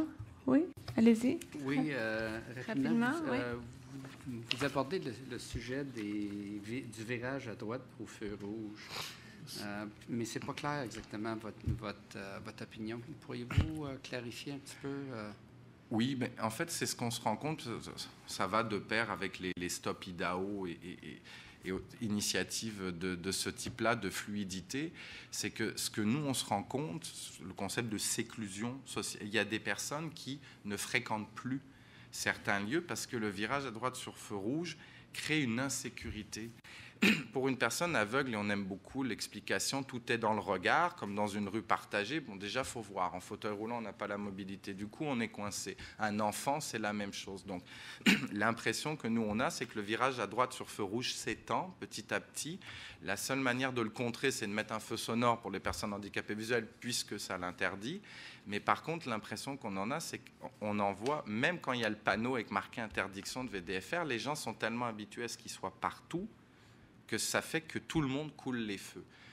Alors là, nous, la question, c'est il faut une remise en question. Ça ne veut pas dire une interdiction mur à mur, mais c'est un petit peu comme quand on vous dit l'agenouillement des autobus n'est pas partout, mais quand vous regardez la liste qu'on vous fait, vous vous rendez compte que c'est quand même souvent qu'on la veut. Ben, c'est un peu pareil pour le virage à droite sur feu rouge. Il doit être une exception et il ne doit pas être, c'est l'impression qu'on en a, on n'a pas les statistiques, mais être une règle. Parfait. oui, allez-y, Monsieur Mercier, rapidement, oui. Euh, la discussion concernant d'améliorer l'accessibilité au taxi, est-ce que c'est la question physique euh, que le taxi qui est adapté physiquement ou est-ce que c'est euh, de, des programmes qui bonifient l'accès au taxi? Vous parlez de la tarification comme à Ottawa. Peut-être. Mais nous, on trouve que c'est une. En tout cas, ça fait débat. Puis je vous le dis bien franchement, les gens n'ont pas envie qu'on leur dise parce que tu es handicapé, ben, tu as par exemple 50% sur ton coupon de taxi dans la limite de 200 dollars ou 400 dollars comme à Ottawa, puis qu'après, ben, le transport adapté s'effondre.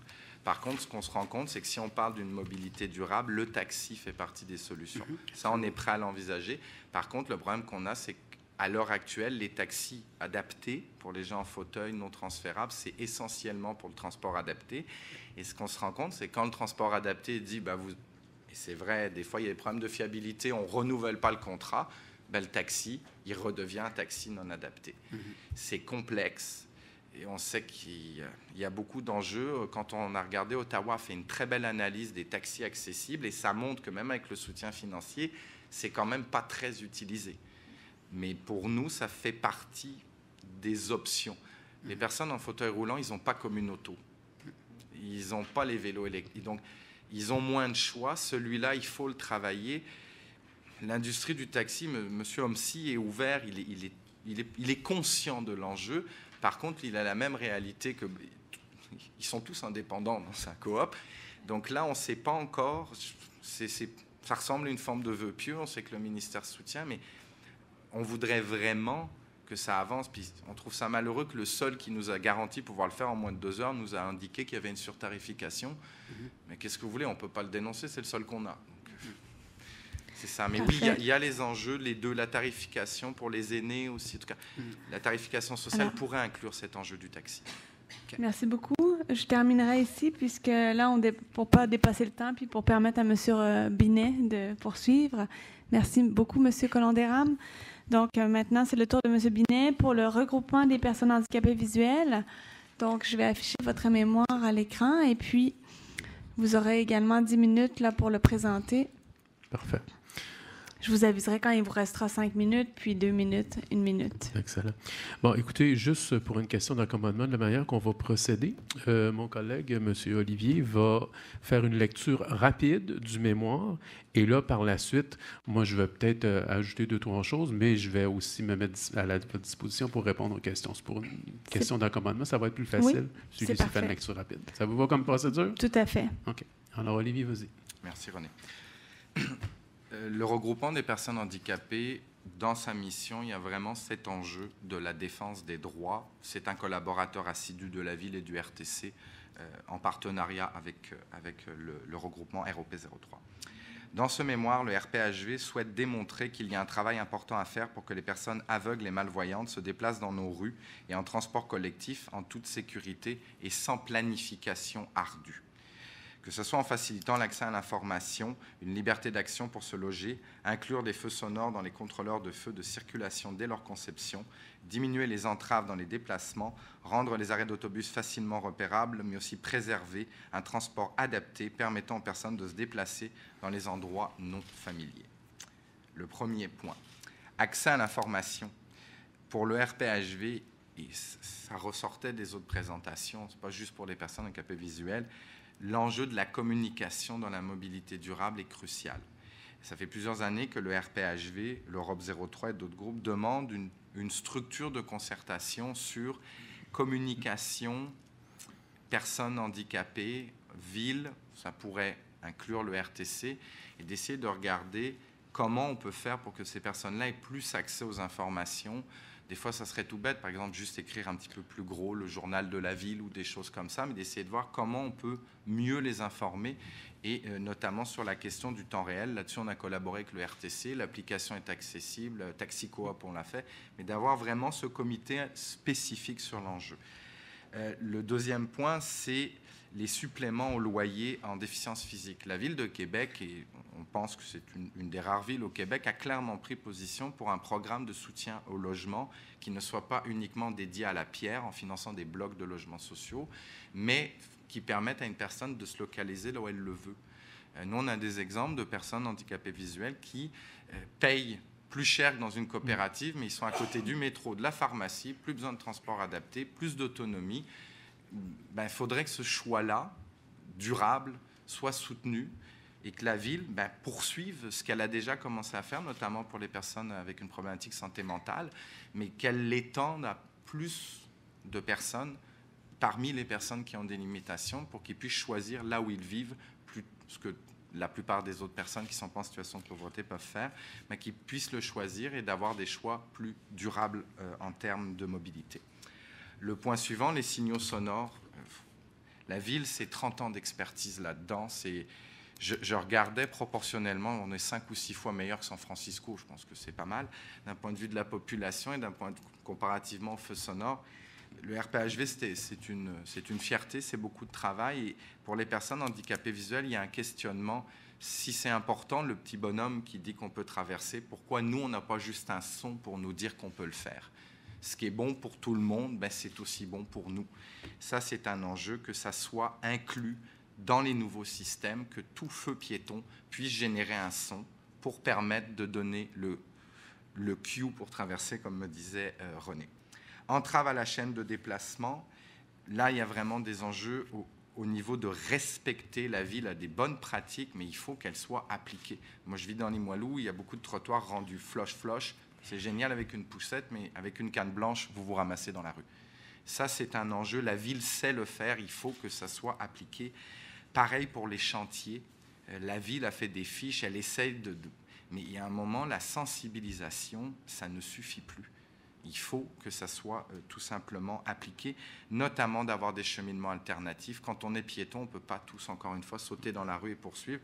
Et les chiens guides, c'est juste un outil. Le chien guide, il ne fait pas les détours en ville.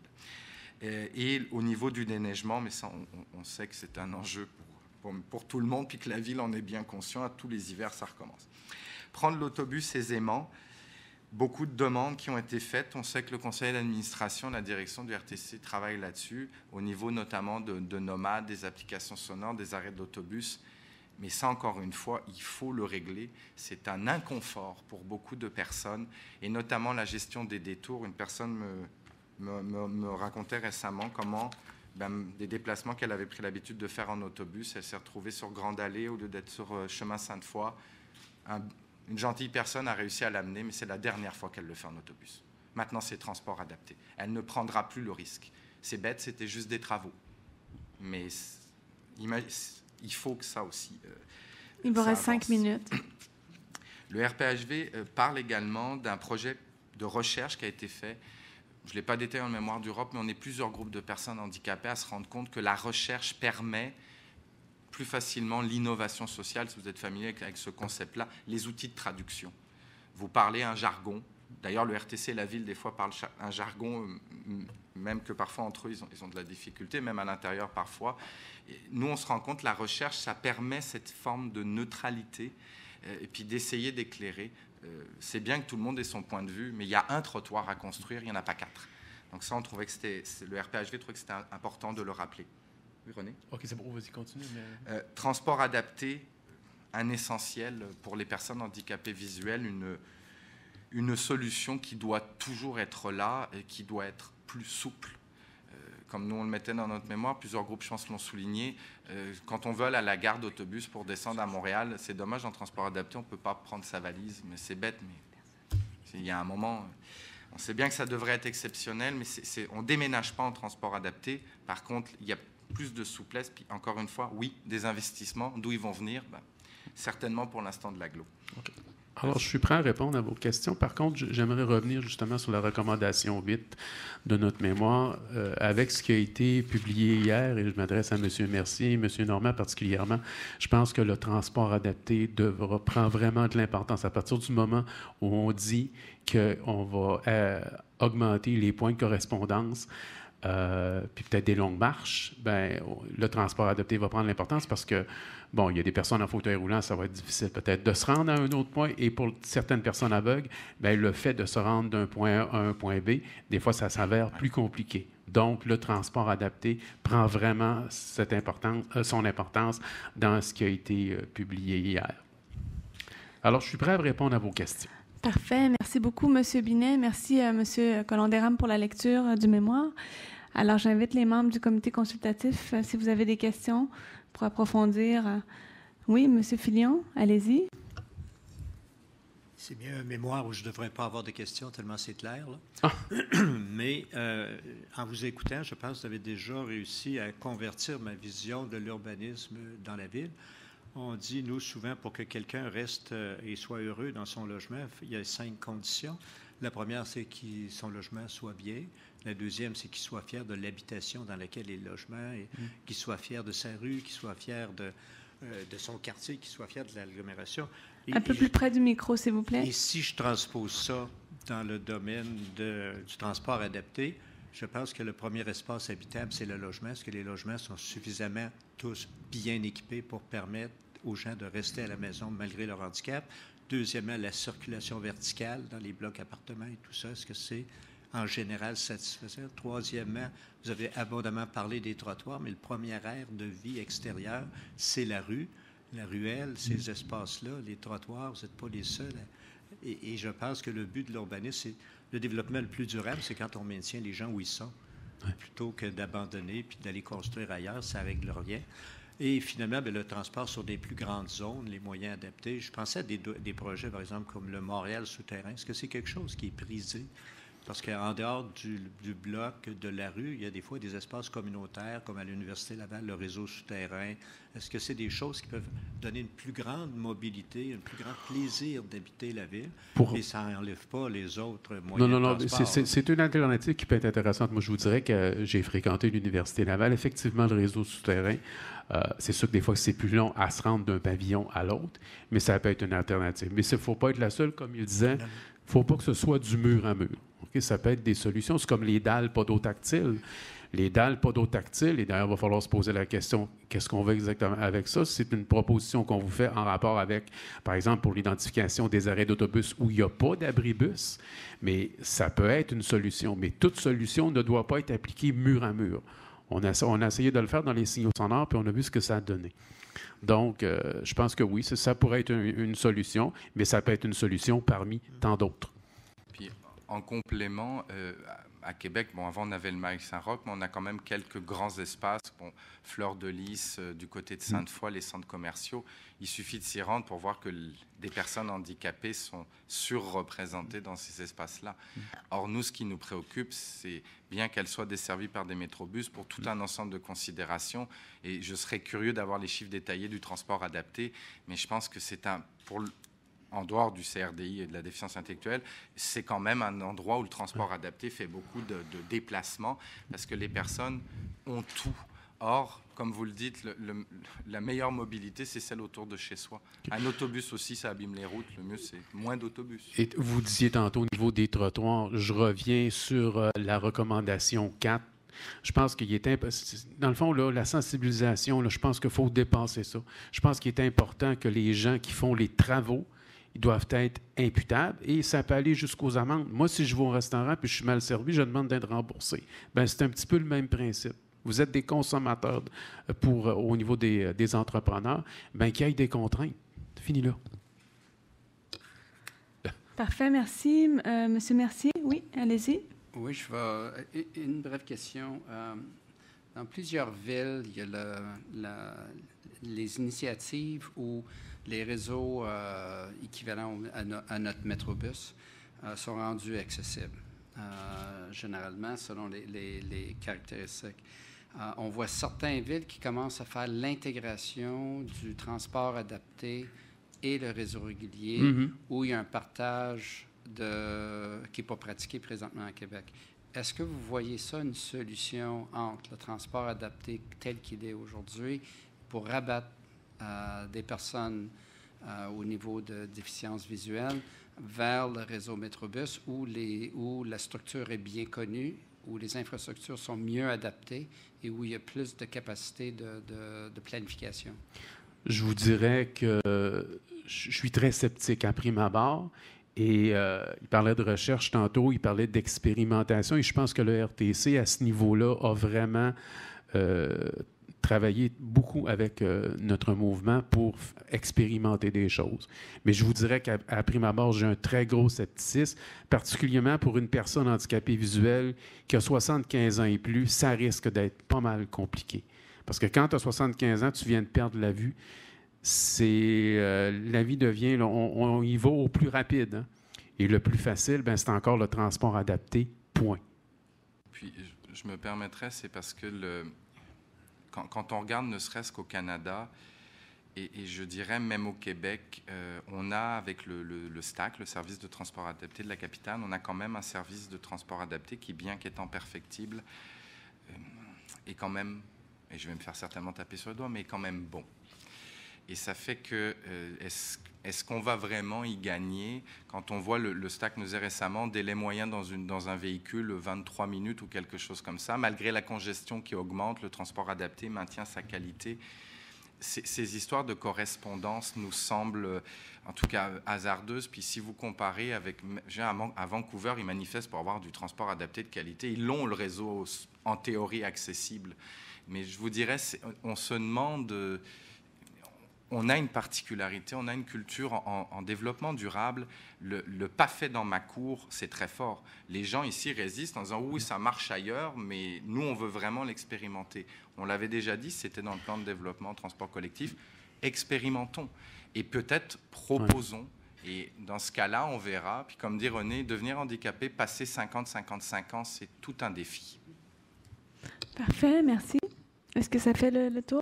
Monsieur Normand, oui? Oui, bien, je, je dirais à M. Binet que M. colomb rames il n'a pas lu rapidement votre affaire. Je pense qu'il a improvisé des bouts, mais ça devait être entendu. Vous n'avez pas fait de commentaire. C'est une blague. Merci beaucoup, messieurs. Merci. Merci. C'est très apprécié. Donc, les deux mémoires seront versées sur le site Internet de la Ville? Oui, bien sûr, euh, le plus vite possible. Merci. Alors, euh, merci beaucoup. Je cède la parole à M. Normand pour le petit mot de la fin, euh, étant donné que c'est la dernière présentation. Je remercie ceux qui étaient là et ceux qui sont encore là euh, de la contribution à la réflexion sur la mobilité durable et le transport Merci beaucoup à tout le monde. Merci beaucoup. Se rendez-vous après-midi. Oui, à 14 h, on reprend pour la deuxième séance. Et puis, les membres du comité consultatif, on a des boîtes à lunch au RC 04. Merci.